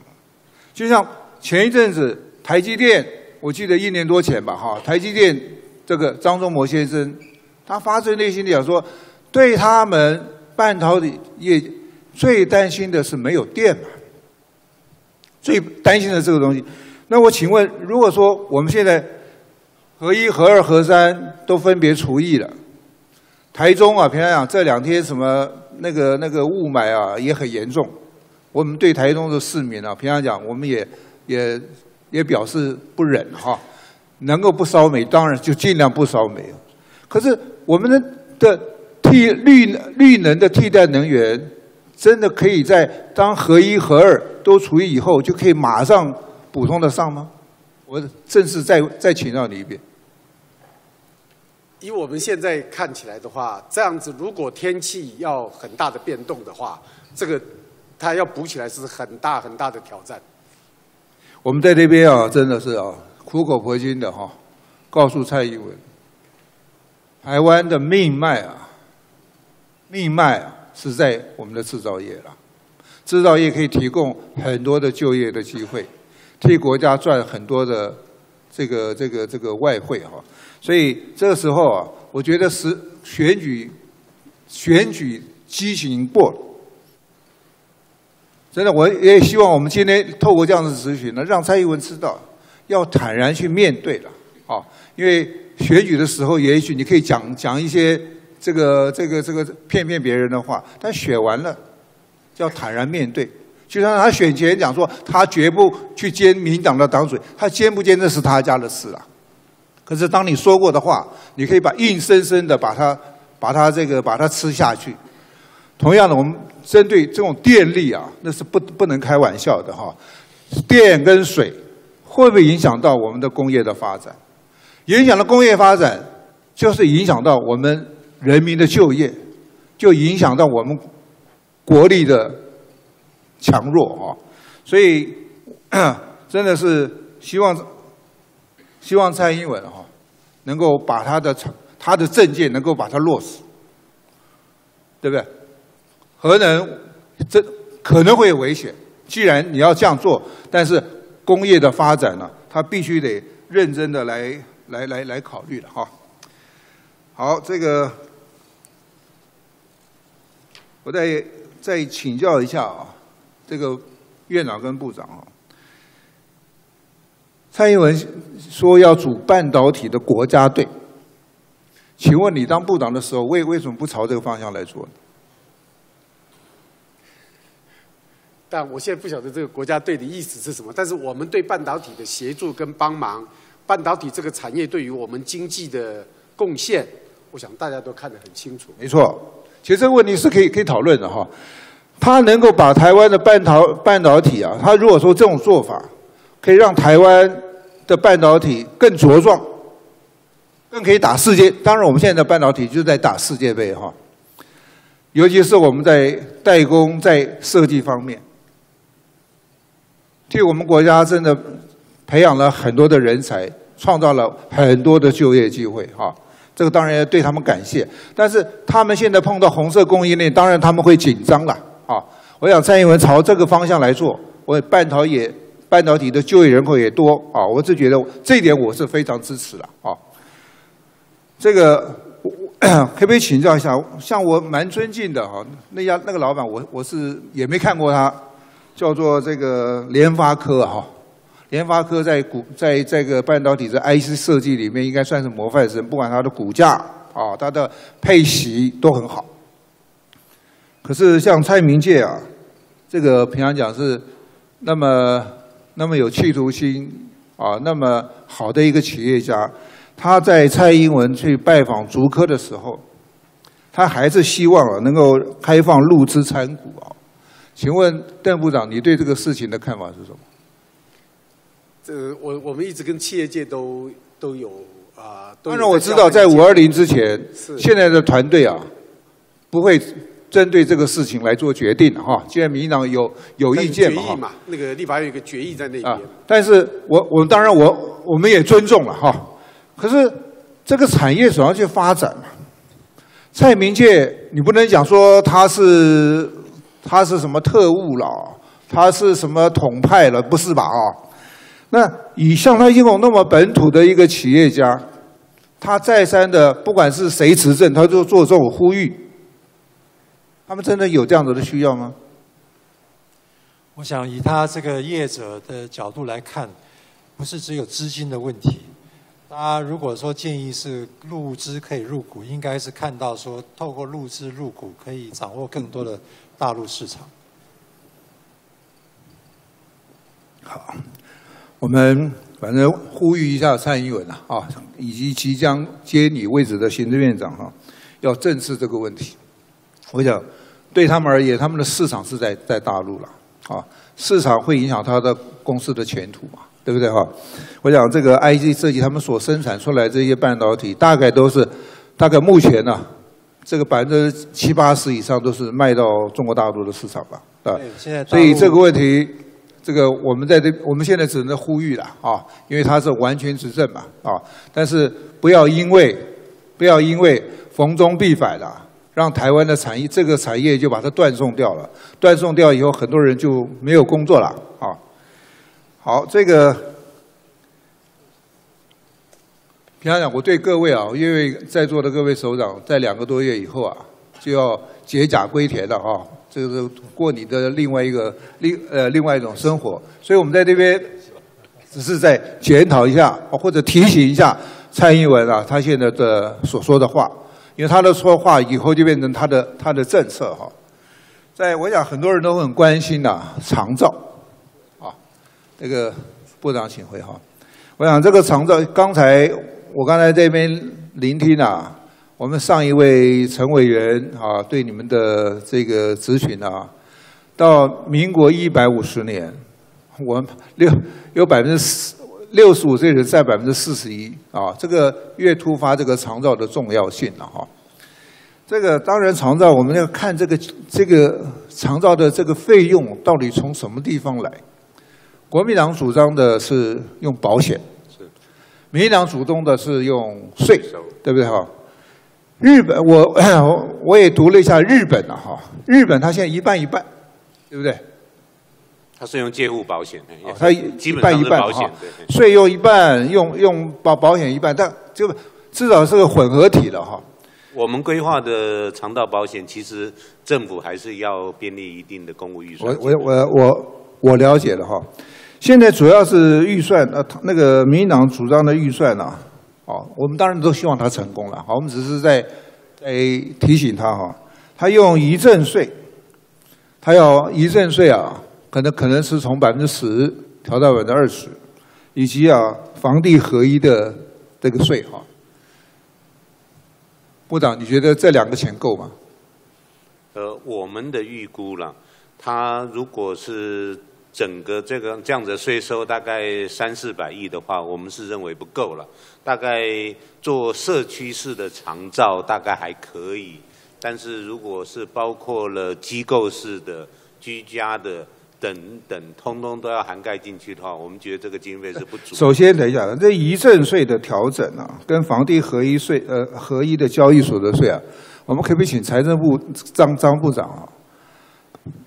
我也要请教一下啊，当蔡英文提出来，或者林权所说的从遗赠税从十个 percent 调到二十 percent，会多增加出来三百亿吗？啊、他是这样算的啦。他认为遗赠税十趴调到二十趴，可能一些学者的看法，以为税收会加倍啦。事实上，遗赠税的从五十趴调降到十趴的时候，到现在遗遗产税加赠与税还是两百五十亿左右。所以税率调降，税收不会减少；所以税率调增，税收也不会增加。为什么呢？因为遗赠税哈、有一生的时间可以做规划。税率越高，规划越多，所以我们税率调降以后，到现在可以看得出来，申报的遗产总额大增，然后呢，征纳双方的争议案件、行政救济案件减少了，所以哈、那个就表示说规避租税的少了，所以它调增了，税收会不会增加？这个可能要有待观察。第二个，房地合一课税它是慢慢来的，第一年才四十多亿，所以它要十年后哈、大概有两百多亿。所以它是一一年一年来的。嗯，比方讲，他要去调整这个税哈，遗赠税从十 percent 调到二十 percent，我并不反对哈，因为平常讲，但是很多的研究报告里面的很多他们做租租税的规划，举例像以前四十 percent，很多除了暴币税。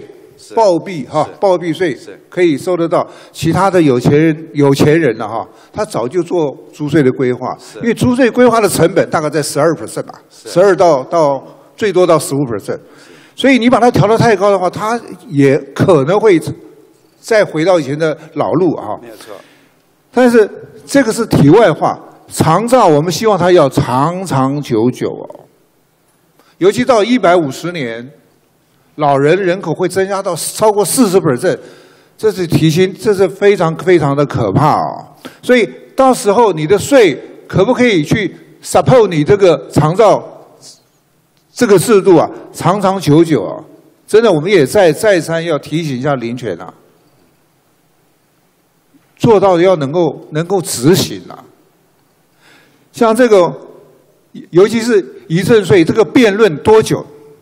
当时在陈水扁当当当总统的时候，民进党几个立委，那时候是民进党几个立委在财委会就一定一就大声的呼吁，要求那些人的名字我就不讲了，呼吁遗赠税要把它往下降。当时我是反对的，后来马英九上来以后，在财委会。我是少数几个也是也是反对要把调降调到那么低的，可是现在把它我们所了解哈，你如同张部长刚才所说的，如果说他很多人认为说啊，这事情比 equal，就其他条件不改变哦，我调从十到二十 percent 好像就增加一倍吧？那如果说这种逻辑对的话，我恢复到四十 percent 嘛，那不是不是增加增加四倍吗？啊，所以这我在这呼吁啊。真的，还是告诉蔡英文啊，长照要去做，这个这个资金的这个钱啊，一定要考虑好，不要做了几年，到时候国库又又又又破产了啊，不是又担心破。当然，长照一定要去推动。我们也看到太多的家庭，现在年轻人他的所得不高，奉养父母他能力现在越来越差。啊有人讲说，我们这一代是是最后一代照顾父母的，也是大家会讲出这样子的话，就代表现在我们的下一代，他相对他的所得不高，要去奉养我们这一代啊，可能就会比比较困难的哈。所以在这里也呼吁一下我们蔡总统啊。好，谢谢会员，谢谢张院长。现在请蔡委员适应执行询答时间三十分钟。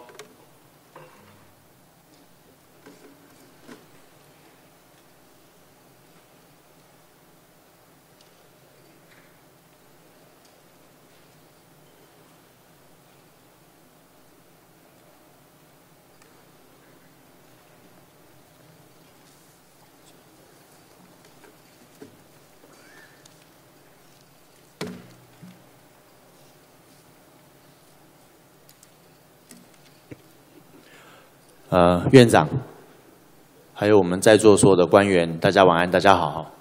呃，能不能请我们主席邀请我们行政院长张院长到培训台？谢谢。请。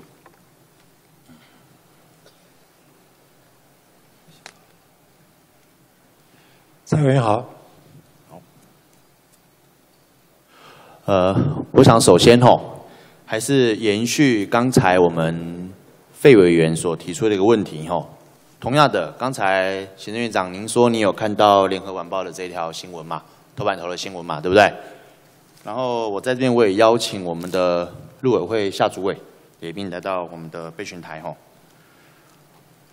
这个照我们刚才我们立院我们的贤拜我们的费员的讲法，说这个有问题呀。好，那我想说，院长，你看了这条新闻之后。你会认同这里面所讲的东西吗？那则新闻没有看完整，您讲的是哪一部分？哦，好，他说哈，这个监督条例呀的审查的内容哈，说会让我们的公务员呐不愿意上场谈判，因为什么？因为会重得得救，哦，光跑法院就够了，谁还会来帮国家跟人民谈判做事？您讲的是说，可能如果说谈判被认为有。有有问题的话，对啊，会被起诉到七对你，你同意同意这个？这我想，两岸负责谈判官就是陆委会的官员嘛，哦，陆委会官员为主，包括对，那你会同意他们的这样说法吗？因为它里面讲到说，他那个用的这个语语气比较含糊，他现在的文字，譬如说叫侵犯主权或者领土，譬如是那譬如说在贸易谈判里面，什么叫做违侵害到了国家的主权，这是有有定义上的问题。好，你担心这个问题嘛？哈，那我想问一下我们的院长哦，我们的谈判人员如果真的在外面谈判，侵犯了国家主权，你会同意这样的谈判结果吗？看您怎么定义主权。我那所以你是移送吗？还是你自己决定？我我我刚刚说看什么叫主权，譬如说税叫不叫主权？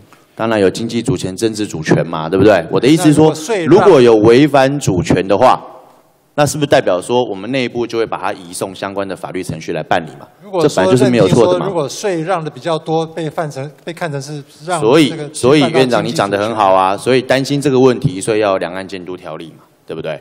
那我就看到了哈，行政院版本有一个台湾地区与大陆地区订定协议处理及监督条例草案，也有这个东西嘛。里面到的第三条也有相关保密的义务嘛，这里面有写到的哈。那我觉得啦，呃，我们民进党委员所提的这几个版本，事实上，他把这个东西再次的拿出来，事实上跟我们的刑法的相关规定还是有部分是契合的。这也是要提醒说，未来我们参与谈判的所有的人员要核遵法律的规定啊。我觉得重点的精神在这里哈。那为什么要这样讲哈？呃，我也在这边再请拜托我们的夏主委哈，回到我们的陆委会之后啊，你要告诉我们陆委会的所有的官员要有信心啊。我相信陆委会的官员对于未来的两岸谈判，只要在我们的监督条例通过之后，按照监督条例来办事，是绝对不会有问题的。好，我在这边，我首先先跟我们的院长以及主委，在会后回去之后，对我们相关的人员来做一个说明。哈，好，那接下来哈，我们首先还是就这一次我的这个施政的总咨询哈，我想很多人都有询问过我们的院长，您是不是看守内阁？那我想您的许多的回答都想说你是过度的内阁，我想你有讲过这句话嘛，对不对哈？那我想在这边哈，不知道问一下我们的院长，你知不知道说哈，在你之前呐、我们有哪几位马英九马总统任命过的行政院院长？你还记得哪几位？从刘兆玄院长开始，吴敦义、陈冲到江宜桦到王志国到你没错，院长您记得很清楚哈。那为什么要问你这个问题哈？我们许多人呐、看我们的行政院长，他是不是一个过度的院长，就是看他在任内对于很多重要的政策，他到底有没有积极的做下去，有没有作为啊？还只是讲讲官腔、做做太极拳的样子，然后让时间拖过去，然后到了一个什么特殊的事件，他离开了行政院长这个位置，然后换另外一个人来接。这个情况之下，我就觉得他是个过渡。为什么？因为他没有真正的达到我们人民期待做最高行政首长这样的一个位置的一个角色哈。为什么要这样讲哈？对于我自己的选区基隆市来讲，基隆市在最近这几年一直关心一个重要的议题，什么议题呢？也就是关于我们基隆的军港迁建的一个问题。刚才您讲的这几位院长啊，他们过去都曾经针对军港的迁移做过许多次的表示，或者是政策性的谈话，甚至是告诉我们基隆市的市民说，这个案子没有问题了，要快了，要快了。可是啊，一直到他们卸任了行政院院长之后啊，很抱歉，到目前为止，军港的迁移仍然是八字还没一撇。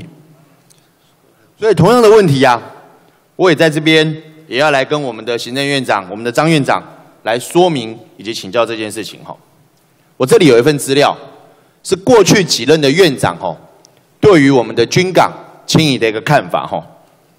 二零零八年，我们的刘兆玄刘院长他说哈，基隆这样的一个风貌，对外人来说是很沮丧的，所以我们需要赶快做基隆做大幅度的改变。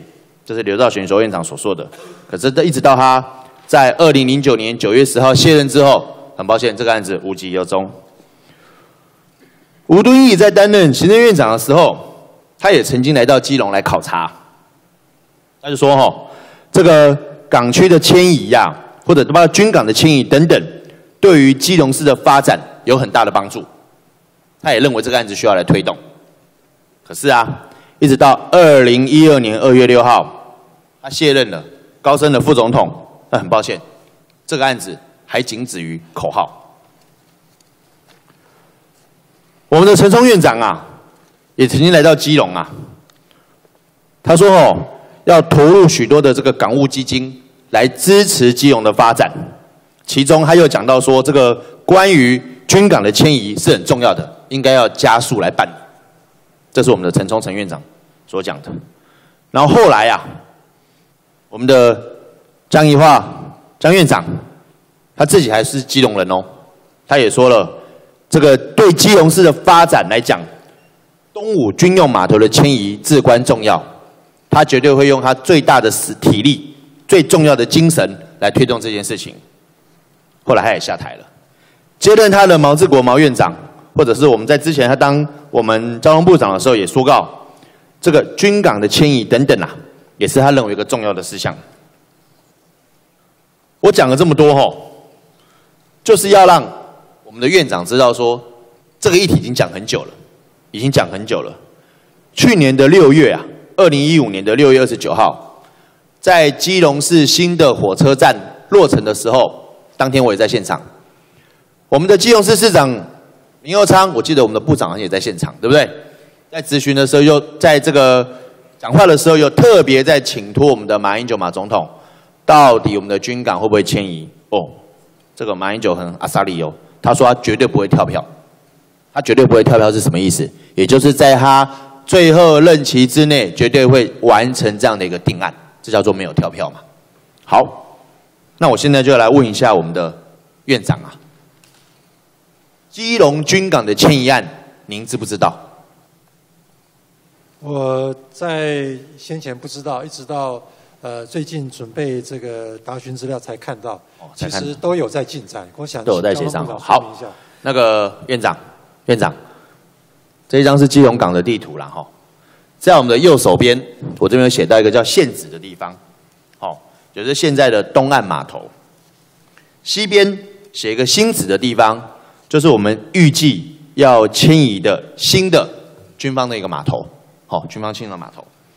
那我为什么这样问呢？因为我其实我也晓得说院长对这个议题不是很清楚，可是他对于基隆市、基隆港来讲是一个重要的议题，对于国防部来讲也是一个重要的议题，因为它是一个基隆的海军军港的一个迁移案，也对于交通部来讲是一个重要的议题。它标示着我们在推动基隆港成为国际的游艇游轮的中心，它是一个重要的关键呐、好，所以我刚刚才会讲说，哎，院长没关系，你不懂，我先讲给你听。那现在您的部长，我们的陈部长在隔壁嘛，哈。那刚刚院长你说你对这议题不了解，那我想请教我们的陈部长，您对这个议题了解吗？我跟委员报告，其实我非常清楚。你非常了解哈非常清楚。那我想请教您第一个问题啊，马总统提出来的承诺什么时候会兑现？跟委员报告，其实哈、现阶段里头，交通部跟国防部几乎已经达成共识了。嗯那么怎么样去做处理？大体上，原来当然有中间有一段的所谓折冲的过程，这个也是事实。那现在已经几乎快达成共识。那真正的重点是，其实现在不是国防部跟交通部的问题，是港区业者。现在有很多的声音，我我相信委员应该也听到，有很多港区的业者。那么针对现在西巴的这个要到西巴的这个部分呢、有很多的声音。那我们港务公司也一直持续在跟业者来做沟通，那希望各个各类别的业者能够那么往这条路来走。另外还要跟委员报告，其实港务公司已经往前先跨了一步，即使还没先跟业界沟通完完整以前，他们现在已经在做所谓的整个港所谓的港市怎么样去做发展，尤其在观光的这方面做发展。好没关系来有一个委托研究计划而且这个计划在今年的八月会出来。所以我想来，我先问你一下哈，你刚刚说已经谈好了嘛？快快快接近也就是说，你讲的快接近是指哪一个部分？除了你刚才讲的港区的业者有意见之外，还有谁有意跟委员见？报告，因为西巴的部分有涉及到所谓码头的长度的使用跟货线腹地的使用的问题。那原来在谈的过程里头，有涉及到到底是一百米、一百二十米、二一二十米要不要共用的问题，或者是直接切成一半的问题。那这一这些个这个是谁的问题？这个部分当然是是交通部有看法，还是国防部有看法？我想这个是彼此沟通，也要彼此互相谅解的问题啦。所以那现在您的意思是说，现在还在讨论这件问题就对了？已经接近完成了，已经接近完成了。是还在讨论吗？没有没有，已经快接近完了。现在反而接下来就是说，那么怎么样？让，你讲清楚，到底是讨论完还是还没讨论完？讨论完了，讨论完了。讨论完就讨论完，你为什么说快接近嘞？因为现在那什么时候讨论完成的因为我们也担心。没有，我先跟我我我先问你嘛，什么时候讨论完的？其实在，在前一两个礼拜前大概已经都有共识了啦。嗯，是一两个礼拜前讨论完的吗？我相我相信是前一两个礼拜前。前一两个礼拜前讨论完的吗？我我相信应该是这样子啦。是吗？嗯，哎，我这里有一份资料哈，是一百零四年九月二号，那那个时候还是有一点意见。是谁有意见呢、对，还是有意见的。谁有意见呢、对，彼此之间还是有一点。彼此是谁呀、是国防部有意见还是我们是？的我们的这个海那个港务公司跟那么海军的这一部分呢，大概还有一点没公司还没有达成，就我刚刚所讲二十。奇怪了，那所以你意思是说九月四号这个案子是海军有意见，还是港务公司有意见？这个我我想彼此之间还要有共识。那个时那候需要一彼此就是两个都有意见哦。我我想大概我我没办法这样。能不能也请我们的国防部长上台一下？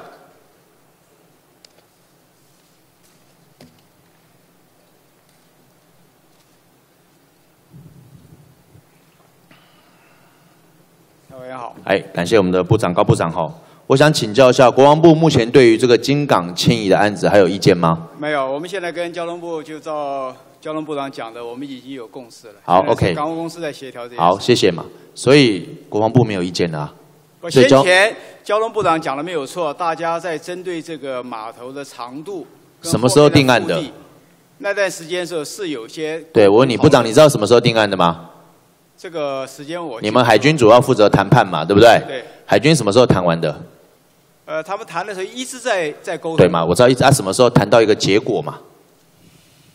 我直接告诉你嘛，就上面的时间呢、那那是工作阶层的。所以我为什么要这样问部长？哎，这个根据我们国防部这边向我们的提出来的内容的报告啊，他们大概在去年九月的时候，大大体上国防部就已经定案了。定案的版本是什么样呢？就是这个版本。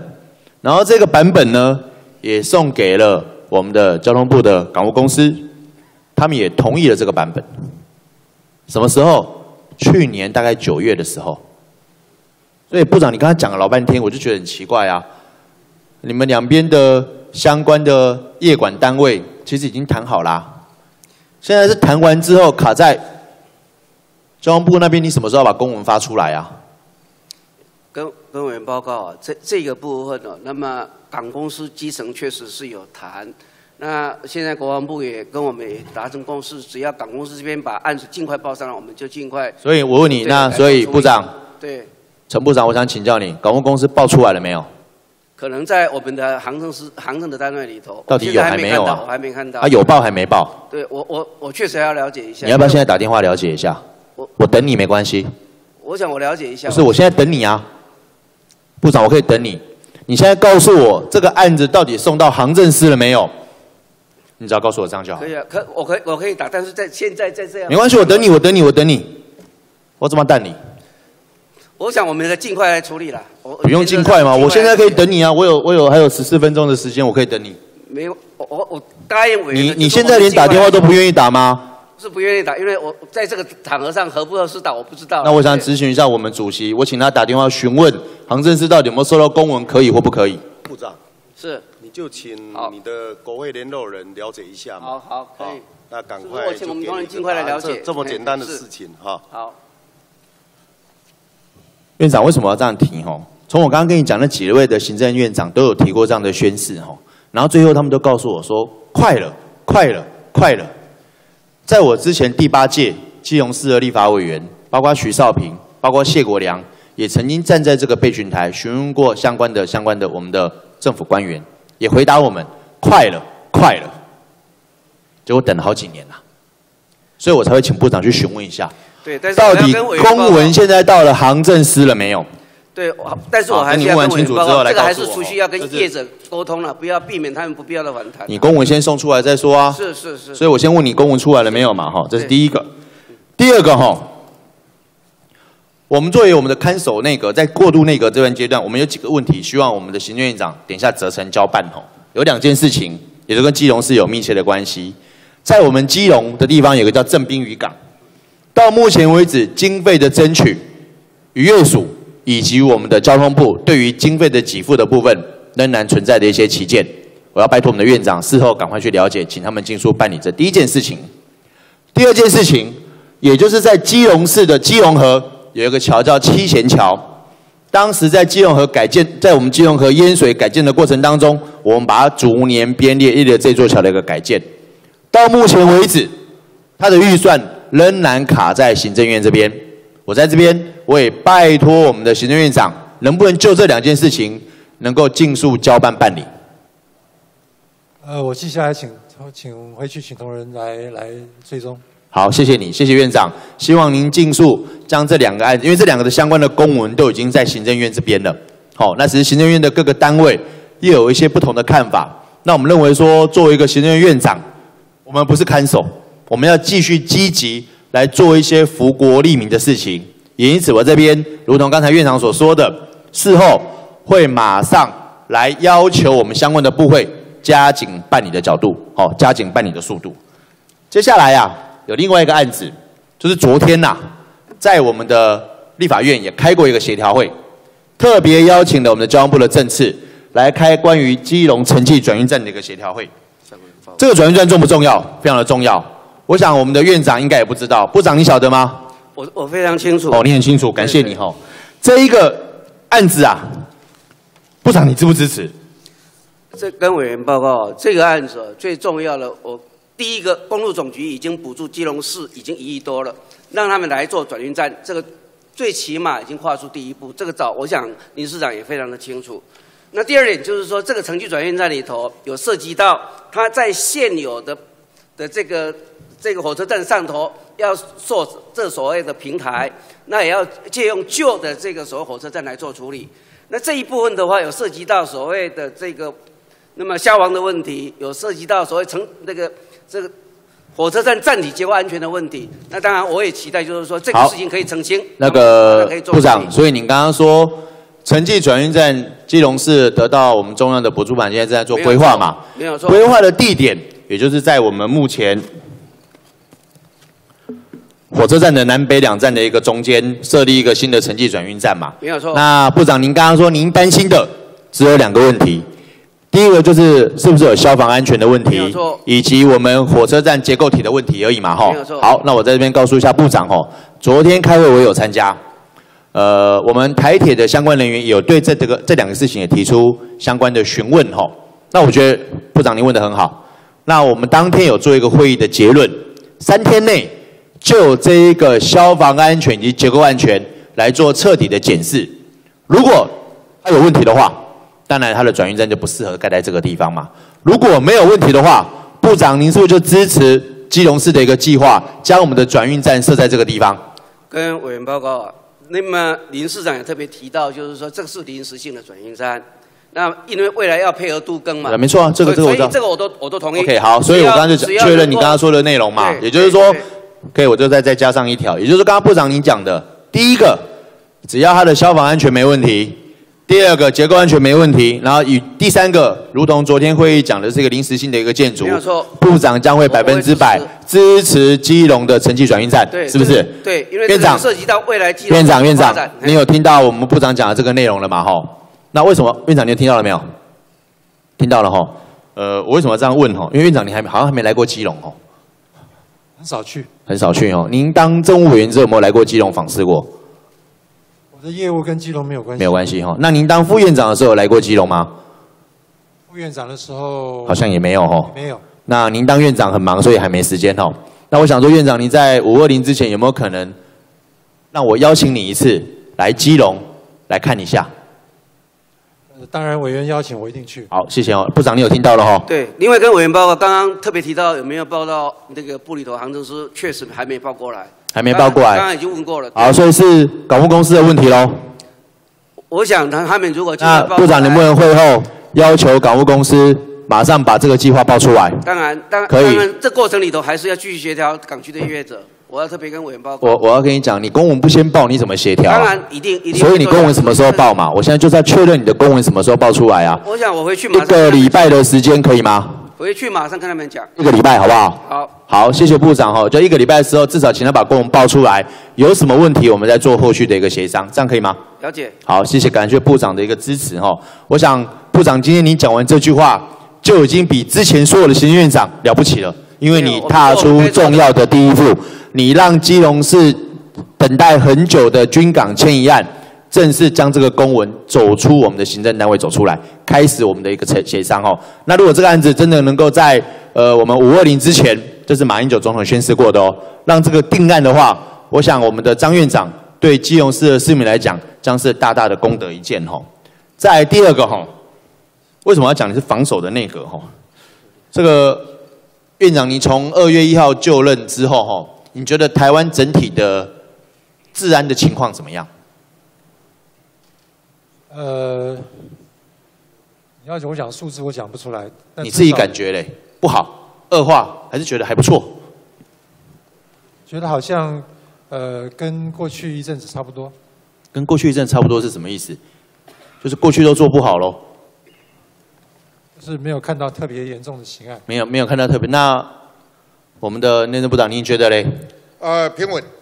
平稳，觉得还不错啦哈，是也没有什么重大的危害来发生嘛哈。那我想这样子好不好？这个是哪里你知道吗？院长知道在哪里吗？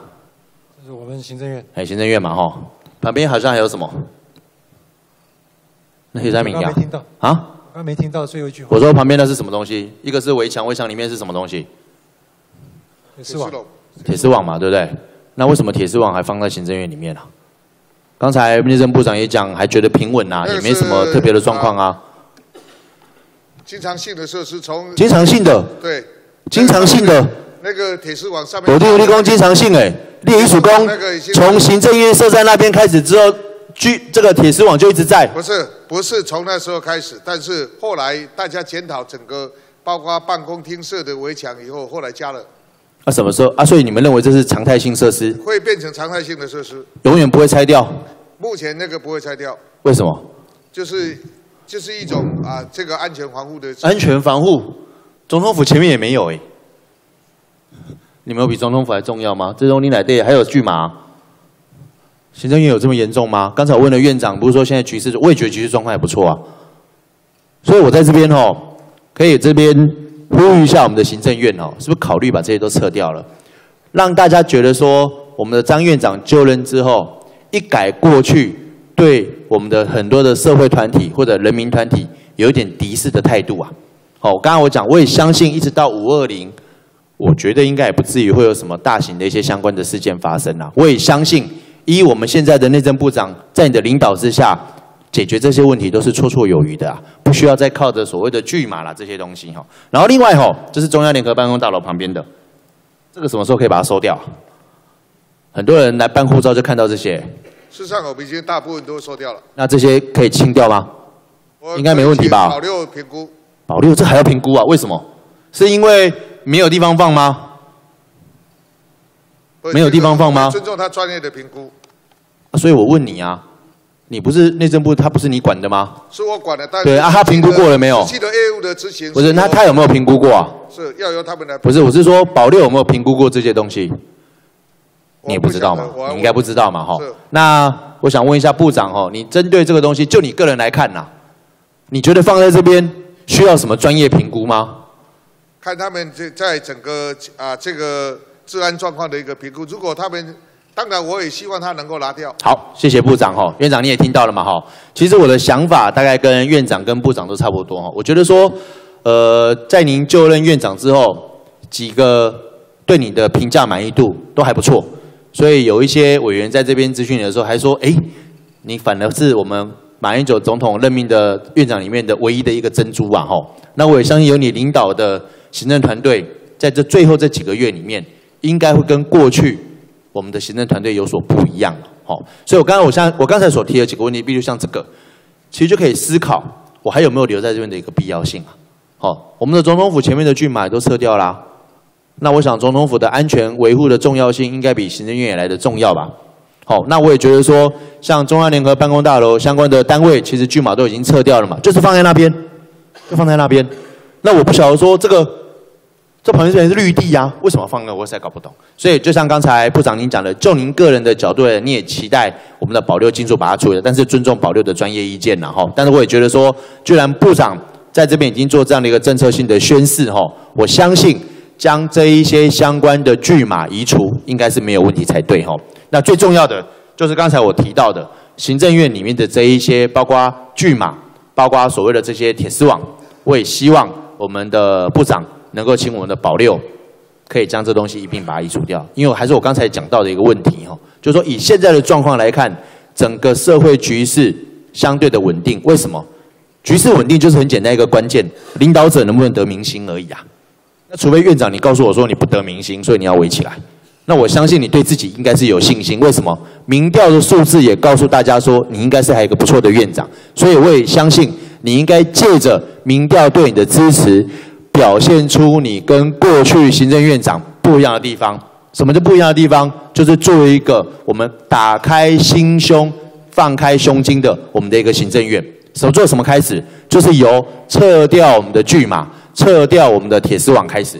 我相信撤掉铁丝网跟撤掉巨码不会让行政院很危险，相对的，它会让我们许多的我们的台湾人民经过那个地方会看到说，哎，那你一定该疫情转播转播龙博赶快，那你来进博博定该疫情把龙转播博赶快，不是做以前一样的事情啊，就是我们过去的院长、过去的部长做的都跟以前同样的事情，所以支持度都不好啊。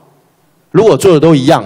今天不会是张院长您坐在这里啦。好，我从这件小小的一个事情，委员意思，我们把它当做一件重要的功课。对，谢谢院长哈。那我想说，今天这这几件，呃，我代表我们基隆的乡亲来向我们的院长以及相关的部长提出来的咨询哈。那我也很感谢我们的院长跟部长事后能够马上的交办。那我也这边期待哈，这个院长在五二零之前一定要来基隆访问，来参观。来就刚才我提的几件重要的案子，来了解相关单位的进度。那我也期待在我们的努力之下，这个进度不会是零，不会是原地踏步。不要再说慢慢来，慢慢来。我最讨厌慢慢来了，我希望快快来，赶快把所有的案子都办好。好，以上是我们这一次呃代表我们基隆乡亲的一个总咨询，谢谢。谢谢。好，谢谢蔡委员，谢谢张院长。现在请。于委员宛如执行询答时间三十分钟。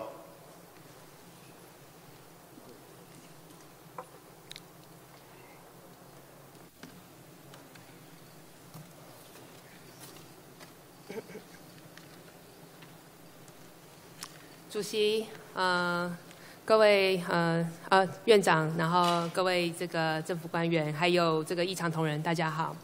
我可不可以先请院长上来？张院长，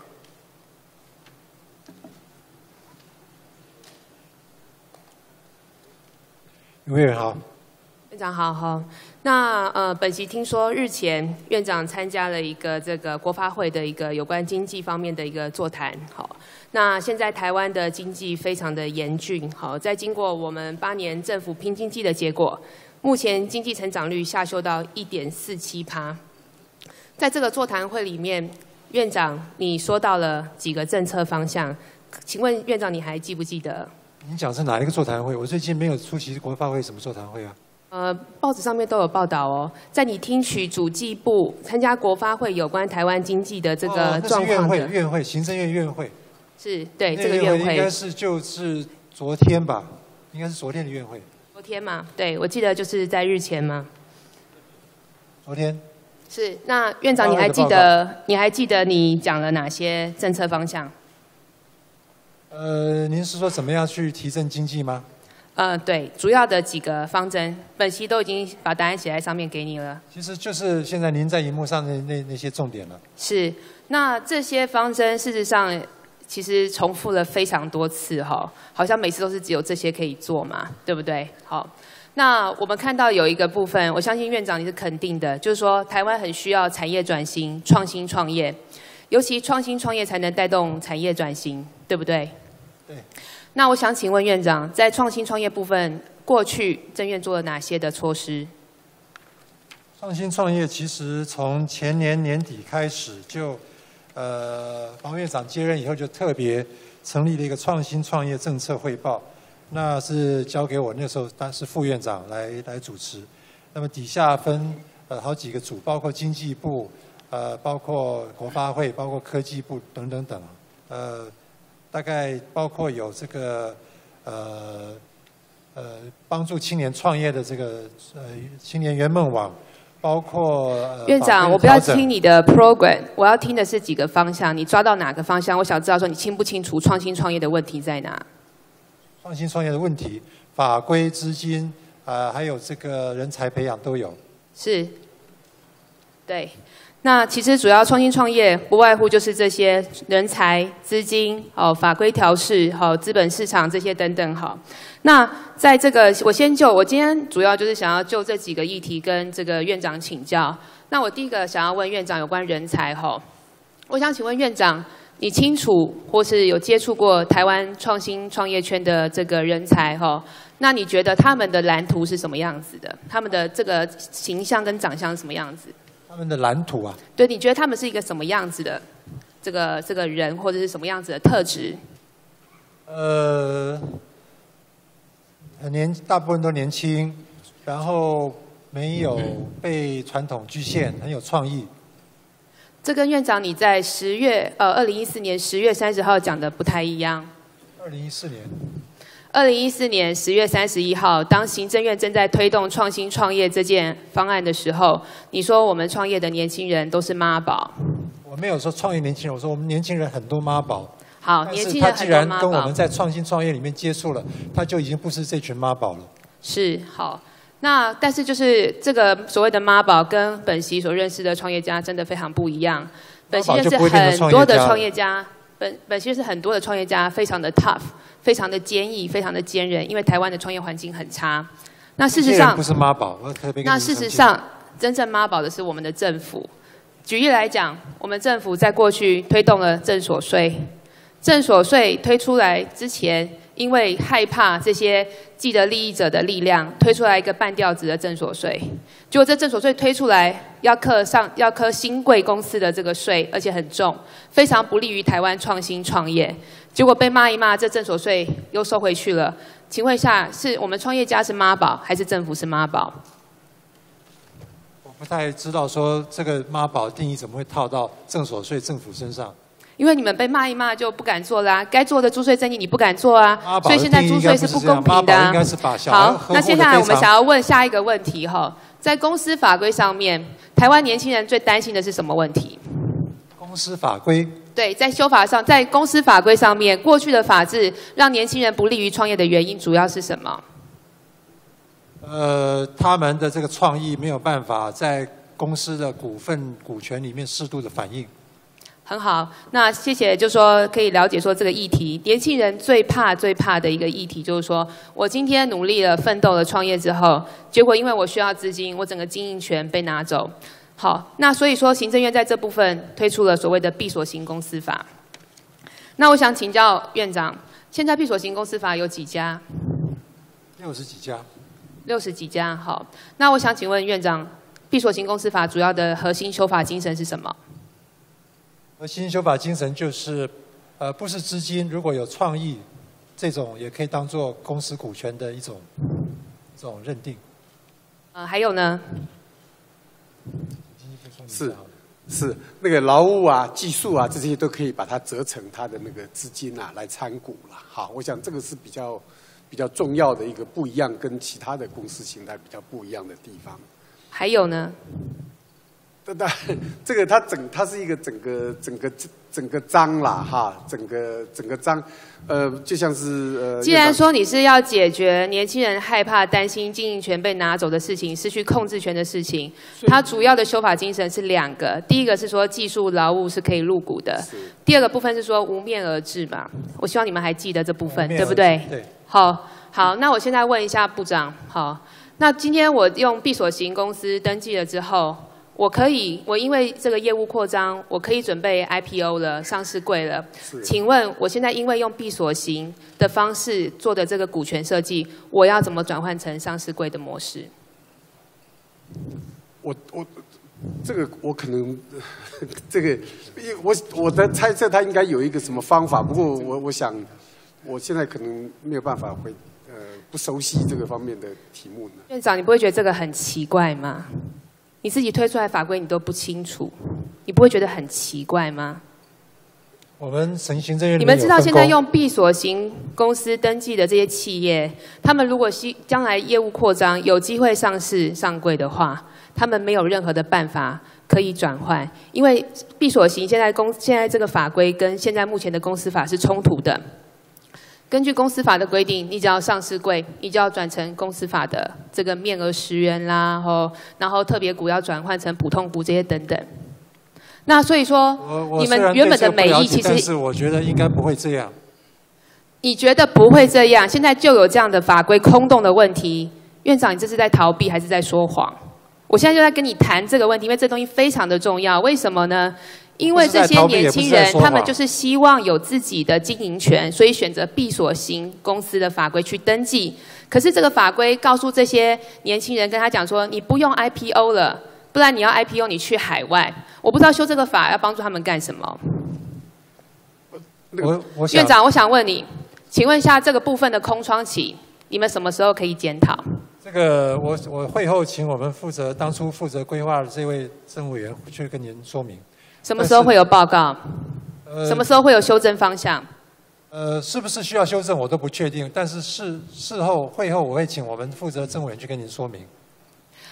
院长，这件事情真的很严重。你刚刚提到闭锁型公司法，目前有六十三家公司登记基本上你们是看准它不会上市柜，对不对？可是如果今天它一旦上市柜，这些这六十三个可能之后会更多的企业的年轻人知道你们让他你们挖了一个洞，让他跳进这个坑，委员，我再到时候会变成很您严重的社会议题现象，。我现在还不能跟您认同，所以我说会后请我们负责这个案子的蔡务蔡，因为政务员不能上台被呃呃说明，所以我说会后请他去跟您说明。他来自业界，他对这个事情应该蛮清楚的，所以我说您现在讲的这个现象是不是有误会或是怎么样，我不太确定。我会后请政务员去跟您说明。好，请院长就是在一个礼拜之内，可能把这个部分讨论一下。我希望在这部分的修正是能够快的，因为创业家不能等。好，那接下来我想问，我现在想问一下院长第二件事情。我现在想问院长第二件事情，好，另外一个法规也是为了要帮助年轻人创业的，院长知道是什么法规吗？我们有好多相关法规，我不知道委员在讲哪一样。是不是包含比方说像群众募资啦，还有这个有限合伙法等等，这些都是我们在做一些很重要的法规的修改。是有限合伙公司法。请问一下，现在有限合伙公司法在去年九月份这个立法院三读通过之后，到目前为止有几家登记？呃，不清楚。不不是不是很多啦，哎不是三位都没有答案吗？现场有没有人要支援一下？院长，我要告诉你答案吗？呃，请林家，林家。你们修这个法，林家登记，你知道什么原因吗？呃，请委员指教。旁边有没有人知道？请委员指教。因为他重复课税，因为他重复课税。有限合伙公司法就是为了要鼓励有创意、有技术、有劳务技能的人，可以顺利募资来实现他的梦想。它是类似 by project 的这种公司。好，举例来讲，像李安、吴宝春是我们台湾鼓励的这样子的人才。他们拍电影，他们做面包，可能需要资金入股。那这个公司法主要就是希望说，透过这样子的一个公司形态，好，然后主要的课税在国外，它主要课税的人是这个公司的这个合伙人跟投资人。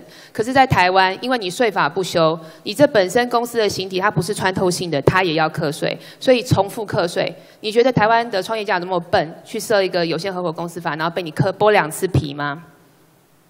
了解委员的这个顾虑，我们也是会后去去了解一下。是不是从这个呃正正所税一直到这个修法，我都一直看到，就说你们一直在思考的都是怎么样从创业家剥皮，创业家身上剥皮，这样是真的有利于台湾的创业环境吗？我们的心态不是这样子。好，那另外我想要请问一下有关这个这个呃有关这个资本市场的问题哈，我想问一下，好就叫一下院长，哦，台湾目前的国民储蓄率是多少？我不知道这个数字。好，要请中央银行彭总裁吗？您讲的是净储蓄率还是毛还是毛储蓄率？净储蓄率应该是二十几个 percent，那毛储蓄率嘞？毛储蓄率大概应该有在三十三十左右吧。那你会不会觉得三十左右比以往都高很多？呃，因为他们呃就是消费的情况可能比较保守一点，所以储蓄率会变得比较高。台湾的国际的台湾的国家的储蓄率一直在飙升，可是家庭的储蓄率一直在下降，年轻人的储蓄率一直在下降。这些储蓄率的来源，主要都是来自于所谓的中实户、股市的中实户，这些有资本的人。好，那这些资金呢，他们在台湾是不流通的，因为我们没有有效的把它转换成投资，对不对？好，那我现在就要就教院长。你怎么样能够帮忙把这些这种停滞的资金，这些来自于这种个人的好的资金，能够引诱引引就是呃引诱到说是投资这个新创或是年轻人的身上，或者是社会企业都好。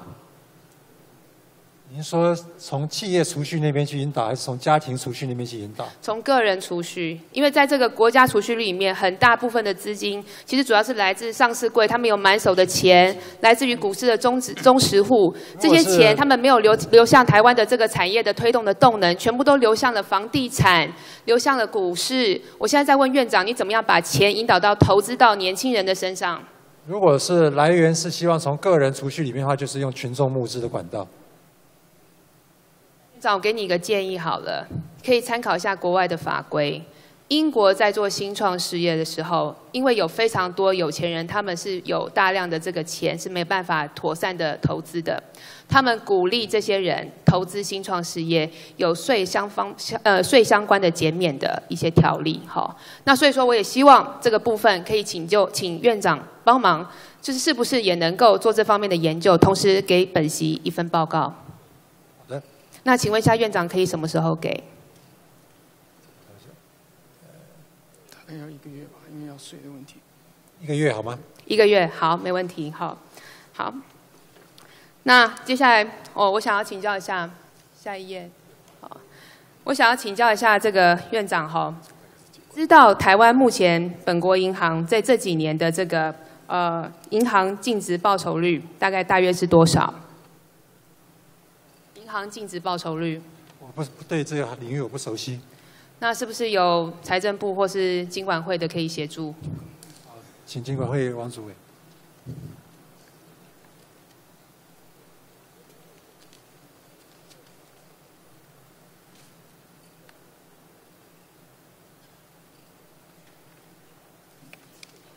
应该是十二到十五趴。请问一下，呃，十二到十五趴正不正常？正不正常啊？以你的专业正不正常？而且每年都在上升。这个我们可以用国际的数字来比较，我们希望它能够更高。你们希望它能够更好？是。你们知道现在刚刚我才提到，台湾的 GDP 现在只剩下一点四七趴，银行每年的获利率还有百分之十以上，你们不觉得这很奇怪吗？你们知道银行主要的收入来源是哪些部分？呃，现在银行呃，因为利率非常的低，所以银行现在它的主要呃的来源是来自于它的放款的的利息，或者是它可以做呃其他的相关，比如说跟保险或者是其他金融机构做的这个手续费跟其他业务的的部分。事实上，主要的收入来源每年成长的是手续费。对。好，那这个利这个利率的来源，哈，利息来源变低的原因，其实主要原因就是因为银行它不放款，银行它不放款，政府说要推动创新创业，可是本席在民间看到的，上了创柜板的企业借不到钱，信保基金已经直保的企业借不到钱，社会企业借不到钱，银行都只想要赚它的手续费，因为手续费很快。很好赚，easy money。可是手续费，为了赚手续费，却让台湾的这个数位金融的发展一直递延，甚至就甚至就是直接开放支付宝大举来台。台湾的银行帮助国外的企业、中国的企业来打压台湾的企业。院长，你觉得这是不是很奇怪？银行他们要在这个商业上面跟谁合作，我们不会去干涉他。这是院长讲的。银行在商业上面要跟谁合作，你们不去管，是不是？好，不去干涉他，不不去干涉。好，呃，其实刚刚对，就是因为不去关不去干涉，好，所以呢，银行业就自己搞自己搞自己的嘛。哦，我们刚刚已经提到了，台湾的投资部投资动能非常的不足，银行还在过去这两年，好，尤其是金管会带头，带着银行去打亚洲杯。好，院长，我想问你，你知道今年亚洲杯台湾银行在海外的这些投资铺险大约估值是多少？我可不可以先补充说明一下？就是刚刚不要先回答我这个问题。台湾银行一家吗？不是台湾的银行打亚洲杯的所有银行，目前海外资产的这个亚洲杯的布那个铺险是多少？多少金额？这个现在手边没有资料。没有这些资料，目前手边没有。没有资料。现在手边没有资料，我可以拿，嗯、就是嗯、呃明天或者是什么下个礼拜再去跟您报告。我直接跟你讲，惠誉信平好、大约估是一兆，一兆台币，今年高达一兆。你们知道这一兆主要的风险来自哪里吗？有一部分是对岸，来自中国，来自中国。我们台湾的银行在这个金管会的鼓励之下，去打亚洲杯，在东南亚、在中国布局哦，然后就是为了要说是要为了要服务好、台商好、我想问一下，请问你们知不知道他们服务的对象真的是台商还是中资企后来业？后来金管会有去管制一些银行，有些银行还被停了一一年的权利，为了这个破险太高，金管会有进去干涉。我想问一下，最近美国的这个一些数据指出，哈，一月份中国的热钱外逃高达一千一百三十亿元，甚至连知名的首富李嘉诚都开始搬空在中国的资产。可是我们台湾却带着银行把台湾的钱搬到中国去投资，去让他们那边的人可以创业，去提高他们的薪资，去增加他们的就业机会。院长，你觉得这是不是很奇怪？现在大陆这个经济情况这样子，我们的银行其实也不是傻瓜，也不会说还在待在那边。那个您刚刚讲到说有人资金离开大中国大陆，我们其实我相信我的银我们的银行也是有类似的做法。院长，我觉得你搞不清楚状况。去年才修过法，让台湾的银行可以扩大投资的金额，高达四千到五千亿台币，你知道吗？可以扩大，但是他们是不是真的会去扩大，这个我还不知道。是我我本席有个地方非常的不理解，本席想要请教，就是说，刚刚院长有提到银行不受你的控制，那是他们的商业行为。但事实上，银行在台湾要能够成立，要能够设立，是谁在发执照？当然是金管会啊。金管会。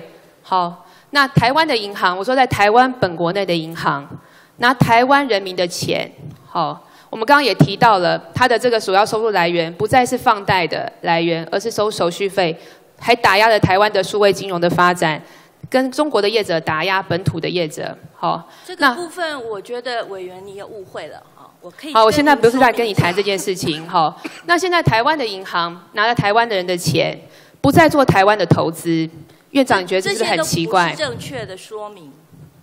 本席不是要去特别去讲说，我今天不要银行做什么事情，我只在跟你讨论银行的社会责任跟道德的问题。因为台湾真的很缺乏投资的动能。我刚刚也跟院长报告了，在做创业的年轻人、社会企业家，还有很多的小微企业，他们甚至上过创柜板，好、甚至拿到了这个信保基金的质保，但是都贷不到钱。院长，身为一个这个呃行政院最高的首长，好，而且是台湾的银行也是由台湾政府来发许可执照的，在这部分你觉得有什么方法可以来协助银行多去来支持台湾的这些青年创业跟社会企业或是中小的这种企业我？们的年轻人创业成功案例慢慢多了以后，银行的保守心态就会降低。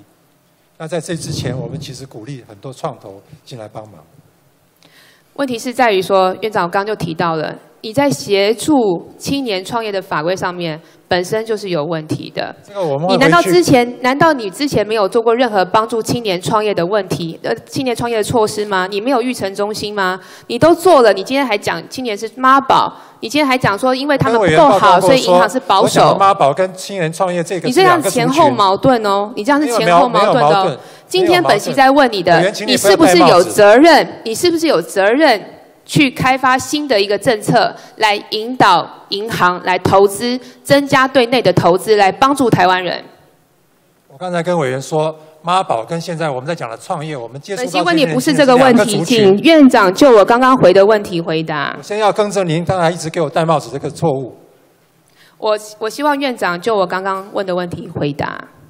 我刚刚也回答过了，说我们先鼓励让我们年轻人成功，让银行的保守心态降低。我刚刚已经跟院长讲过了，你们的确做了，但是不成功。那你是不是可以重新？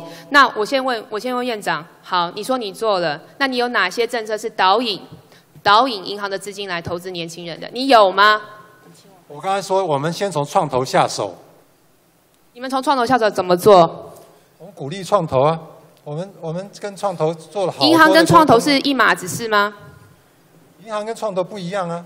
银行跟创投不一样，那你怎么鼓励我创投呢？说明一下哈，因为因为青年创业的风险很高，所以这个创投事业比较适合进去。那银行业者在刚刚的时候，他们其实是比较有保守心态。那如果说创投比较成功了以后，银行再进去，本这个席同意你说，本席同意你说新创的风险高哈，但是我想就教一个就教一个问题，我刚刚提到了台湾的银行打亚洲杯对外曝险，今年会高达一兆，根据金管会自己的算法。最严重的这个损失高达七百九十二亿元，这是在二零一四年、二零一五年的数据。好，我想请问院长，投资中国跟投资台湾年轻人哪一个风险高？要看对象。要看对象。院长，你连肯定的答案都没有，当然是投资台湾的年轻人风险低呀、不是吗？现在台湾已经缺乏银根了，我们要如何把这个根留下来呢？我希望听到的是院长给我这样子的回答。我们的台湾的银行有投资我们的年轻人，请那个文王主委说明一下。委员，我刚我要呃特别更正一下，其实台湾的银行并没有要嗯协，并没有不协助年轻人，而且从刚刚提到的这个呃群众募资还有创柜板，其实也都协助非常多文创还有年轻人的产业。在创柜板现在有八十三家，一开始的时候有一百九十二家申请，所以我们现在有八十三家成功的募集了十点十点八亿元，而且在银行的部分，我们对于文创跟年轻人的贷款是用特别的低利率，而且我们在这两年的成长都是成长两倍以上，所以。银行金管会有鼓励银行贷款给年轻人，而且金管会透过群众募资跟创柜板协助年轻人创业，这个部分有非常大的成效。哦，诸位，我想你是没有听过民间创业界在怎么讲创柜板的。创柜板主要是打品牌用的，不是募资用的，你有听过吗？我们承认创柜板在目前为止有一些可能执行上有一些细节上还可以再强化，可是对于呃它的成果本身协助年轻人跟协助创业的部分，其实是有明显的成效。是，事实上我还是很肯定好过去大家的努力，但是本席是希望就是说，透过这样子的一个呃询问跟请意，希望是说能够对台湾的青年创业能够是发挥的更好，也希望把问题点点出来。好，那所以说，纵观我们刚刚去 review 了这些台湾的这个从人才、资金、法规跟银行的种种问题，我想问一下院长，你觉得台湾会有脸书的主客博吗？会有什么？台湾的台湾会有脸书的创办人主克伯吗？我们会有足够创意的年轻人，像 Zuckerberg 这种，但是台湾的市场撑不起一个脸书或 Google。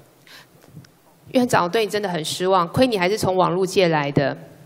网络的创业网络的创业会有疆界吗国？际接轨。做网络的的创业还需要讲市场大小吗？啊做网络的创业还需要讲市场的大小吗？网络创业的特性就是国际化啊！你现在这样子告诉我们的年轻人，难怪你觉得我们年轻人都扶不起的阿斗是吗？你又在帽子了。在院长你这样子的想法之下，本席其实蛮悲观的，其实真的蛮悲观的，因为台湾不会有主客博，好。你这样想，我也很遗憾。而且我更更伤心的部分是说，从刚刚我们一系列的讨论，好跟探寻这些等等的问题，我觉得台湾的年轻人真的很可怜，创业就变成打工仔，台湾不会有主客博。院长，你说要推动产业的转型，我觉得也非常的困难。我们鼓励他跟国际接轨，到国际市场上就有机会。好，但是不能只靠台湾市场。是，那最后我还是再谢谢各位，那我还是再一次肯定各位的努力。我相信大家做了非常多的事情，但是经济的存亡跟台湾真的非常息息的相关。我也希望说，刚刚在我咨询过程里面跟院长就教的这些问题，希望院长能够真的严谨的来给我一个回答，因为创业家的时间跟人生是不能等的。台湾有很多的年轻人，他们陷在泥沼里面，需要我们的帮忙。谢谢。谢谢。好，非常谢谢于委员的咨询，谢谢张院长。报告院会，本会期自二月十九日开议，进行施政总咨询，至今天排定政党咨询的委员总计五十五人，均已咨询完毕。谢谢张院长、杜副院长及各部会首长列席备询。